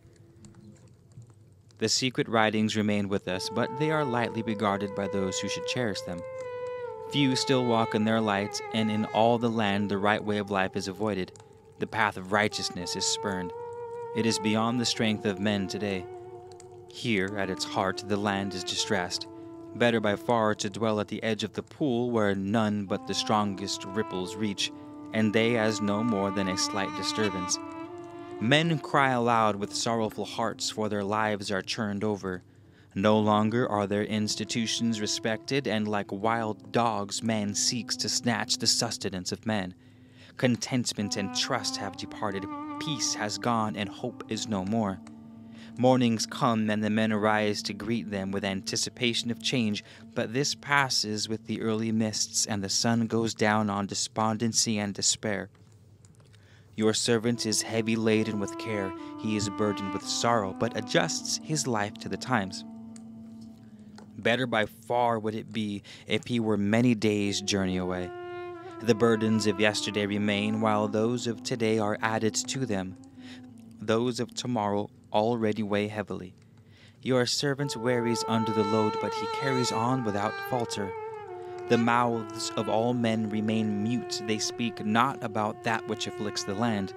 The hearts of all are disturbed, but their tongues remain silent. Strange gods have entered upon the land, such gods as have not been known before. Who are gods of sorrow and despoilation. the silent strength hidden in the heart of the land, the spirit of its life, the secret of the one God has not been sufficient. Men have failed to bear up under the blows of misfortune, the calamities have overwhelmed them, their wills and spirits are weak. Alone of all in the land, the devoted in God remain firm and stout hearted. Yet wickedness covers the land as waters at their rising. This is the testing time for men. This is the trial of their strength, but their frailty is established and they fail and fall. Those who should be resolute and firm to maintain the order of things are weak and faint of heart. They are weaklings, their wickedness has eaten their manhood like the people. They seek not but the easy way. Their desire is to live in ease and comfort, untroubled by the times. They care not that greatness has departed from the land. Affliction besets men on all sides, it encompasses their days. In the morning, they open their eyes to tribulation and suffer it the whole length of the day. The rich man robs the poor, the strong oppresses the weak, the unprotected virgin is seduced, the widow is ravished, and the orphan defiled. Greed and lust range wide through the land. It is a time of heart testing. The tongues of men wag with strange tales, and it is difficult to remain silent when falsehood stalks boldly throughout the land. In such times, the ignorant and foolish lend their ears to any falsity. How can the wise reply to the ignorant when wisdom is exposed to ridicule and truth to persecution? To expose the folly and wickedness of the powerful brings down rods of wrath upon long suffering backs the ears of rulers are closed to words of wisdom. The doors of their hearts are bolted against truth. To reply wisely or give good counsel from the books of wisdom is to invite scorn. Men no longer worship at the shrine of Sabaoth. The servant no longer devotes himself loyally to the affairs of his master, and where the arms of many are needed at the task, it is abandoned. Men no longer toil at the task with cheerful hearts, they no longer labor in accord. Men are tied down by their own inability, they are shackled by their own fears. They've become timid, fearful, Even the halls of judgment are no longer inviolate. The decrees are cast forth to be stamped underfoot by ignorant men. Even things that sustain the spirit now serve to prepare sustenance for the belly. Records are falsified so that no man knows the truth from false. The tallies of produce are no longer taken, and corn becomes the property of any man. He who lies readily gets the best. He who acts the deceiver gets most. Ignorant men have raised themselves to high estate by falsehood and deceit. None raises hand or voice against them, and therefore their ways are acclaimed and emulated. Truth is mocked and justice vilified. A man fears his brother as a foe and his son as a betrayer. He plows his field bearing shield and sword. Men walk abroad girded for battle. But now the day has dawned when henceforth even manly defense is denied them. When a man is slain by the side of his own brother, he who lives flees to save his limbs. When a woman is ravished, they who see turn away. The screams of maidens fall on deaf ears.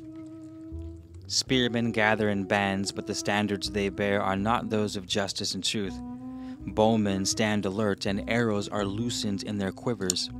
The men of blood exult, for it is their day. If a man of high estate be unguarded, he is slain, and if rich, he is robbed. If a high-born woman be unprotected through lack of kindred or gold, she becomes a harlot. In the marketplace, men say, Better a well fed harlot than a goddess dead from hunger. Even men who are not men have their place in these days. Would that I could journey to a land against the rim of earth Men of no estate and landless men become the lords of men, and strangers become masters of slaves and servants. They stir up strife among the people and say, This is because we are protected by the gods of power. By what are you protected? The people know not that the power of gods is sustained by the spiritual devotion of the people, and their power flows from the strength and goodness of their worshippers. When a people fail their God, that God fails the people. I am a man instructed, and know this is a time of strengthening affliction, but my heart troubles me. Will the people understand this? Will they rise to meet the challenge or go down the path of ease? The fair path of flowers and fragrance? Is this the land of leaders? Wherein will be erected the temple of truth and the stairway to heaven? Would that I could peer through the door of the unborn days. Strange bowmen have entered the Redlands and they spoil the people. They are men whose delight is in suffering. They are men whose pleasure is destruction. They tear down, but they do not build. The roads are covered and the water channels opened. The craftsman no longer interests himself in his craft, for that which he makes is taken away. He who reaps does not store the corn, but he who is without a plow never lacks a full storehouse. The harvests go unrecorded, and he who toils not eats with he who has labored at the ingathering. The man without cattle eats meat, while he who owns them eats herbs. The water rises and falls away from the land, but none plows or sows, for men say, The events of tomorrow are not unknown, and who knows what man will reap where we have plowed and sown? The scribe is stricken and dies on his stool his writings become a mystery and are disdainfully trodden underfoot. The fruit of many days' labor become kindling, the wisdom and knowledge of generations becomes fuel for fires of destruction. The weaver has abandoned his loom, and robbers lie in wait to strip men of their garments. The keepers of storehouses are stretched out before the doors, and storage places are empty. Charcoal has gone from the land, and the watermen have left their hoists. Slaves wander without masters, and children roam begging for bread.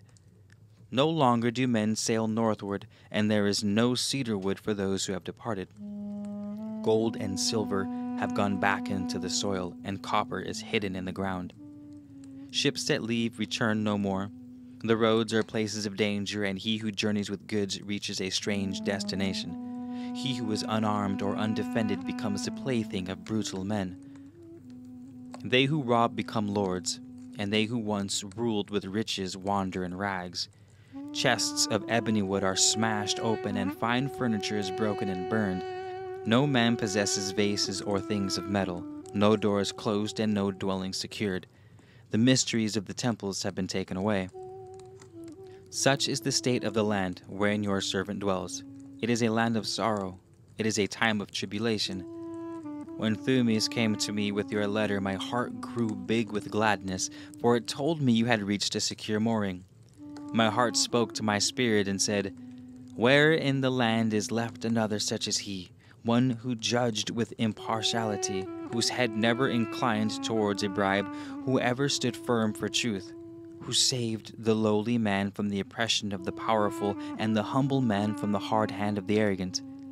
Such men no longer serve in the land. I am one who is instructed, and therefore I know that the life of each man has a set span, and from this knowledge I gain courage. I know that from whence the Spirit came, there it will return. Each night my soul goes to pastures of the Spirit, and there sustains itself and is refreshed at the fountain of eternity. I arise renewed in vigor to face the trials of each new day. The state of the land has been made known to you, and therefore I ask that you take into your charge the sacred things and writings, which are now guarded here. Daily our task grows more difficult, and we live in fear of two tongued men among us. Also, your servant lacks the knowledge and wisdom that reside in you, and he fears because of his inability to deal with the situation.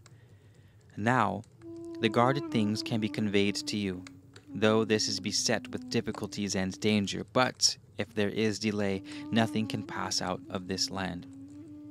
Here things cannot change for the better. If you ask your servants to continue with his charge, he can but reply that the flood waters already lick at the foundation of the walls. The hostile ones gather before us. Can Opiwat be kept from his dwelling place, or Re from his descent?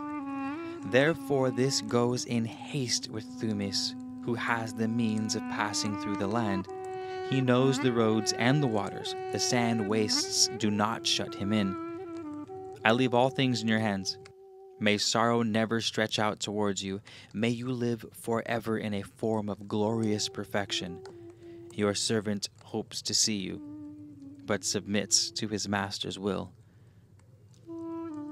Chapter 31 Scroll of Thotis. These writings are dedicated to the great God who is eternal.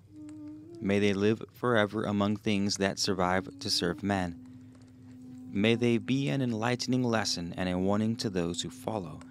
For now a dark night of ignorance and fear overshadows the land. Your servant bows to your will, O great God, who is benevolent towards those who serve with purity of intent. We who remain loyal glorify you not with mere words, for the time of hypocrisy is past, but in our innermost thoughts and in our deeds. We remember you as the sun rises to your glory in the morning, and as in the evening it sets into your peace. Teach us that there is joy in being your servants. Keep us under your protecting wing. Great Spirit, who made the Nile flow, the great water which never wearies or ceases from its journeying, its movement is as everlasting as the wind. May the stream of my life be filled to overflowing with the waters of righteousness. Loose the shackles of wickedness, which hold me captive. Let not the string of my lutes be broken while I play, and let not my labors be ended before their fulfillment. Though men hail me for a greater thing than any that has been done before, it will not be my memorial. Time will eat away my name but let many mornings dawn on my waking, that I may complete the task entrusted to me. Remove the fears that lurk about me in the solitude. Cut off the bonds of affliction that binds me down. Let my spirit roam free. We who remain loyal know your laws and the great law, which is as firm as the hills of immortality. In the days to come, great songs will be sung unto you, even as they were sung in the old days. The priests can no longer be held in restraints by Umotiv, and dark days threaten us. It is a time of foreboding. Yet there is peace throughout Kahemu. The state of men in high places is such that the beauty of truth has to be concealed from them, lest they profane even her purity. Under the shelter of her mantle, even those strengthened by the visions seen in the eternal chambers are liable to lapse into many wickednesses. They would say in their hearts, being one who is purified, I am safe.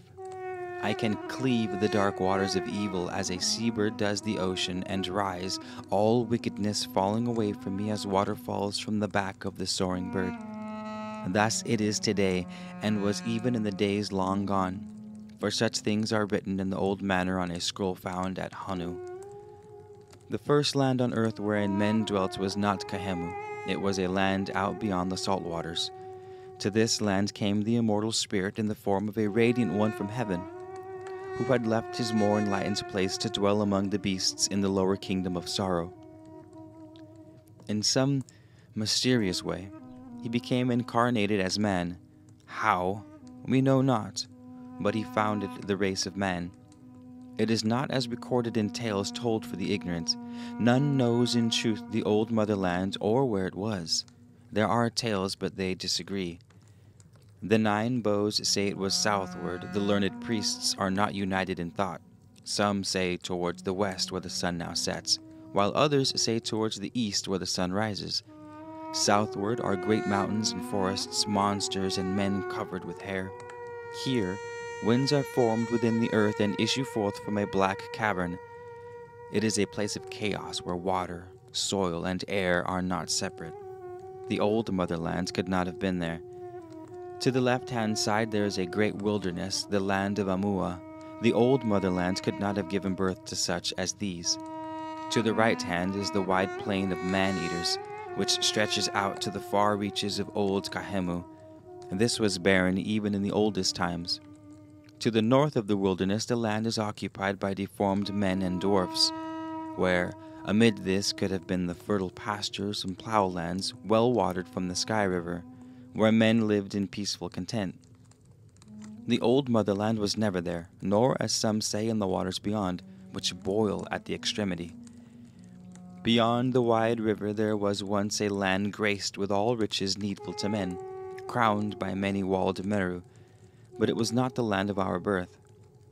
Northward is the home of the cool breeze, but beyond the lands which skirt the salt water are the one eyed peoples and the giants with white hair and eyes. Here, the rocks and stones are of the whitest marble, and the trees bear white fruits. Thus, in the whiteness, the eyes of men are blinded in their truth, for even the grass grows white. Before this is the land of Asugia, a place unproductive and barren, where fruit never appears on trees and crops will not ripen. How could the old motherland lie in this direction? In the old books, it is said that the old motherland was ruled by the Queen of Lights, who was supreme above all. The temple tells tale that the lesser gods came to dwell among mortal men when the mistress of brightness ruled in Kalathi, that they were sheltered in temples and priests were appointed to minister unto them. It is said that places of instruction were set up within the temples, but few men were taught the inner knowledge. It was rightly held that it would be a danger to those without wisdom, and it had to be safeguarded. Is this not the tale told in the book of beginnings? It is said that Kelathi lay within the borders of Kahemu. But could it not have been the land of similar sounding name outward from Pontus beyond God's land? It is not said of both that they were engulfed in fire and water. In the book of beginnings, it is said, The generations passed, and a vast amount of knowledge and wisdom was accumulated and preserved in purity. It was the heritage of mankind. But though man had learned to cherish the light of truth and walk wisely with it, nevertheless, then as now, false priesthoods flourished they pandered to the carnal desires of the undeveloped and exploited the weaknesses of the ignorant. Their iniquity built up a vast weight of evil in the netherworld, which projected itself into the material of earth, so that the powers which upheld it became unstable. This caused all the southern parts of the old land to sink down into heaving waters. The disaster was brought about through the ascendance of evil Rites which awakened the dead were rife among the carnal minded and ignorant, while those who remained steadfast on the harder road of spiritual development had fixed their eyes on the light ahead, ignoring the pitfalls at their feet. It was then, even as now. Will men ever learn? This was the aspect of the disaster, as written in the book of the beginnings. There were openings in the land from which evil vapors poured forth as a mist, descending upon the people like a mantle. It spread out and covered the whole face of the land. The tongues of the people were stopped, and they became dumb with fear. The ground trembled beneath them, and great tongues of flame shot up.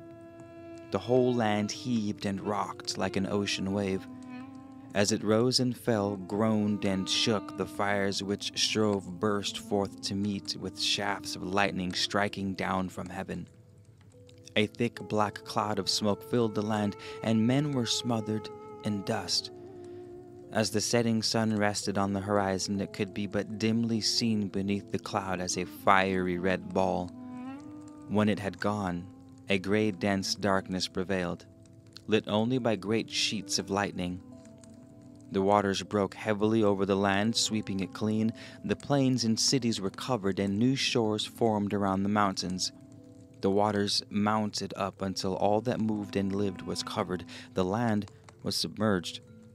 Mountain tops alone remained above the rush of uplifted torrents. Whirlwinds blew and brought cold winds which cleared away the dust and debris.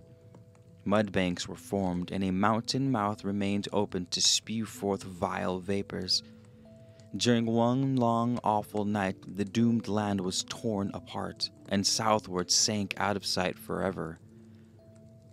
A wise man has written, this was not mountain girth Kalathi or age old Ramakui.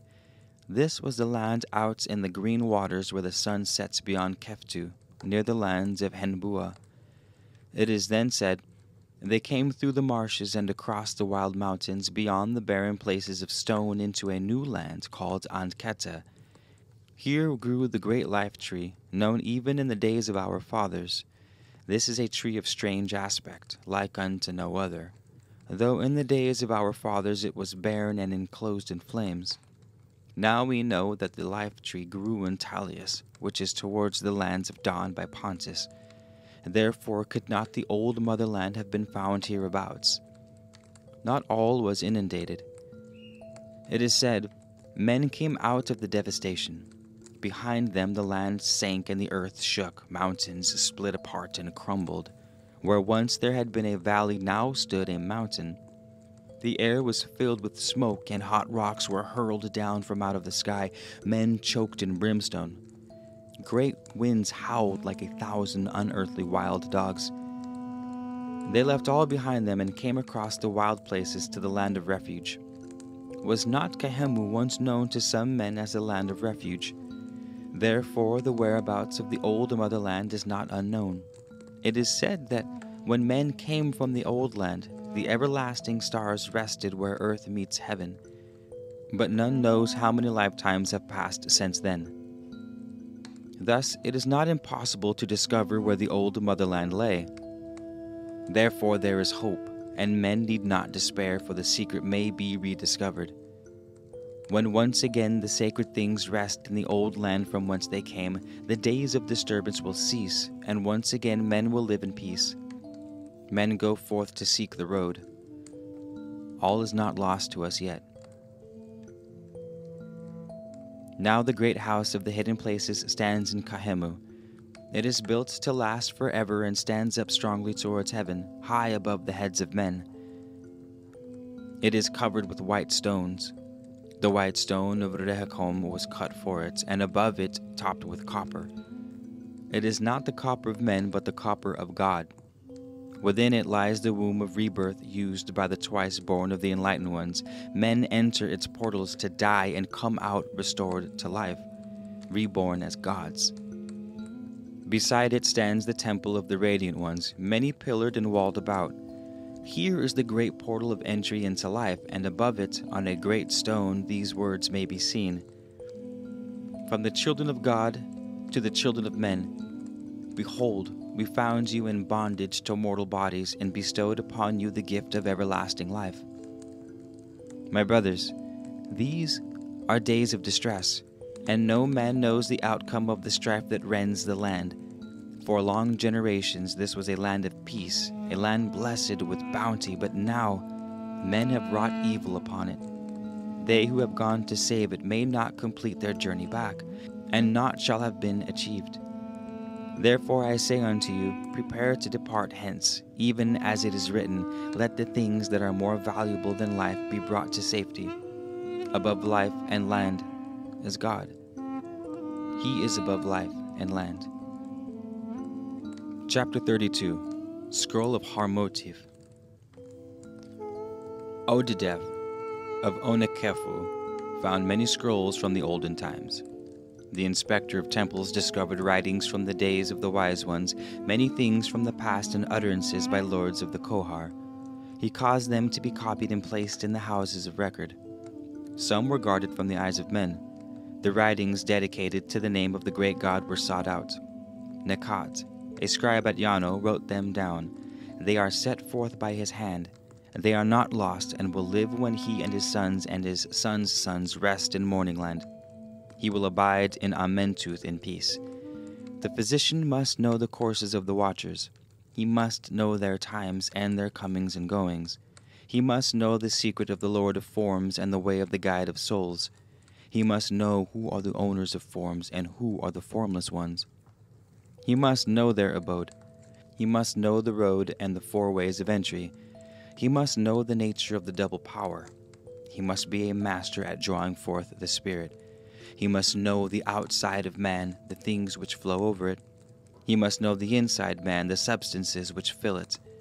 He must know the heart, the muscles that move out from it, controlling every action of the body. These are words to fill the ears of the physician. These things are written on his heart. The physician sits on a throne of silence. The physician absorbs the pains of the sick through his ears. If any man opens the door of his heart to the physician, the tongue has no knowledge of what the ears have heard.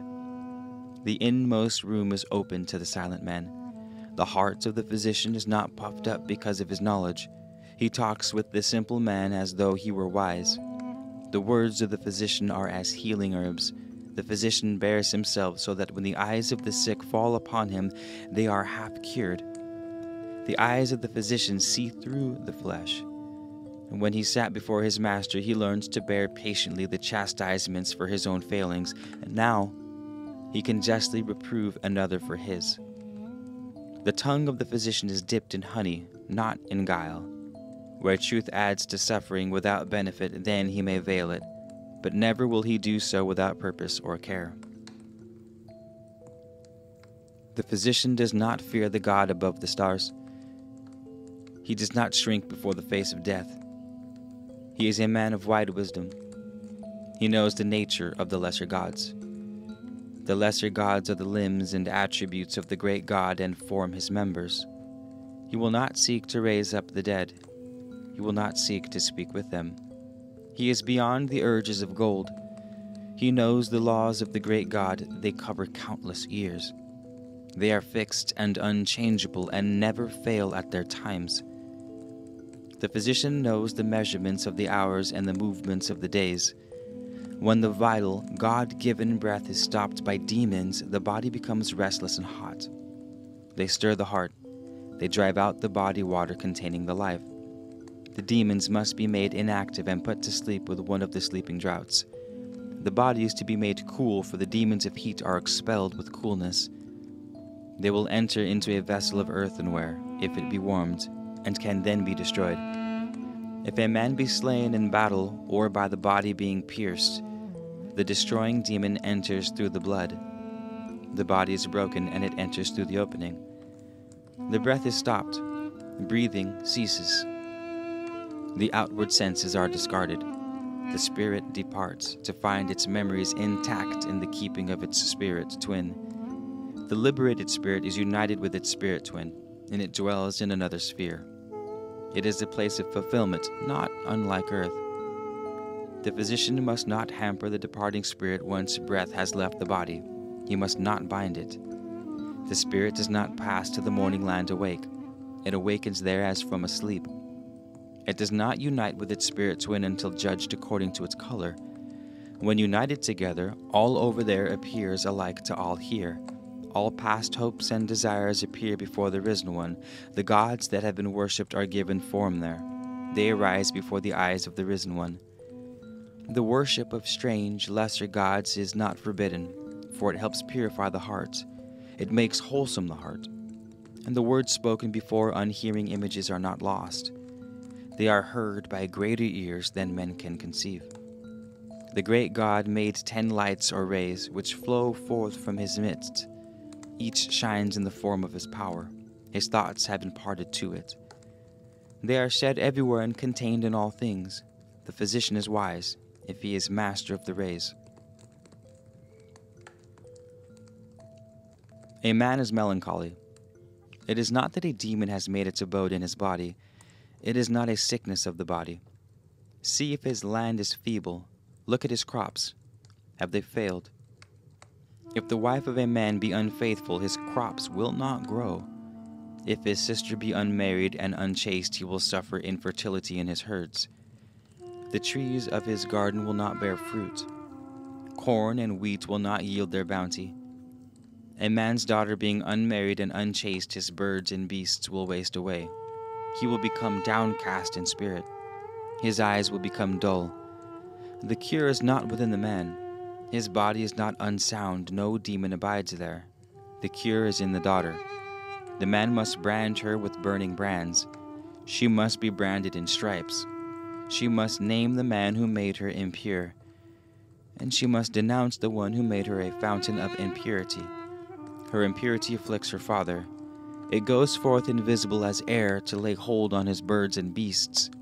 If she would be tested, she is given a drought.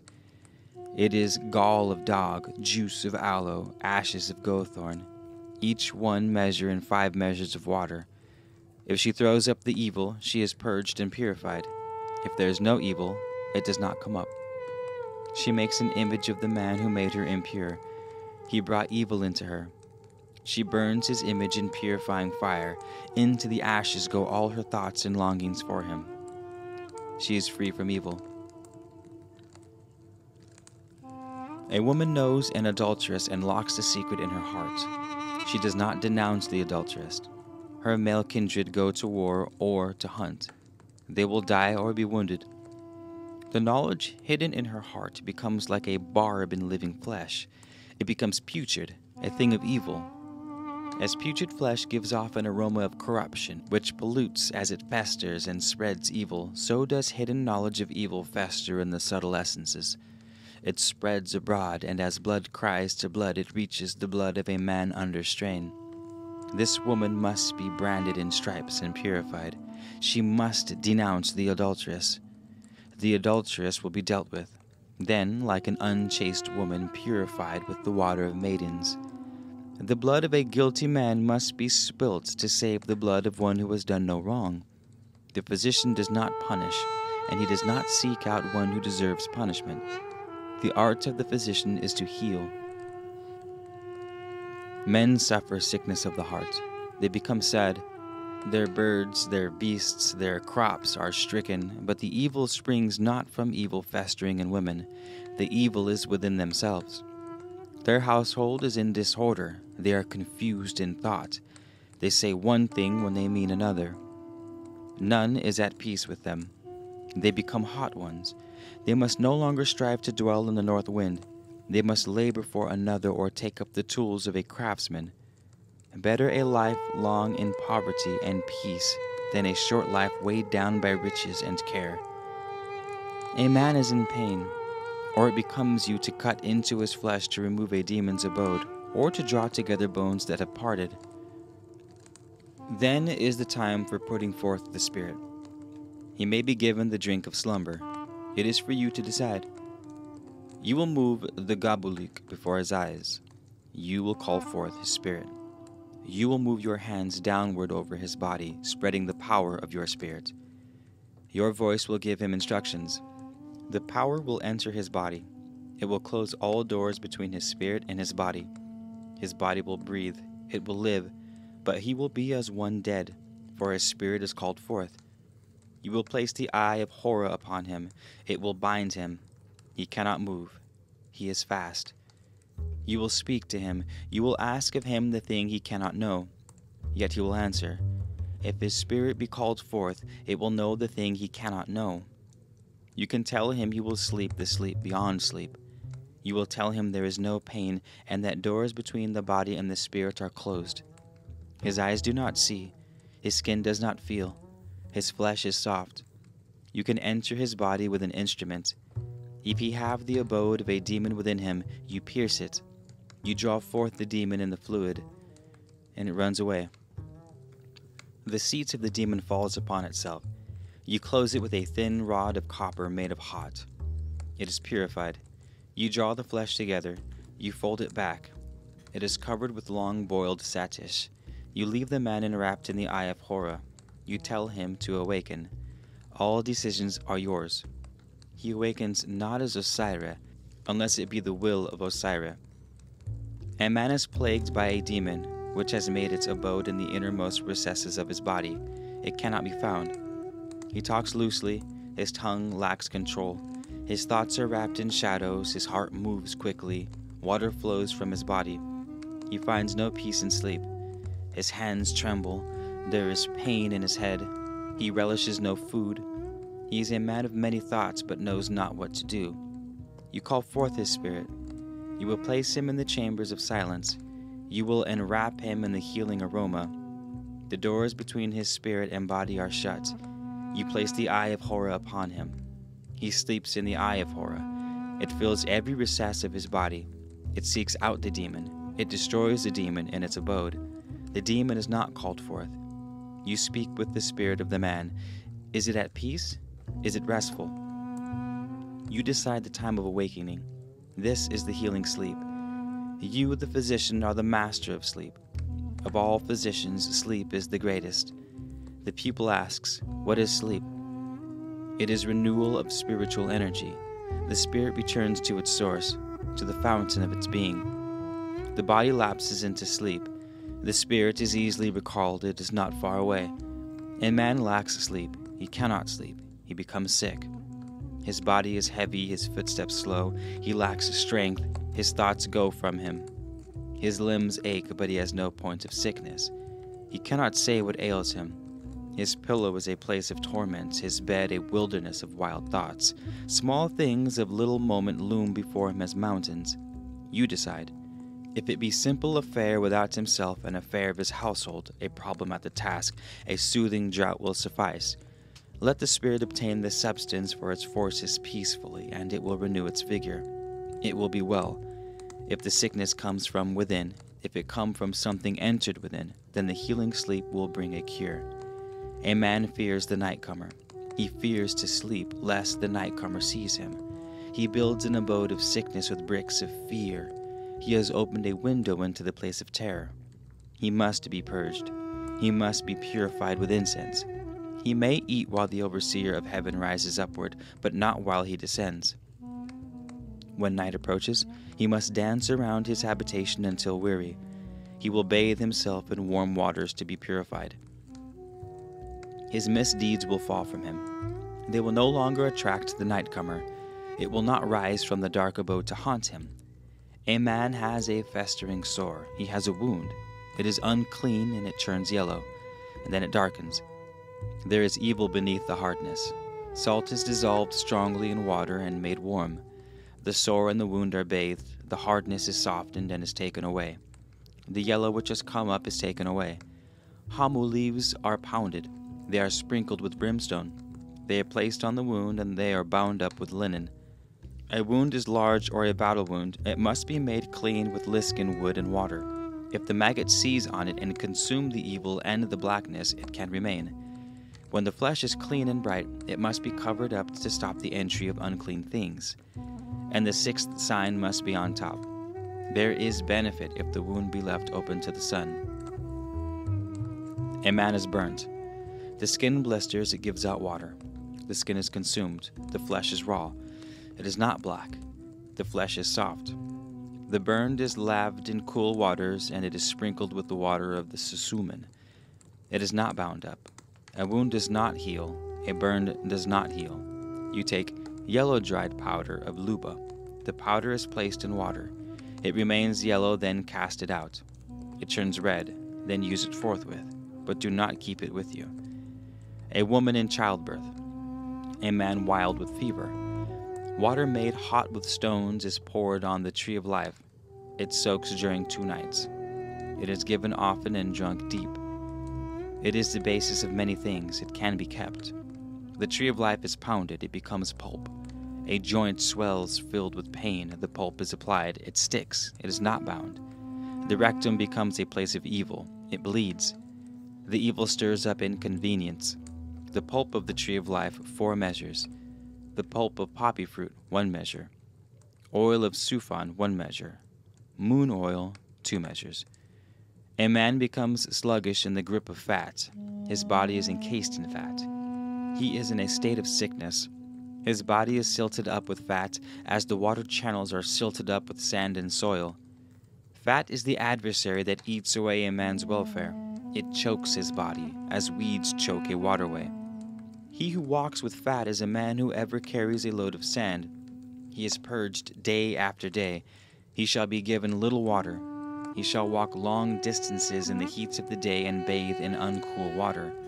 A shallow pit shall be dug during the cool of the morning and left during the rising of the sun. As the sun declines, the fat man shall be put in the pit. The sand will cover all but his head. He shall be left during the declining of the sun in the evening. His meal shall be small. This he will do many times. He shall not eat of sodden foods or foods which grow and are hard. All that grows and is soft shall be eaten, but shall be unsodden. Learn dancing and movements of the body, so that the soul and body may develop in harmony. Let nothing enter the mouth or come forth from it except to be controlled by moderation. A hungry man exposes the wickedness of others, but an overstuffed one does no less.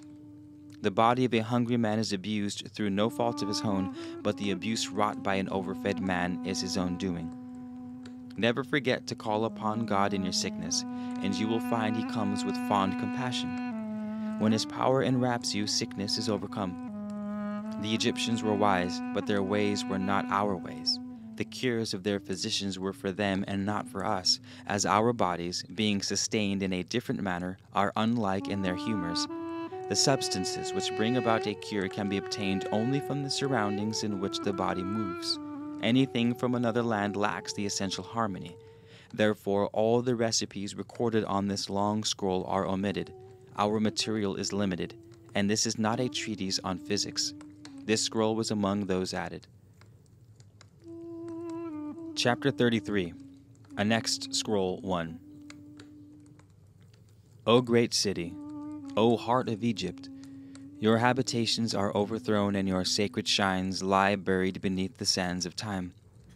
The dust of ages enwraps you, as the dead one is swathed in a tomb. Your temples still stand and ring with noise, but the solemn shrines are silent. They have become an abode for the wild dog and scorpion, and your roads are highways of wickedness. Behold, in the days long gone down into dust, the whirlwind came, and earth poured out her wrathful breath, so that you were burnt. The evildoers were swept away by the waters, and the wicked ones were swallowed up in fires. The days of the years were shortened, and the times of all things altered. The seasons were turned around, so that the seed rotted within the soil, and no green shoots came forth to greet the day. All buds withered upon the vines. The land lay dead under its gray shroud. The moon changed the order of her ways, and the sun set himself a new course, so that men knew not where they were, and all were afflicted. The stars swam in a new direction, and the whole order of things was changed. Yet, O Egypt, even from those days of calamity you emerged unbroken, your spirit intact, your heart unshaken. What has happened to you, O land of mine? Weep, O land of Egypt, weep for the things that have gone. Weep for the spirit now departed. Weep for the betrayed gods.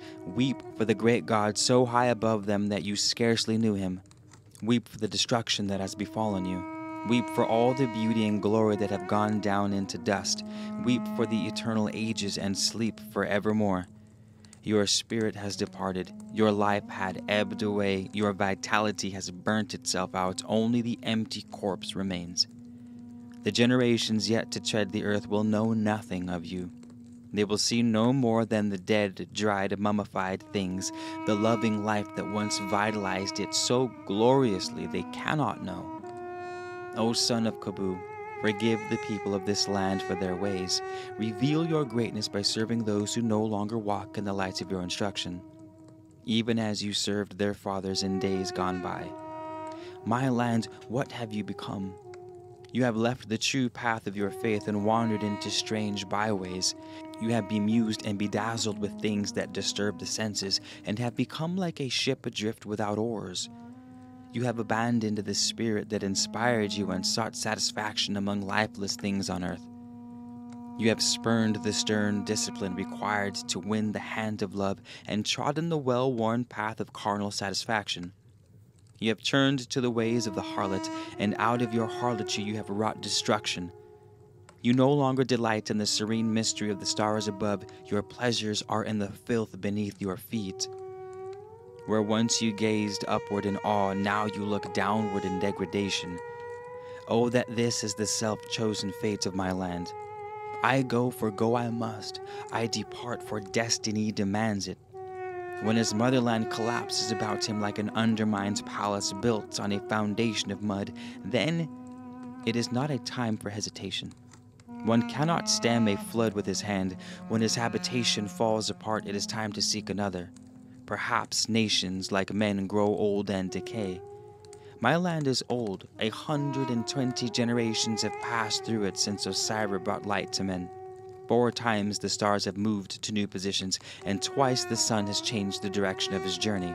Twice the destroyer has struck earth, and three times the heavens have opened and shut. Twice the land has been swept clean by water.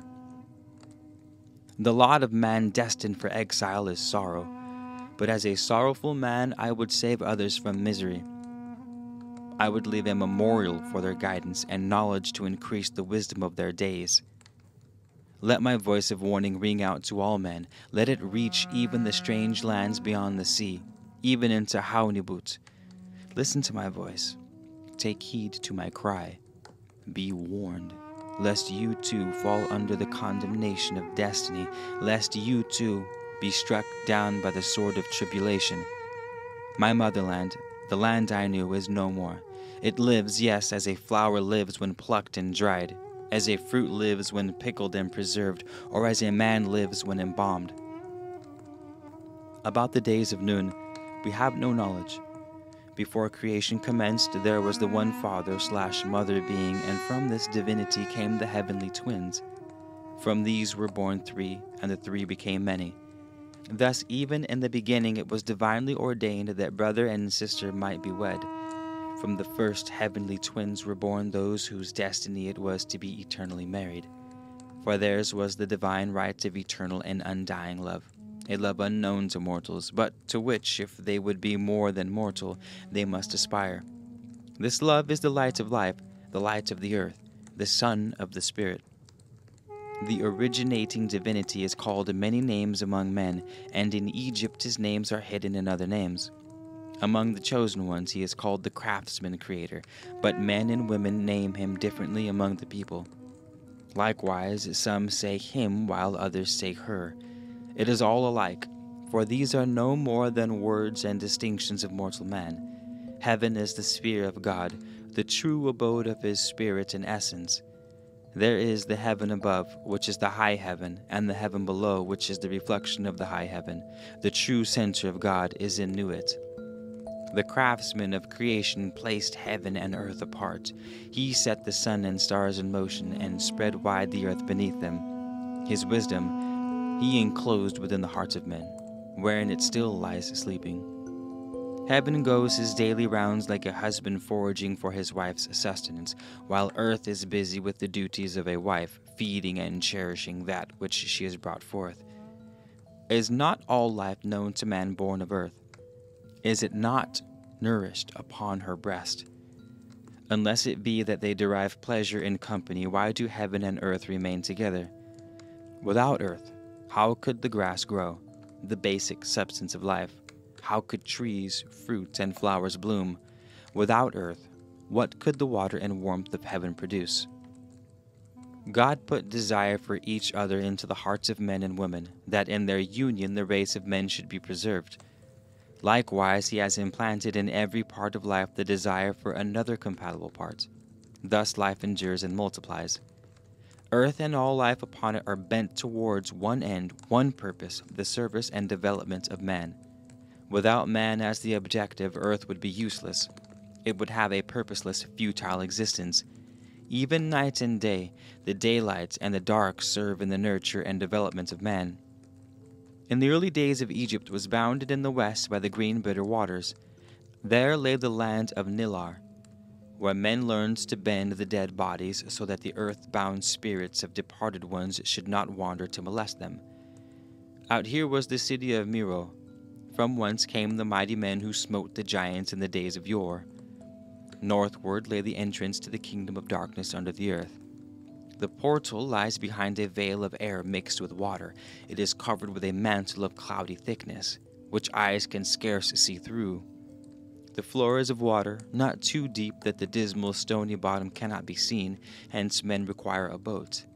Both sides of the entrance are flanked with giant blocks of stone from which rise huge pillars set one against the other, so that there is no space between them.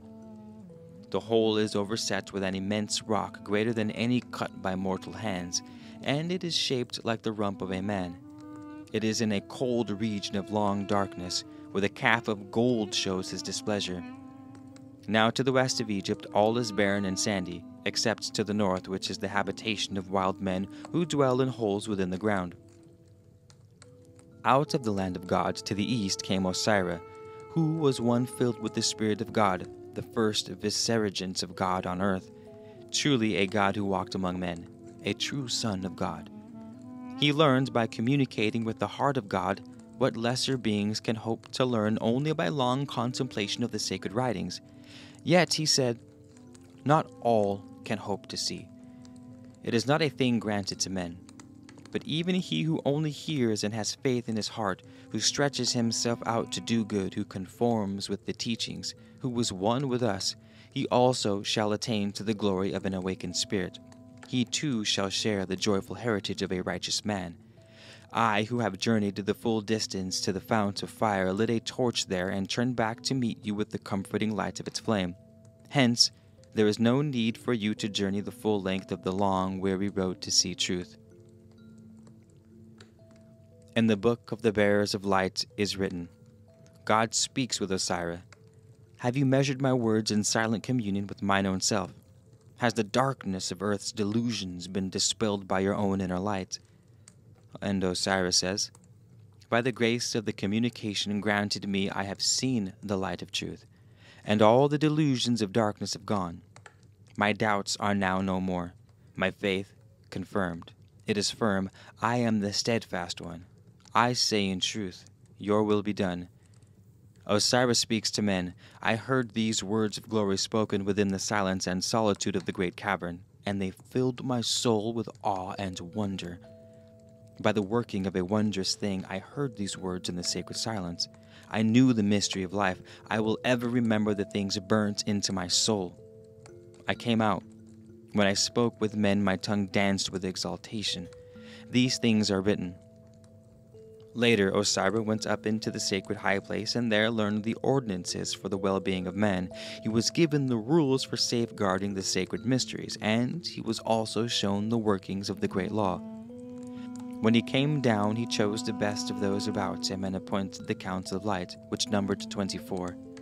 These are the words he spoke to them by the Sea of Death. These are things to be explained to none but to those with understanding and enlightenment. The path of the true way will be long and arduous, its trials and tribulations manifold and harsh. It is not a place for the faint hearted, and the oily tongued or double tongued will not be found there. Yet it will never lack a pilgrim, for there will always be seekers of truth and fighters for goodness. Nevertheless, treat this not as a light thing. Weigh these words well, and do not belittle the perils of the road ahead. Take good heed of my warnings. The path of the true way is one beset with the sharp stones of suffering and sorrow. The mortal flesh shall be torn by the sharp thorns of pain and tribulation. Thus it will be well to choose those who aspire to journey the true way with great care and discretion. Never overlook the sacrifices that you may be called upon to make. These are words spoken by Osiris. In the book of the bearers of light is written Osiris says to those about him, I am the first among light bearers. I am the one who instructed by the great God. I am the one with knowledge concerning the building of the first shrine of mysteries. I alone of those now upon earth hold the key to the sacred mysteries.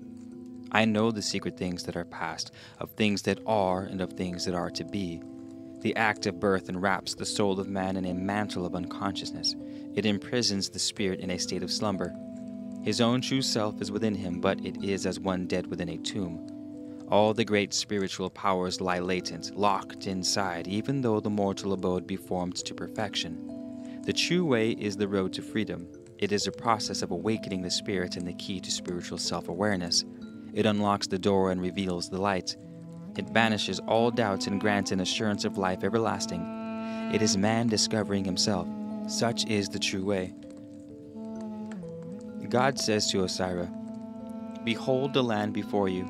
It is a chosen land for safeguarding the sacred mysteries, and out of its womb shall come the child of truth which shall die and rise again to lead men in the struggle to glory. In the day of his rising, the earth will be distressed and unrecognized, and even be despised and mocked. Yet in that day will be produced a salve to heal the scars of mankind. And that day, when men shall have forgotten the way of righteousness and turned from truth, the light will come unto them.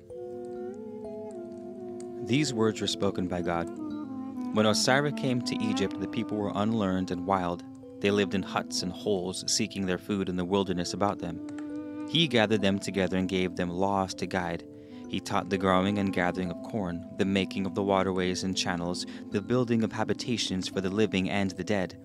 The gods of the people were dangerous gods to be feared, to be approached fearfully by none but those who were familiar with their ways. Those alone could interpret the signs and portents rarely granted in those days.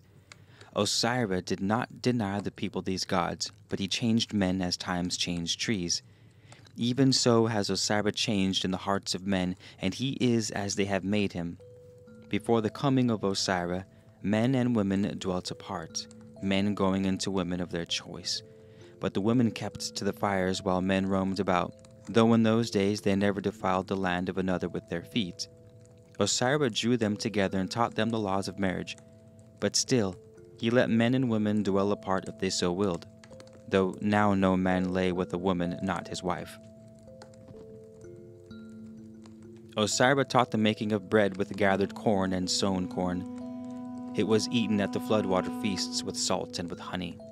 For Osiris knew the nature of salt, which is of the bodies of men, and the nature of honey, which is of heaven. Salt is found in bitter waters which wash far off shores in the land of the salt mountains. Men who have sailed far have seen great mountains covered with salt. They lie under the steadfast stars gleaming in a strange light. Honey comes airborne from heaven, to be gathered by the bee. Once the earth was veiled within an awesome cloud, and in those days honey fell as frost upon the ground, and it fed man and beast when the herbage withered. When Osiris had drawn the people together so that they dwelt peacefully in the land, they inquired of him whether he knew the likeliness of their gods, whom none among them had ever seen. Therefore he fashioned the likenesses of the gods for them. He built cities wherein to keep them and cultivated the land.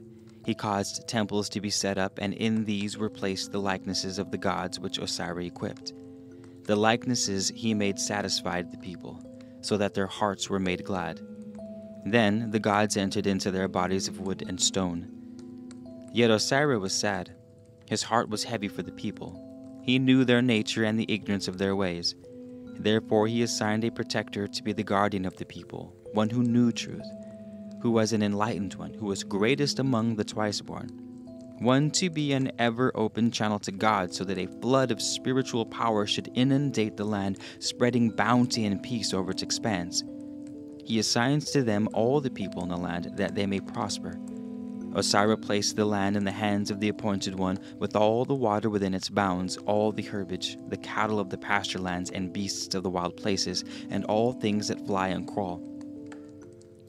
This appointed one was the king, the Pharaoh, the lights of God on earth, the vicegerent of God over men. Him Osiris endowed with the essence of the Spirit outflowing from God, the power that reaches towards divinity. He was the link, the bridge between God and man. He was the task to bring men the knowledge and awareness of divinity and to preserve the special spirituality with which he was endowed in a select portion of one race. By his authority alone, all places of worship should be built and kept, and their ceremonies controlled and performed.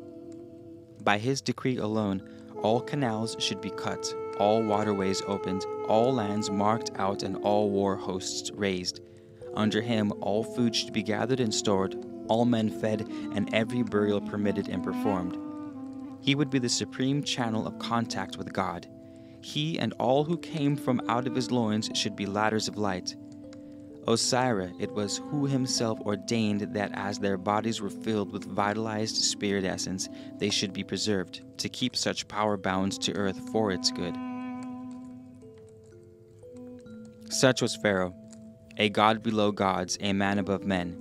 He was bound by the decrees of olden times and must ever set truth over falsehood. He was the narrow channel between God and man, one whose task was to reveal God to men. The family of Pharaoh was in the first place chosen by the Council of Light. In those days, a few families were selected and some chosen from them to be carefully bred, so that all the less desirable traits were excluded. Their aim and objective was to produce men and women perfect in goodness, the ultimate in perfection.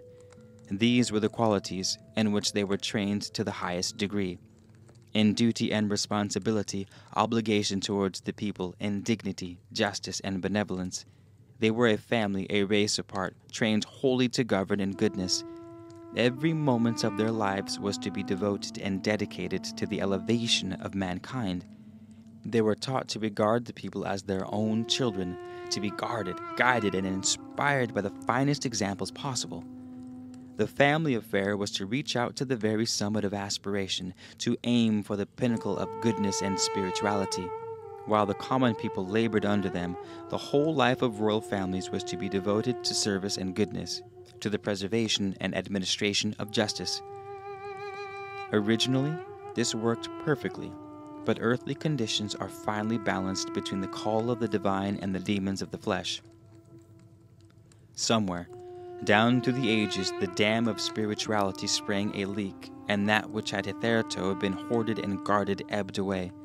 The divinity, the spirituality in the blood was diluted, it became weakened, and when goodness diminished, its opposite crept in.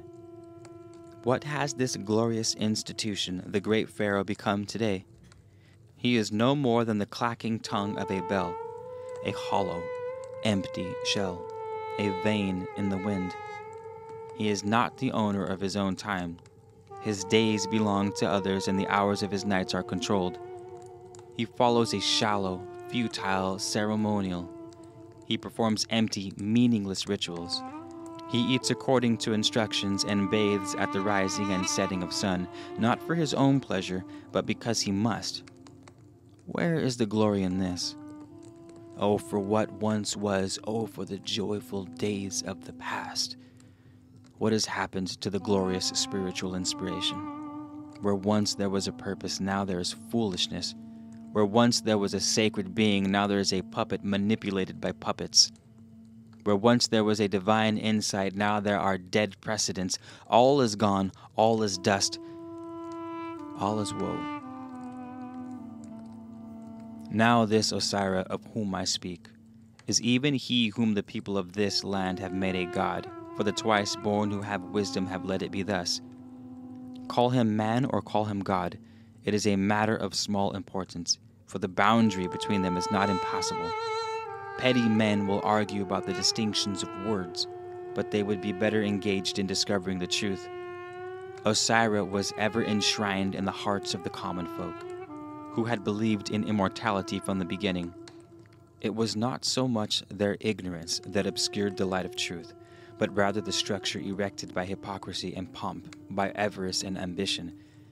Down through the ages, this belief in immortality persisted over the official view, which held that no more than a few might hope for immortality, and that mainly ensuing from the efforts of others.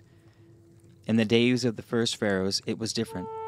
Then, immortality was the reward of all people, though only collectively and under the leadership and guidance of the king. Nevertheless, the immortality of the common folk and the immortality of the twice born were not alike. Osiris came not into a land of powerful kings and great cities, but into a land of ignorant and unenlightened men. He came with seven strangers from a far land far east of the Sea of Death, a land not as old as Egypt, but long since dead and forgotten. When Osiris came, he found two peoples of power on the river, the people of Ro and the people of Haru. And Haru was of the body of Atem. There had long been war between these two peoples, but Osiris pacified them and united them as one. Then he taught them the ways of peace and the ways of prosperity. When people began to build places to dwell in and to grow things, they were troubled by men who came out of the wilderness. These were a people ruled by women, and though the men were small in stature, the women who ruled over were tall and lean. Their only weapons were such as could be thrown from afar, but they had shields made of hide, woven in a manner which caused anything coming against them to become entangled. Such were the men who came out of the wilderness and the wild places there strong men and hairy. The queen of these people was not as the other women, for she was good to look upon, besides being a great huntress. She was fairer than the other women, even more fair than the women of Egypt, who put all others to shame. Her name was Neth, and I know of no man who has knowledge of her father. Perhaps she was an undying one, who was always there, though I cannot believe there are any such things. Yet even in these days there is a race of men beyond the mountains, whose span of life is thrice that of other men. I need not describe the manner in which Osiris went out to meet Neth and his bow, the first bow seen in the land of Egypt, won her in contest. This can be learned from the tales told to the people, which all contain within them a core of truth. I will not indulge in the recounting of such tales. They can be found in other places. The bow Osiris gave Neth as a pledge is the same as that upon which men will make oath and pledge their word. Osiris did not act at once to take Neth to wife, and this is little understood, but it was a thing that could not be done in those days. At first, she was adopted by him as a sister, according to the custom. Later, men called her Esita, she being the same whom men call Esitis in these days. This is a name of the same meaning for in the tongue of the old river people the name became Ness. Later, this was changed to Nesit, which in the old tongue meant she who was Ness. Then it was ordained that Osiris should marry his sister, and Esitis gave birth to the man child Horai. He is the same after whom the kings of Egypt, even in these days, take their title, for he was the first true Pharaoh, though others may disagree. Men lacking understanding will say, I write about mortals and not gods. And this is true as it is false. The truth is that there are no fixed regions of gods, spirits, and mortals separate one from the other. Neither are all these entirely separate and different forms of beings. There is no impenetrable boundary between mortals, spirits, and gods. Neither is it to be understood that mortals reach the status of gods entirely by their own efforts. Gods are chosen by the people and raised to godhood by the people for the benefit of the people. If they choose wisely, they are blessed. But if they choose unwisely, then whatever befalls is upon their own heads. As the people conceive their gods, so will they be. This is something hardly understood in these days. The worship of such gods is of itself neither right nor wrong, for this depends entirely upon its effect and objective. If it serves the purpose of good, if it is to be the spiritual benefit of man, it guides in the right direction. If it does not, or if it be sterile or purposeless, then it is at best a misleading phantom. In its worst aspect, it is an instrument of evil. When a man ceases to believe in his God, the fault is not wholly with either. Each is at fault, and each has equally failed the other. The man no longer serves the God, as the God no longer serves the man. Neither gains, and both lose. A man without a God is neither a free man nor a whole being. His life is incomplete. He lacks something vital to his experience.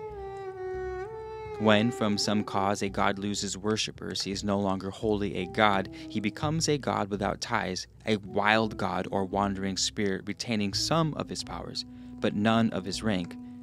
Such then is the nature of gods, who are but beings originating as mortals, further advanced along the road towards godhood than other mortals, who chose them as representatives and leaders in the heavenly sphere. If you would live with truth, Never confuse gods with God, for gods are but a step upward on the stairway from man to God. There is still one true temple of Esetis, but it is unknown to men in these days, though many others hypocritically declare their allegiance. The true temple itself is hidden from behind a false facade for protection. It is still dedicated to the ennoblement of men it still upholds the virginity of its maidens and dedicate them to modesty and innocence. It is still a bright light in the gathering darkness. It still remains the flame of spirituality, which in days to come will light the fire, which consumes evil and purges men of wickedness. In these days, the priesthood is corrupt, and temples are places of evil where wickednesses are made more wicked by being condoned in the name of sanctity.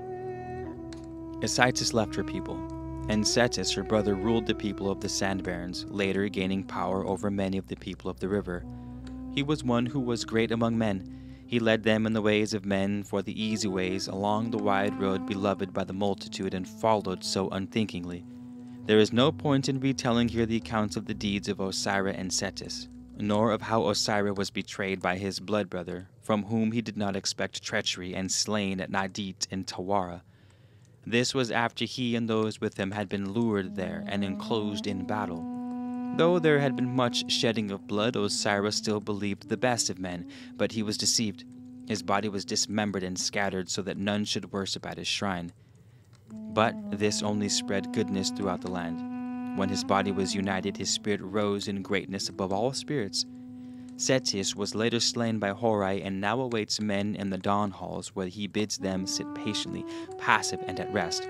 Horai too awaits men there, but he says, Arise, O glorious one, move and be active, for you are reborn. Horai was the staff of his father, but he could not bring the people to walk in the way of light.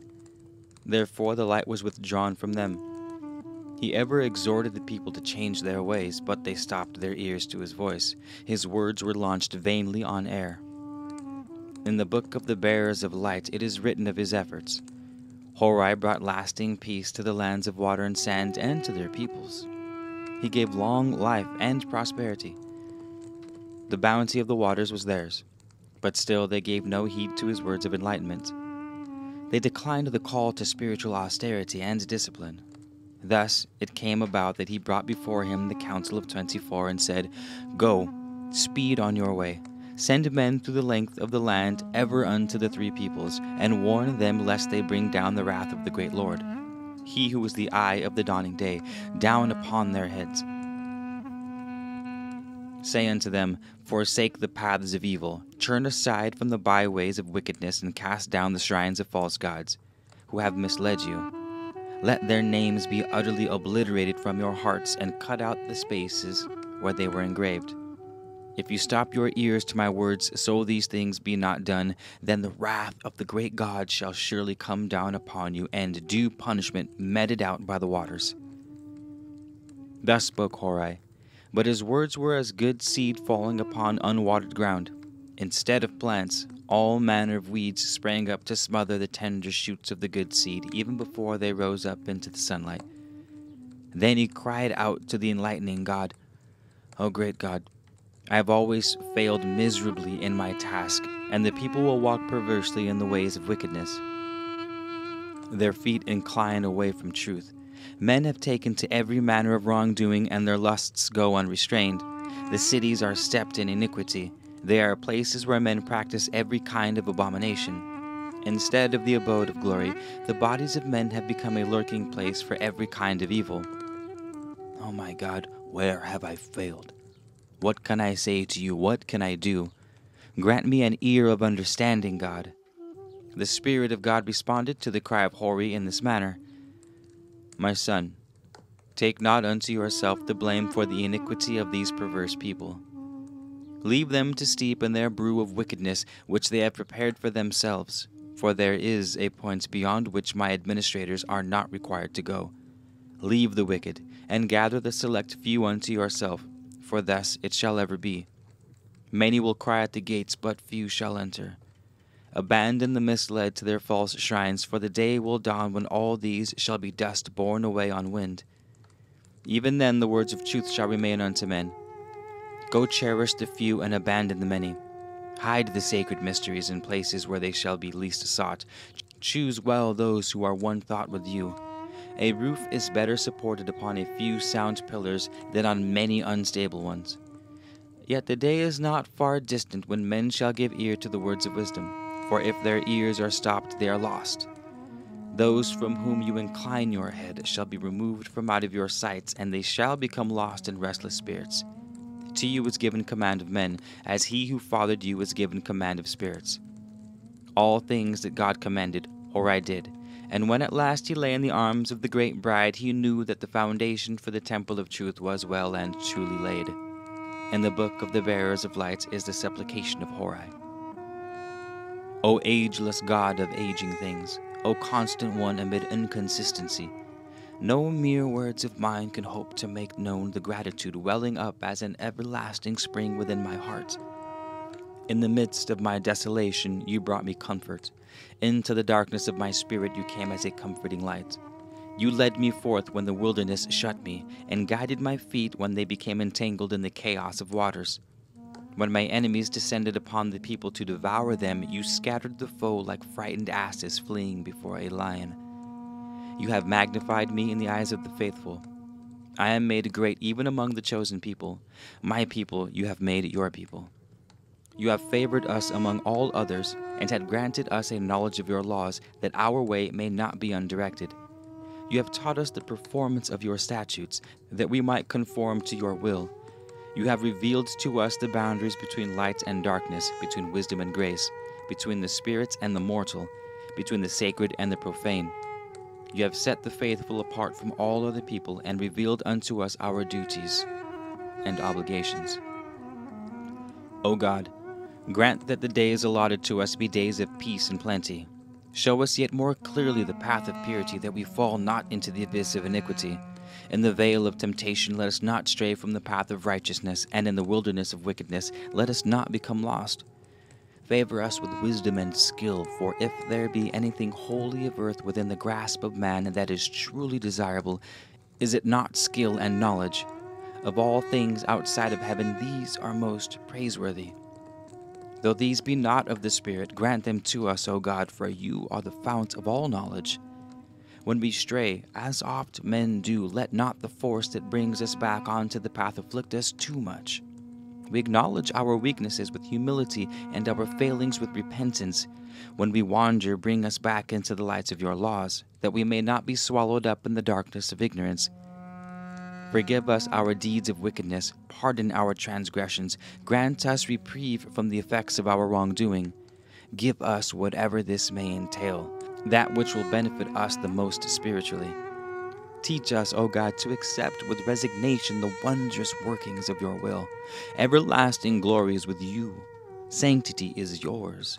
Therefore, we honor you with submission and service. We, your servants, acknowledge our obligations. We, your children, declare our love and loyalty. Horai died after the manner known and was buried in glory. There is no recounting of his deeds. Then there was peace throughout all the lands beside the Nile, and contentment reigned everywhere. Many great kings lived and ruled, and gradually the light of truth was again revealed unto men. It never fails to appear when men are deserving. Is this not sufficient indication of the forbearance of God? Chapter 34 Annexed Scroll 2 This is written on a scroll found in the temple of Athorahara, the possession of Nati, a free woman of Pybes. Then there was peace throughout the land, and the two priesthoods dwelt together in tolerance. But behold, the day came when the hearts of men turned again to strife. Then the land was rent in twain, and the forces of the red reed crown strove against those of the white lily crown. Once again the dark mists of ignorance descended to envelop the hearts of men, and again the sacred shrines of truth were closed, and those who served truth withdrew behind the veil and were hidden from the eyes of those who would profane her. Again the sacred shrines of truth were closed, and those who served truth withdrew behind the veil and were hidden from the eyes of those who would profane her. The whole land was torn apart, from upstream to downstream. From the right hands to the left of Egypt there was strife. Then came one who was mighty among men, one who also knew truth and saw the wickedness of people. He was a declared one, for unless a man be such, he has no value among the chosen. He carried the sword among the striving peoples, and in his day the might of Mansathrope prevailed. The spirit of Horai, who took the land from Nama and of Minos, who united it, were with him. Then the lands of the north and the lands of the south were delivered into the hands of the king, and they became one. They were united, though they remained two. They were even as they had been before, Yet the multitude declared themselves for the ways of the multitude, and the light of truth remained obscured behind the dusts raised by their dancing feet. Though peace and plenty reigned throughout the land, righteousness did not attend the throne of later kings. They ruled as kings, but the days of their rule were dark days of sorrow for the followers of truth, for they became few and feeble indeed. They were lost in the land. Again, as in other days, the high servant of the sacred mysteries, who held the key, commanded that the sacred shrines be closed. This was so that any knowledge of the great secrets should not pass into possession of the unworthy multitude, which would profane them. Again, as has happened many times, the great light was removed from the midst of men. Then came the year of the great flood waters, though some say it was before these days, when the salt seas rose upon the east and covered the land. Men were warned beforehand by the shortening of the days of the years, and the five days now added to the days of the year are days of sorrow for the alteration of things. It is said that seven days before the coming of the waters, the sun appeared in a different quarter. But this is not easy to believe, as the sun remains ever constant. The sailors of the king certainly departed for strange places during the chaos of waters. Perhaps this was because the sun had left his steady course. Kings came and departed to their place, they ministered unto the people according to the light revealed unto them. Most knew only the veiled truth, but in olden times they were better kings than in later days. There were long generations of men who walked with wisdom, and among them was the generation of the first great master, he who established the brotherhood of the chosen ones of light. In those days men learned the rites for coming forth by day, but the inner wisdom was not declared before them. Yet they were days of wisdom, skill, knowledge, but the knowledge of the Spirit still languished, and the secret secrets remained hidden. In fact, never have they been revealed to the multitude of men, for never has the multitude of men been worthy. Now men say that all the wisdom of those so wise availed them nothing. Have they not long gone down into dust? Have they not departed to the land of no return, to the place that may or may not be? Where is their memorial? Where their shrines? Can even their tombs be seen? They say amongst themselves, as it will ever be said when men are deluded by their mortality The life of man is short and uncertain, the one certainty in life being the approach of death. What awaits hereafter no man can tell, for no man is known to have returned from out of his tomb. We are all children of accident and mischance and in a short generation shall be as though we had never been. Our bodies shall harden and be ground to dust, and the fire of our hearts shall burn itself out and turn to ashes. Our shade will hover for its day, and then be wafted away on the wind. And as the waters come and go, our names will pass from the memories of men forever. The works of men shall pass away like the shadow of a cloud upon the sand, and his life will vanish like the dew of morning that disappears in the heat of the rising sun. What are the days of man but the shadow of a shadow? And he passes away to an end from which there is no returning. He goes throughout a door which is immediately shut, and there is no way back. They say, Come, therefore, and let us be joyful. Let us cast aside the long face of learning and the melancholy face of discipline. Let us enjoy the good things of life, which are all about us. Let us take no thought for an uncertain future. Where is the profit in that? Let us eat and drink to fullness. Let us grant our bodies all means of satisfaction. Let no means of pleasure and enjoyment pass us by. But whatever comes our way, let us make the best of our lot in life. Let us turn our backs on all doctrines of spirit, for they deny us much.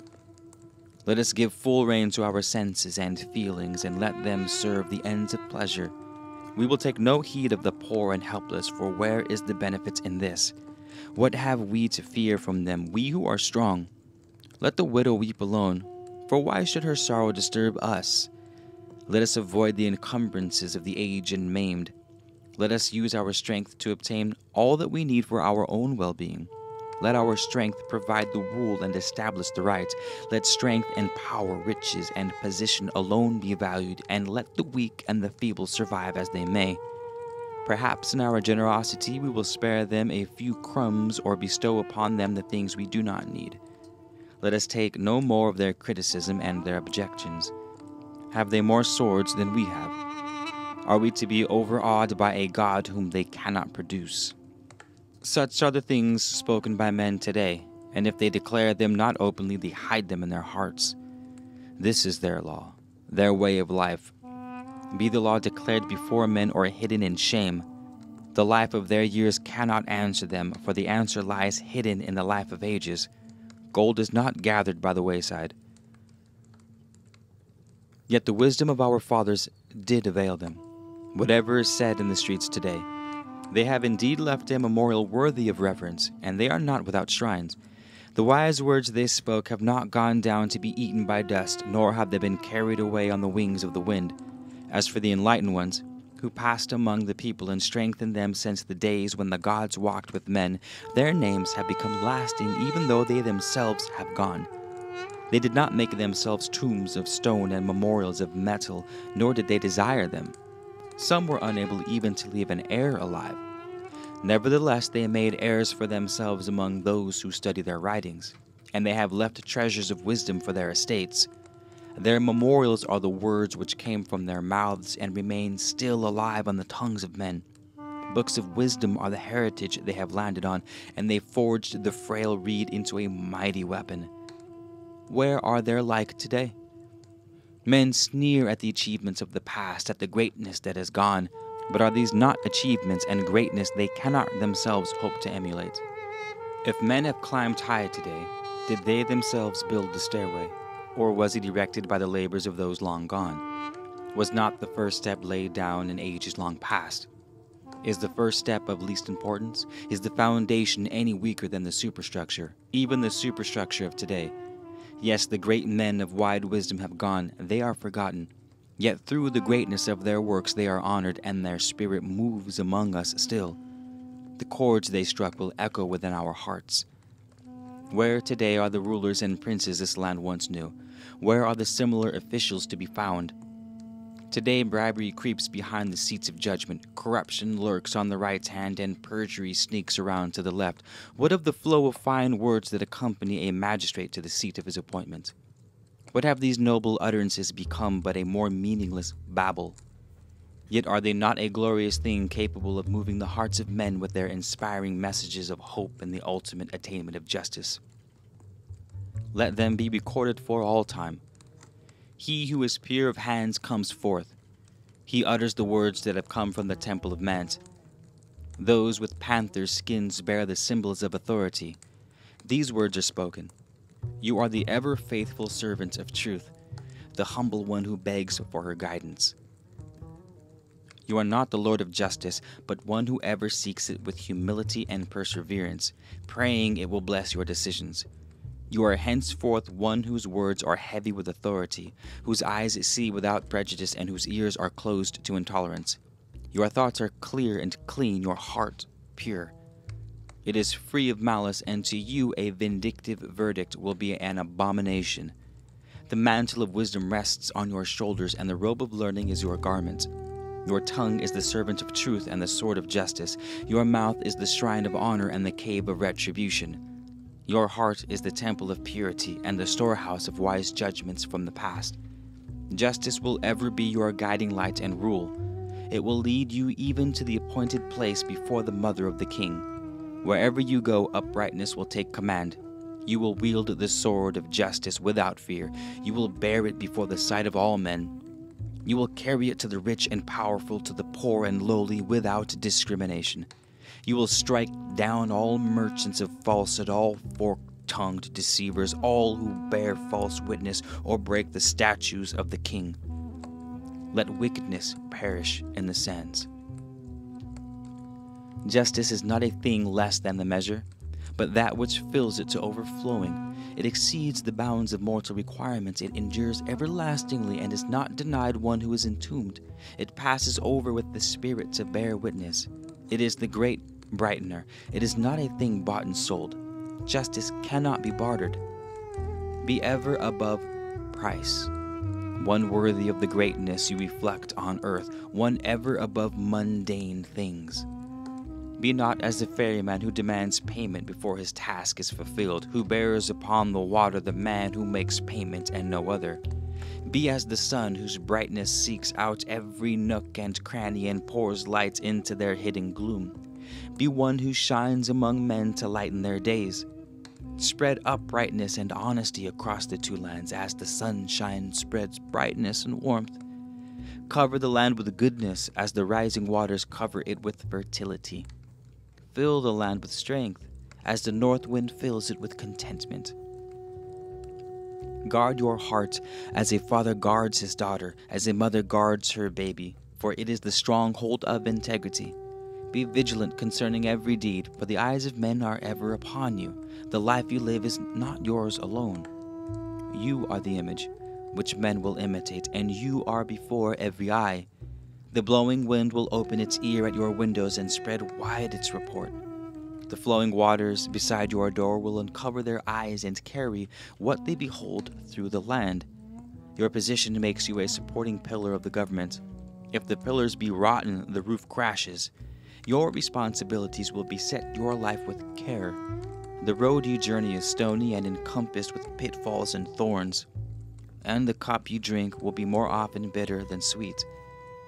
And though you will judge all men impartially, do not in your diligence incline towards the poor and unprotected because they are such.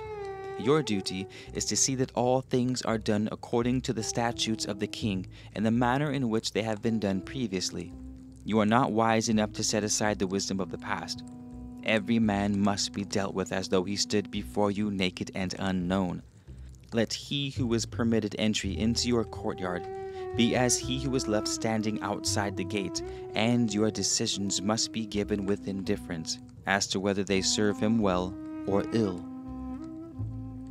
Such were the words uttered at the installation of an official empowered to give judgment. In other days, such words were honored and adhered to. Yet now they are ignored. Now justice lies buried in a tomb of past precedents, swathed in mummy bandages of formality. It consists of the impartial, heartless administration of the recorded statutes, rather than the redress of injustice. Where has the glory gone? All is lifeless, all is dead. The hands that guide are dead, the hands that rule dead. Men may ask, and days yet to dawn, how it came about that the flame of glory died in Egypt, how her grandeur passed away into dust, how, when man had climbed so high, he could climb no longer. But there is no simple cause. The seeds of degeneration lie dormant in every nation, in every man. As the man, so the nation. These seeds are as weeds which spring up when the cultivated soil is neglected, when it is tended with indifference. The road to greatness is for nations as for each man, a hard and stony one. Greatness is a gift requiring constant effort to retain. When men decline the effort, greatness departs. Greatness and glory will abide only in the habitations of the worthy. They depart when no longer treated as honored guests. What are justice and truth today? They are no more than words mumbled by the lips, but once They were an inextinguishable flame burning within the hearts of men. What is left of honor when men cease to regard it as more than an empty symbol? It is like the lyre in the hands of a man with blistered fingers, or as the flute played by one with scabby lips. The instruments remain, but where are the musicians? Without the musicians, where are the melodies? In the land of Egypt, periods of righteousness have come and gone like ripples passing over a quiet pond. There have been periods of material greatness, ripples of longer duration, but they have not been at one with the ripples of righteousness. Throughout all times, there have been two visible forms of worship, with their many variations that of the highborn and that of the people. Now, they have been blended for many generations. The worship of the high God and the knowledge of the sacred mysteries, kept hidden by the enlightened ones and the twice born, were behind both and veiled within them. Where else could these things be better concealed? The house of the hidden places was established fifty generations before the reign of the mighty one, who was Pharaoh, and in those days the high God was known to men and was revealed even after. But twenty generations before the evil Amulika descended like locusts upon the land, there was strife most grievous. This is set forth in the scroll belonging to Kabit son of Nemerath, copied from an old writing, copied from another which was the property of a temple in Pin Hamur. It says, The twin powers drawn down entwined about themselves and grew ever stronger. Even as waters are dammed to be drawn upon, so was the united power built up into a reserve of force. A storehouse of strange energy was prepared. The thoughts of Set Setshrar ever churned about within himself. And behold, the day came when he believed the secret key to be his the key that would open into the inner chamber of sacred mysteries. Yet he made the mistake of all such men down through the ages, unaware that his very unworthiness forbade his admittance into the inner mysteries. That though he could deceive himself and others, he could not deceive the inner guardians. It is true that some who were admitted to the outer chamber were indiscreet and spoke carelessly before the ears of unadmitted men. It is ever thus when goodness is not persecuted, for goodness blooms best in the barren soil of intolerance and injustice. Anyway, in this manner the seeds of strife and suffering were sown. Then Setsra conceived a plan, whereby the multitude would be admitted to participate in the sacred mysteries hitherto kept exclusive for the worthy ones among men he gathered together a following of his own from among the people and promised, in return for their devotion, that the knowledge of sacred things hitherto kept from them should now become available. He called those who followed him the enlightened ones of the gods. Naturally, such folly could have but one outcome, for the experience of ages has shown that sacred things cannot be revealed to the profane. Not only would the things revealed be disdained by the ignorant, as swine would trample pearls underfoot to gobble up a handful of filth, but the multitude in its sinfulness would destroy the delicate beauty of the hidden mysteries, like goats devouring hangings of artistically patterned loveliness, they would decide that the gross things to which they were accustomed were more satisfying. The new teachings grew in strength and spread throughout the whole land. They went from city to city, gaining followers in every one. The multitude is ever powerful. Therefore, he who controls it by whatever means is himself powerful. Thus it came about that eventually Setra was able to challenge the authority of the twice born. This authority was always vulnerable as it sought to rule by wisdom and goodness rather than by power and subtlety. Only when wisdom and goodness rule the wise and good can such rule succeed such time may never come. Though the followers of Setra could not discover the higher secrets, they learned the lower ones, and these were twisted to their own ends. Thus was developed the worship of dark spirits, a vile and poisonous thing that perverted the thoughts of the people and led them away from the path of spirituality. They strayed into all manner of strange and corrupting byways. Then their hearts hardened by earthly sordidness they rose up, clamoring for the blood of the righteous ones. Now Setra gained the ear of the king, and pouring in his flood of venom wrapped up in fine speech, he overwhelmed the heart of his majesty. None in the land had a tongue more subtle than that of Setra. Then, new shrines were set up in the temples, new forms of worship appeared, pandering to the weaknesses of men. The hidden places of the enlightened ones were profaned with wickedness, and the secret chambers of the twice born were polluted with vile rites. Therefore, the enlightened ones and the twice born withdrew from the eyes and the knowledge of men. Their day was not yet to dawn, but none among them would ever have thought that never in Egypt would that day be. Yet dawn it will, even though it be in some strange land where the ways of men are different and in some manner inconceivable to men of our times. Will they be people such as we? O my land, having known you, how strange all others appear. Away from you, I will be as a fish cast up onto dry land. In the temples dedicated to many different gods, the forms of worship were subtly changed to serve another end.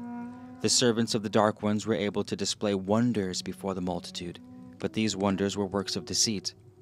They revealed mysteries, but the mysteries were not the most sacred ones. These were never known by any likely to betray them. The thoughts of the people were poisoned. All manner of rites aimed at satisfying carnal cravings were introduced. Simple, satisfying answers were given to content the hearts of people, and all manner of rewards were promised. For payment made, men were promised forgiveness of even the most grievous wickedness. It is well that the ears of the dumb gods were unhearing, or they would have been deafened by the clamor of pleas for petty things. The servants of the Dark Ones left not even the dead to rest in peace, but sought to satisfy the living with words from beyond the tomb. Even the blood of men was offered in dark places, while in others of greater evil, men, yes, and even children, were tormented to give pleasure. Such is the nature of men when the scales weighed down against righteousness. The hosts of the Dark Ones were well skilled in battle, and they drove out all those who stood against them. The forces of righteousness were scattered, the sacred shrines which stood before the veil of truth were spoiled. The ornaments of beauty and the sacred vessels were taken away to be profaned by sin soiled hands. The enlightened ones and the twice born were hunted down like beasts of the chase. They were slain and buried in the ground like dogs. Their resting places remain unmarked and unattended. The leader of the light cried out, O great God, what can I do? How shall your servants be saved? What shall be done unto those who have profaned your sacred shrines? What can I do to turn back the rising waters of iniquity and temper the wild winds of wickedness?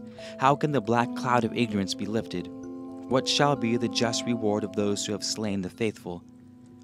The voice coming forth by the Spirit of God said, Concern yourself not with those who have persecuted you. Leave them to follow the path of their own choice. Vengeance is with me I will measure without stint. Justice never sleeps and never forgets. The reward of the wicked awaits them. In the hall of no hiding place, justice will speak the final word. The leader of light and those with him fled into the land beyond Shari and built there the temple in the rock, which stands against Shina. In this land, the forces of the Dark Ones were cast back, yet still some among the faithful beseeched their God to save them. Thus it has ever been, this is the nature of man, that in his hour of distress he cries out to God in bitterness of heart, and they who deserted God in better times expect him to turn towards them. Yet such is the nature of God, that this he would do, were it to the good of men, which it is but rarely. In the land of Egypt, the great shrines were deserted by the enlightened ones and abandoned by truth. They became places of darkness. They were as lamps without flame, as fields without crops, as wells without water. The generation of those days passed down into dust. Their spirit arose in the everlasting halls to stand before the inescapable one. Then, in the generation of Pahopha, the name of Osira began to be known in the land, and for twelve generations it grew in greatness. The Apuru departed. the Ameluka came.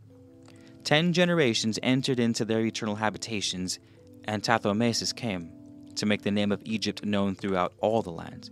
He too could no more stay the hand of decay than could the meanest slave. Then, in his day, Nabihaten came to rule in the land of Egypt. While he was still a child and yet at nurse, the young woman who tended him at night took a man in lust without attending to her purification. Therefore, when she came back nigh into the sleeping prince, she broke the protective wall about his sleeping place. Thus, a formless one came up from out of its lair beside the flaming lake and entered the bedchamber. Because the young woman was as she was, it could not be seen by her. It was a formless, flowing thing that spread itself out in darkness to slink across the floor. Its fluted snout was in the midst of a face twisted backwards, like all its kind. It raised an awful mouth up to kiss the sleeping child, and the child was stricken. In the morning, the child's body was consumed with an inner fire lit the night before, and the breath of life struggled against the occupying demon to enter the body. In those days there lived a great physician named and he drew out the demon with things of power, and doused the fire with impregnated water. None but the greatest of physicians could have released a tongue from the grip of the demon, yet this was done by Mahu. Perhaps it is well to give a fuller account of this pharaoh, not as a matter of history, for this I am not competent to record, but to show what can happen when those unqualified seek to reveal the light, also the perils that can attend such folly. Nabihatan rose to rule while still very young, and though it is said that he died in the grip of a demon with blood welling up from within his mouth, the other version, that he died as a tombless wanderer, seems more probable, for it is so written on the tablets of Ammon. In the days of his father, the enlightened ones had regained strength in the land of Egypt, though they remained a hidden force, and all their deeds were secret. Nevertheless, they were not unknown to the priesthoods, which were then strong though they were regarded with much disfavor. In those days, the charges made against the enlightened ones were that they stirred up the lowly against the powerful, that they tried to turn the land over to change that which had ever been. Therefore, those who knew the great God dwelt in seclusion and hiding. Their names were unknown, their faces unseen. The mother of Nabihaten was Towi, one of the chosen ones. In those days, there were still four ranks of faithful the twice born, the enlightened ones, the chosen ones, and the dwellers in light. Among the dwellers in light, there were seekers in light and laborers in light. Even then, as now, the wife of Pharaoh, though of high blood, was no more than half Egyptian. Her ways were strange. While he had still not come to manhood, the mother of Pharaoh taught him the ways of light. She revealed many of its secrets, probably without proper authority, though this cannot be known. However, though the leader of light in Egypt was never far removed from the Pharaoh, only during the days in the far distant past were the kings numbered among the enlightened. Only in the days of true greatness, days long gone down into dust, days long forgotten in the land. Yet ever we have hoped. The kings bred for goodness, the families reared to conserve spirituality, were swayed between two influences that of the spiritually inspired ones and that of the earthly oriented ones earthly conditions being what they are and the purpose of earth being what it is, it was too early in the generations of men to expect goodness to triumph. It is in this that the forces of good are confounded. They anticipate too easy a victory. Yet though the pestle grinds slowly, it grinds with every blow. It was the wife of Pharaoh who influenced him to disclose some of the mysteries, which, since the time was just mentioned, had been completely withdrawn and very carefully hidden. Thus, though the forces of evil had prevailed in the land, they had not uncovered the inner shrine of the sacred mysteries. Such mysteries as they had discovered proved of little value to them, and were soon so distorted and perverted as to be useless. The great secret of how to penetrate the barrier between the two spheres of mortal and spirit was still completely secured. If nothing else, its very dangers would have safeguarded it. Actually, though it is said that secret mysteries were disclosed, this did not happen. All that did happen was that Pharaoh used the knowledge he had to try and give the people a greater insight into the way of light, the true way, As is ever done, he veiled the all consuming brilliance of truth, leaving just sufficient glimmer to light the way, to become a beacon. Nabihaten himself saw the truth but dimly, for though he tried, he failed to meet the tests of an enlightened one. Perhaps it was this that inclined him away from the faithful. How many, when they discover what the knowledge of truth entails, falter on the path? The Pharaoh, the great one of Egypt, was ill formed in body. He was subject to uncontrolled trances, unproductive of any vision. This was because at such times his spirit would withdraw, thus permitting a dark one to enter its seat. He would fall down upon the ground, and the demon spume would issue from his mouth. Therefore, at such times he had to be kept from the eyes of the people, lest they were seized with fear of demons devastating the land and sapping its fertility. Yet not everything could be kept hidden from the people, for the Pharaoh lived as the fish within the garden pool. Therefore the people learned of his grievous wickedness and turned from him. Nevertheless, it was not as bad as the marketplace chatter stated. This Pharaoh had many powerful opponents in high places. The tales are much exaggerated. Some, not knowing the inside of the pot, declared him to be the very light of goodness. Perhaps the truth is that in him good and evil swung out to the extremes of the balances. Yet weighed one against the other, evil bore down no more in him than in the case of those with much less evil, and the scales and much less good to counterbalance it. The son of Nabihaten, one conceived in wickedness, was slain in battle. Therefore, the younger son, one also born of the union of evil, became king in Egypt in his day. While yet young, he became a follower of the new rites of mystery, which his father had set up in imitation of the mysteries of the hidden God. These new rites themselves hidden within a new form of worship set up by Nibihaten. Of themselves, these were not things of wickedness, but they inclined too far towards ritual, which was futile, and ceremonial, that was purposeless. Though the new mysteries served to spiritualize and could awaken the spirit, they went just so far and could go no further. They led to a dead end. They went as far as the grim threshold, but could not lead beyond it. As far as the faithful were concerned, the setting up of a new form of worship made little difference to their position in the land but they did not attempt to draw the young prince wholly within their fold. Because of this manner, the king his father was precluded from this. I will go back to when the father of Nibihaten, a man of great valor, much beloved by the people, became feeble through a wound that troubled him in his old age. It was then that his queen, the noble Tawi, priestess of the faithful, urged him to send for the young prince Nabihaten, though he was not then so called to become his staff and take up some of the burden. In this manner it was hoped to secure the throne of Egypt once more for one of the faithful, an end towards which the faithful had long labored. Undoubtedly, the enlightened ones and the chosen ones from among the faithful played some part in the introduction of the new form of worship. But unfortunately, they were not equal to the opportunities of the times.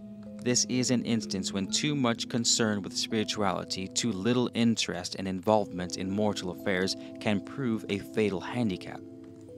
The lesson to be learned from this, the whole purpose of its telling, is that at all times, a good balance must be maintained between spirituality and earthly existence. However great the spiritual goal ahead, nevertheless, at present, our feet are firmly bound to earth. Whatever the eyes behold, it must not blind men to the pitfalls before their feet. To say, as many have, that the new form of worship clashed with the old established worship of Ammon is true in part only. The hopes of the faithful were nurtured in both and could not have been a reconciling force, weak in power and numbers, though it might have been seen. Superficially, and among the mass of lesser priests and followers in the two beliefs, there was antagonism and strife. While the flame of Aton waned, the sun of the new form of worship rose.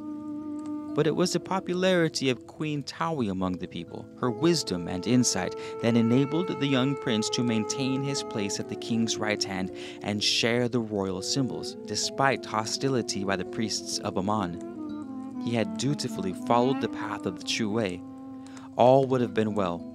Perhaps, and this seems more likely, he did not quite understand it. Probably his intentions were good, but good intent is not sufficient. Good intent is nullified by lack of wisdom and lack of knowledge, and confounded unless supported by example and deeds. It is not sufficient for a man to proclaim a way of life for others unless he lives according to its principles himself. Too often have men tried to direct others along a path they are reluctant to tread themselves. This is not the least of hypocrisies. When his father died, the young king Nabihaten ruled in equality with his mother. They shared the royal seat and symbols, but he acted in a manner unbefitting of a son.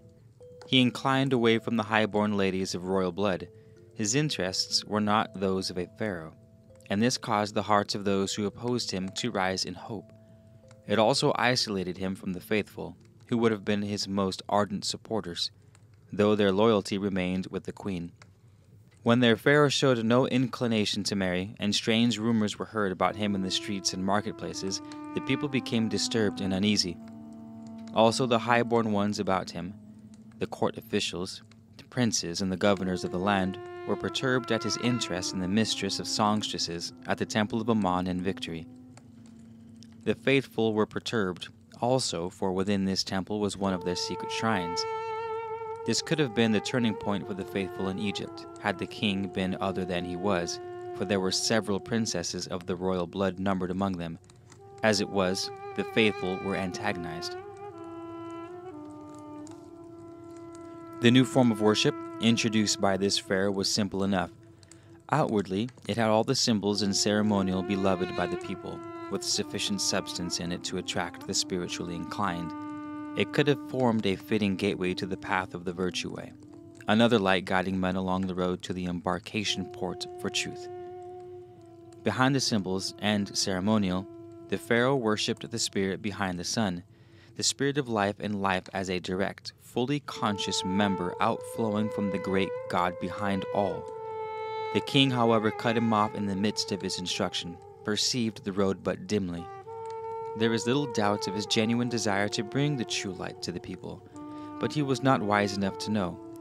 Firstly, that one who brings light must be one in whom light burns brightly, and secondly, that the multitude cannot be exposed to its unveiled brightness with impunity.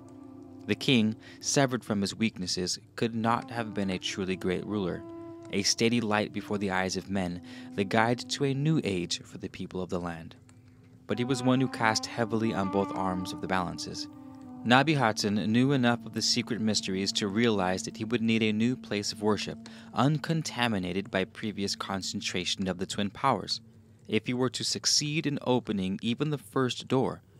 Therefore, he moved his court to a new city, within which was a temple outwardly dedicated to the new light, which he enshrined before the place of flame.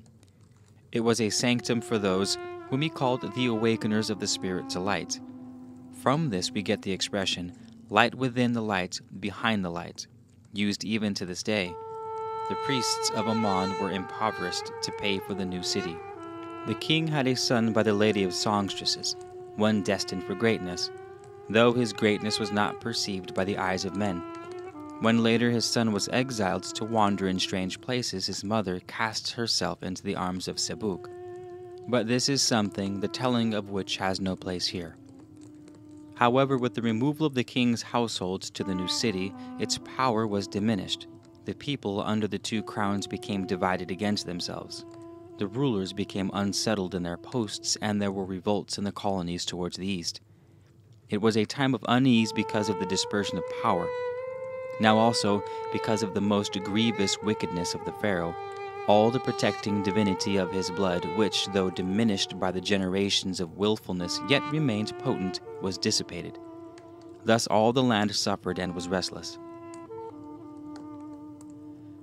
Then it was that some of the faithful from the city of the old royal residence, not from the new one as told, contacted the eyes and the ears of the king so that the Pharaoh was counseled to take himself a wife. In this manner alone could the clamor of the people be stilled and their hearts be put at ease. It was then that the high priest at the temple of the visible light, by a cunning move, brought the young princess called Nefare, in our tongue, before Pharaoh. She was a temple maiden, daughter of a king, and one devoted to the great God in silence. Pharaoh took her to wife, but he showed her little affection, though she was not unbeautiful, even if with a beauty not of this land. Nevertheless, in the eyes of the people, the marriage appeared successful enough, though perhaps the outward display of affection was overdone. Still, the queen, being more frail than Egyptian women, could bear only daughters. There is another reason for this, but it cannot be gone into here with propriety. It is something between women. Things were not as they appeared, and Nephara despised the king in her heart for his secret wickedness. I have mentioned the surviving son of the king, one born under the darkest cloud, the secret of whose illumined birth had been unrevealed, though it was known to a few. Some of these were antagonistic to the new form of worship proclaimed by the king, and they used this knowledge to their own advantage. I have also mentioned another son, one born to the lady of songstresses, and he was bound to a different destiny altogether. The son born to Pharaoh by the lady of songstresses was also born to high estate through her. I will not record his name, lest even now it be used with evil intent, for it is a name of power. I will not disclose his title, but just call him what he was the Master. When the Master was born, Pharaoh was quite indifferent towards him, though through the nature of his blood he was not unexposed to danger. The account of how the child was stolen from the temple garden by the priests of Ammon, how it was rescued by a Syrian in the services of Nephare, disguised as a woman vendor of spices, and Celtis, a captain of craft, is known and need not be retold. However, though it is true that the child was carried away by a vessel, he was not taken to the lands of the Henbu. He was not brought up in the household of the captain of craft. The child was left at the temple of Anthor in splendor, where sweet waters kissed the bitter, and brought back to the city of the horizon at dawning. Later, both child and mother were taken into the royal household, for the two women had long been friends, even before Nephara became queen. Yet Pharaoh knew not that the man child within the household of Nephara was his, for the tale had been put about the son of the lady of songstresses was dead. Thus, even in the shadow of the royal household, the master grew up to walk in the path of truth. Now, as the years went down into dust, the land of Egypt crumbled and began to fall apart. Nephare, because she followed the pure light, could not dwell with Pharaoh while the life he led was an abomination against purity. She was an ever faithful one, though in her disgust she must have been tempted to be otherwise. The queen removed herself and her household in the fifteenth year of the reign of Nabi-Haatan. It was then put about by those who licked the feet of Pharaoh that she was a fickle woman of wanton ways. They said she was an adulteress and called upon her beauty to bear witness against her. What they said was false, it is equally false that all beautiful women are fickle and wanton. True, such women may be subjected to greater temptations, but if they resist these, are they not so much the greater? Are they not so much more what a beautiful woman should be? The true inspiration of men. Surely there can be no doubt that the Pharaoh was abnormal, for how could any but an abnormal one treat such a woman thus? Nephare sought refuge in Labados, where there was a secret shrine to the great god, and resigned herself to a great life of great virtue. With her went the master. Then on the threshold of manhood, but his true mother did not go with them. With her went the master, then on the threshold of manhood, but his true mother did not go with them. Without the temple gates at Labados, beneath a sycamore tree, dwelt a three eyed man, Hepoa, one who could foreknow the future who had the gift of far seeing, but he was aged and infirm. One day the master chanced to pass that way, and he came upon Hippoa, as some youths mocked him and cast sand upon his head.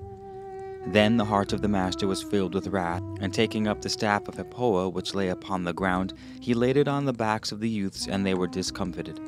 When they had fled, he succored the old man, and returning into the city, brought forth food, so that Hippoa ate and was made content.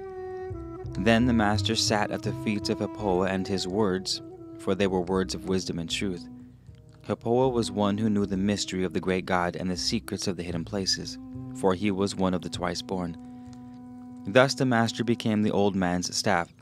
Eventually, the day came when the two journeyed to a secret place within the wilderness so that the Master might approach the threshold. When Nephare left, wickedness consumed good Nabihaten, and the chambers of his heart lay open and unprotected. And then a dark one entered into him and drove him out into the barren places of the wilderness. It is said, And Pharaoh fled through the wilderness, uttering horrible cries and howling as dogs howl, so that all men departed from him in fear. Thus it came about that Nabi Nabihaten came upon Hippoah and the master as they sat beneath the shade of a rock in the heat of the day, and the tongue of the king was blackened with the fire of the dark one that held him. Hippoah cooled the fire within the king and expelled the dark one, so that the king was made whole again. Then they went, the three of them, to the place where the fighting men of Pharaoh were encamped, the king riding upon an ass. When the king was again bedecked in his royal garments and girded with the symbols of power, he gave Hippoah a place of honor, and the master dwelt at the gates of Pharaoh. Within the city of the horizon at dawning was the temple of the sun's dawning, at which Nabihaten officiated as high priest, but after his return. At which Nabihaten officiated as high priest, but after his return to Hippoah, he built a residential temple up riverwards, called the Sun's Blessing. Some men have called it the Temple of the Blessing of Light. This was erected in three courts, one of which was called Nefare's Memory, a place dedicated to womanly virtues. There, when she came of age, his daughter by Nefare, a maiden called Meriten, was consecrated in service. There is a description of this maiden in a scroll kept at the shrine dedicated to the martyred maidens of chastity at Nomen, the city of forgotten wickedness. It says, as I stood before the gate called Treasurer of Life, on one pillar of which was engraved the words, When the eyes see, the ears hear, and the nose smells, they transmit to the spirit that it understands. I saw the young daughter of the king. She was not tall or fat, and her feet were delicately formed. Her curls were long but tied back from her face and anointed with sweetly fragrant oils. She passed close by, and I noticed her garments gave out a delicate perfume. Her eyes were large and unusually long lashed. Her glance was soft and restrained, her whole bearing modest. Her skin was lighter than the pale copper of askins, like the cherished ostrich egg, soft as the finest oil. Her nose was perhaps slightly larger than usual, but fine and delicately formed. Her mouth was small, though the lips were full and even then tantalizing with secret promise. About her head was a circlet of gold, and she wore a necklace of gold and blue stones. She was clad in a pure garment of fine linen fringed above and below with blue and red. Upon it were workings of gold ornamentation. On her arms were bracelets of burnished copper interwoven with gold and silver. She had just come from the sacred grove, and the glistening dew of morning still dampened the lower fringe of her robe. In one hand, she carried two small bells of copper, and in the other, a small hammer of gold. She was the daughter of the king, yet among all the high-born ones throughout the long length of the fertile lands threaded like a necklace upon the Nile, there was no man to truly love her. Certainly, many desired her, but who among them could say it was for herself alone, desirable as she was in the eyes of any man? No, she would have gone to her marriage bed unloved as a woman should be loved. A pawn in the game of power, a sacrifice at the altar of ambition, a chattel bought as a means of winning favor in the eyes of the ruler. Would not her fate have been better had she been born to a herdsman? Or were she the daughter of a craftsman? Then she could have delighted in the kiss of the hot sun and the caress of the cool breeze. She could have been loved and wanted for herself alone. Such, however, was not her fate. All things she could have, except this. It was after the consecration of Meriton that the eyes of Nebuchadnezzar wandered towards her lustfully. But perhaps, to do him justice, he should not be judged by the same standards as other men. He was the Pharaoh of Egypt, who, according to ageless tradition, was above wrongdoing. There is not much doubt but that at this time he was under the control of either a demon or a dark one which had taken possession of his heart. Also, he had been brought up to a code where inter-family love and marriage were accepted as the rule, where the sanctity of the royal blood and the need for its conservation and purity was believed in as the law. Then, too, despite his unnatural longings, which he lacked the strength to control and subdue, there is no doubt that he could and did experience extremely deep feelings of affection. He also had an unusually strong, perhaps overwhelming appreciation of beauty, as can be seen by any of his writings still in existence, though few remain of the great many there once were, and these ever in danger. Anyway, he did take his daughter in awful wickedness, his evil thoughts displaying themselves uncontrollably. Now he took no care to hide them. Throughout the new city, he caused the name of Nefare to be struck out, and the name of Meriton was put in its place.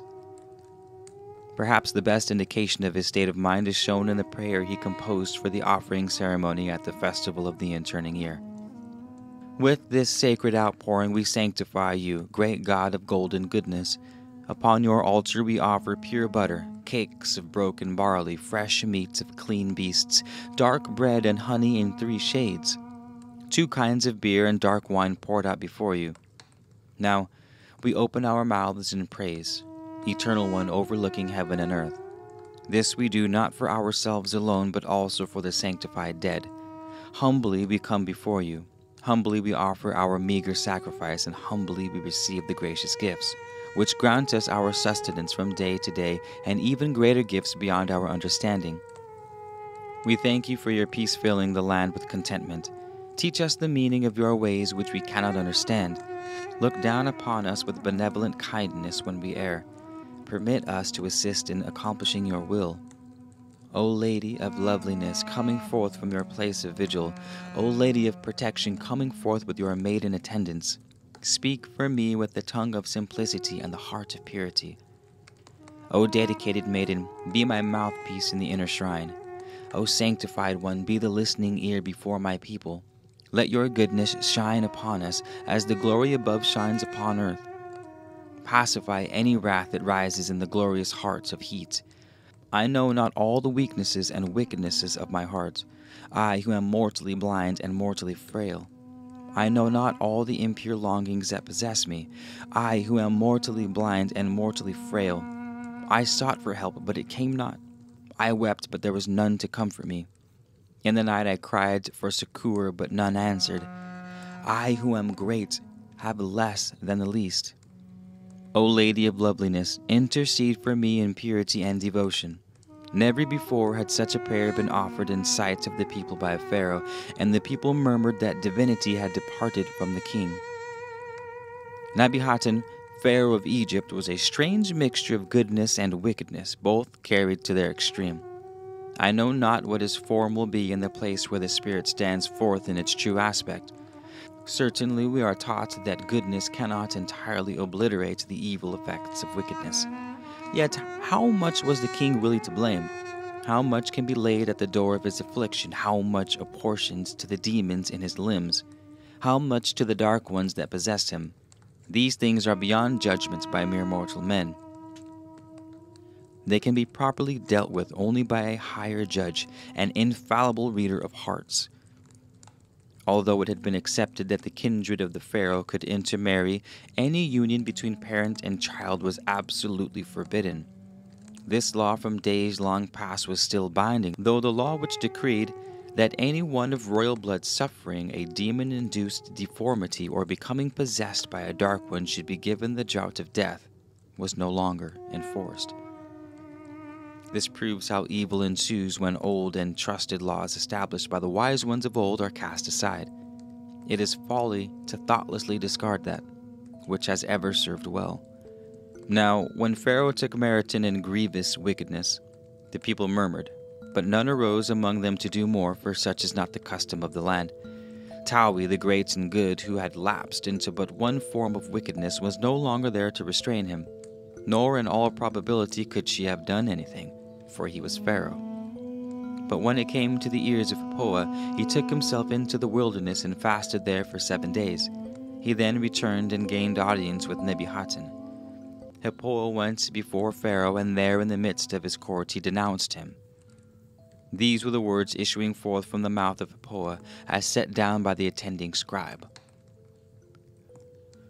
O great and mighty Pharaoh, where once the storm wind raged, there is now a gentle breeze. Where once the diligent shepherd stood, now a musician sits and idly plays. The land is no more as it was, and no man remains content within his dwelling. The north wind has ceased to enter the land, and the south wind eats it up. A heavy hand lies on the hearts of men, and their limbs are sluggish. They are languid and move no longer as they once did. Wherefore has all this come about? The people ask. And I answer them truly. It is because the protective power has departed from the blood of the Pharaoh. It is because the iniquity in the palace. This is a time of woe. These things I have spoken before the eyes and ears of Pharaoh beyond the palace gates. Yet it is not in me to leave them unsaid before the face of the king himself. Where is the great one who sets goodness in the place of wickedness? Where is he who replaces injustice with justice, who hears the cry of the lowly, who causes right to prevail in the land? Where is he? I look and I look in vain. I see only one who has defiled the protective treasures, the glory of Egypt with iniquity. I see only one who has polluted the pure stream with the sewage of evil, who has succumbed to the ultimate in wickedness. This I see, as all men see it. But I am one who sees more. I see Egypt gone down into dust. I see plague and death stalking the streets. I see the fertile black waters churned back on themselves. I see the black land buried beneath the sand. I see grim faced men coming from out of the east to stamp the land flat in blood. I see the dread things of the past recurring. I see desolation spread out on every side. Woe to you, great Pharaoh. Woe to the land of Egypt. Goodness lies dying beneath the triumphant foot of evil. Virtue is betrayed into the foul hands of loathsome lust, her despairing cry unanswered by any coming to her aid. Wickedness walks unhampered through the cities, and wrongdoing is seen on every side. Woeful are these days, and doomed are those who endure them. What does the great light shining forth from the palace conceal?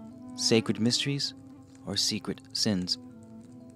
Then the arm of the Pharaoh stretched forth to stop the mouth of Papoa, and it was stopped. He was led forth, and whips were laid on his back, and he was placed within a dungeon. The events that followed remained within a shadow, and none knows the truth, for it was a time of confusion. Meriton probably died of poison administered by her own hand, as was befitting. Her tomb was known, for she was not unhonored. Some say that the same potion slew the king, but others that he died of a dark demon within the heart. It seems that the poison was not a quick one, and while Meriton died in her chamber, after pledging of the king was made, he fell forward with an issue of blood from his mouth. His spirit was heard in his throat. Thus, it does not appear that they were slain with the one cup. It is unlikely that Meriton died by any hand other than her own, though this is said. Some say the king died after being carried to his chamber, others that he had recovered, but the truth is unknown for at this time the signal was given, and the people arose in the streets. The new worship, which nevertheless was an outgrown from the bulb of truth, died away as the growth dies back on an onion. But like an onion, the bulb remained. The new worship was not unwelcome in the land of Egypt and would have survived had not its founder led an impure life. The hostility by priests of the other forms of worship would not have alone sufficed to extinguish its light. It was the maggot in the hearts of the flower he raised that caused it to fall apart. To establish a pure form of worship and beliefs, its founder must also be pure of hands and heart. Whatever happened, Nabi was never placed within the tomb that he prepared for himself. Some say because Hippoa cursed it, but this I doubt. I know of such a curse, but I do not suppose Hippoa would have used it. Some say Pharaoh was buried with his wife, but who knows the name of the woman, and whose tomb is she said to lay? I think, however, it is more likely that he is a tombless wanderer, which is not so strange when the record is considered fully. As told, it is not beyond belief that such a fate could have befallen Pharaoh and does accord with the laws of olden days. The next Pharaoh married his sister, conceived in wickedness, and therefore died while yet young. The predictions of Hippoa were averted by the happenings in the land, happenings that purified it during the days of Pharaoh's short lived successor. Then came a great one to rule the land, and peace and prosperity returned. Of his times this is written Be joyful, O people, for a time of gladness had descended upon the whole land. A righteous and royal king has been set over us, one truly favored in the eyes of the great ones. The waters rise and fall in moderation, the days are long and productive, the hours of night are measured and restful. The moon maintains her appointed seasons, and sunship steers a straight course. The bright torch of heaven burns steadily, and the stars retain their stations. Once more, men must qualify by goodness for the right to govern and to hold official positions. All is well with the land. If this could be but written of these days. Of the Maratian, wife of Cupola, Men said she established the sisterhood of sin, but this is untrue, for they misunderstand the writings. The written things are misread. The writings of men are as plows which cannot follow a straight furrow. Every one at birth is a twin and has a spirit twin. Nemertian was of all women the most virtuous. Yet surely no woman ever evoked such malice in the hearts of her sisters. Once men said that the king was the shepherd of every man and that wickedness was not in him. That however lowly the man in distress, he would devote hours of his time to bring him justice. If our fathers had but known the nature of the men who would follow as kings, or had the kings of olden days foreseen what was to come, the sons of the kings would have been destroyed, even though they were the seeds of divinity. Perhaps we do injustice to our rulers, for when the governors are bad, Maybe they are no worse than a corrupt, degenerate, and indifferent generation deserves. When you decry your rulers, read the hearts of your people. The good ruler should not speak falsehood. He should be as great as his responsibilities. Each word should be weighed before spoken, for it is accepted as gold and not as thistledown. He should take heed of his own judgments, for the judgments of eternity draw near. He should be above all an example to all men. The gardener of wickedness waters his land with deceit, and it brings forth falsehood. The good ruler should be above every deed of meanness. He should be the father of the orphan and the husband of the widow. A true leader of the people should be free from every kind of avarice, a man above every kind of pettiness. He should be a man of wide vision. He should be like the rising waters that feed the fertile fields. He should be swift and sure to execute judgment on him to whom punishment is due. Oh, where does he sleep today? In what generation will he come forth? The end of this scroll is unknown. This was not one in the great chest. It is one added in the days of preservation. Oh, hello. We've we've come to the end here. It's showing six hours long, but I have to edit it down still, so we'll see what it comes after that. Thank you guys so much for joining in. If you're not subscribed by now and you've listened to this entire audiobook, I ain't even mad. I'm impressed. I am impressed. Anywho, I will still be more impressed if you subscribe. Leave some comments. Please leave comments, you guys. The comments help the algorithm, the likes help the algorithm. You guys sharing the content helps the algorithm. Um, please consider joining our Patreon if you made it this far. These projects are pretty substantial, and I could use all the help I can get. Um, excuse some of the minor blips and stuff you might hear in the background my child playing the piano the neighbors hammering on things you know how it goes we we don't have our official studio yet but i love you guys and and and we are growing the channel for exactly that so thank you so much for being here i hope you enjoyed the content i really enjoyed this book looking forward to the rest of the Kolbrin Bible. Um, thank you for your support, and I'll see you soon. All right, you guys. This is Keith, your man of letters, here to bring you knowledge, information, and hopefully, at the very least, a bit of entertainment. Saying good night, or good morning, good evening, good afternoon, good day, Godspeed, and I'll see you soon.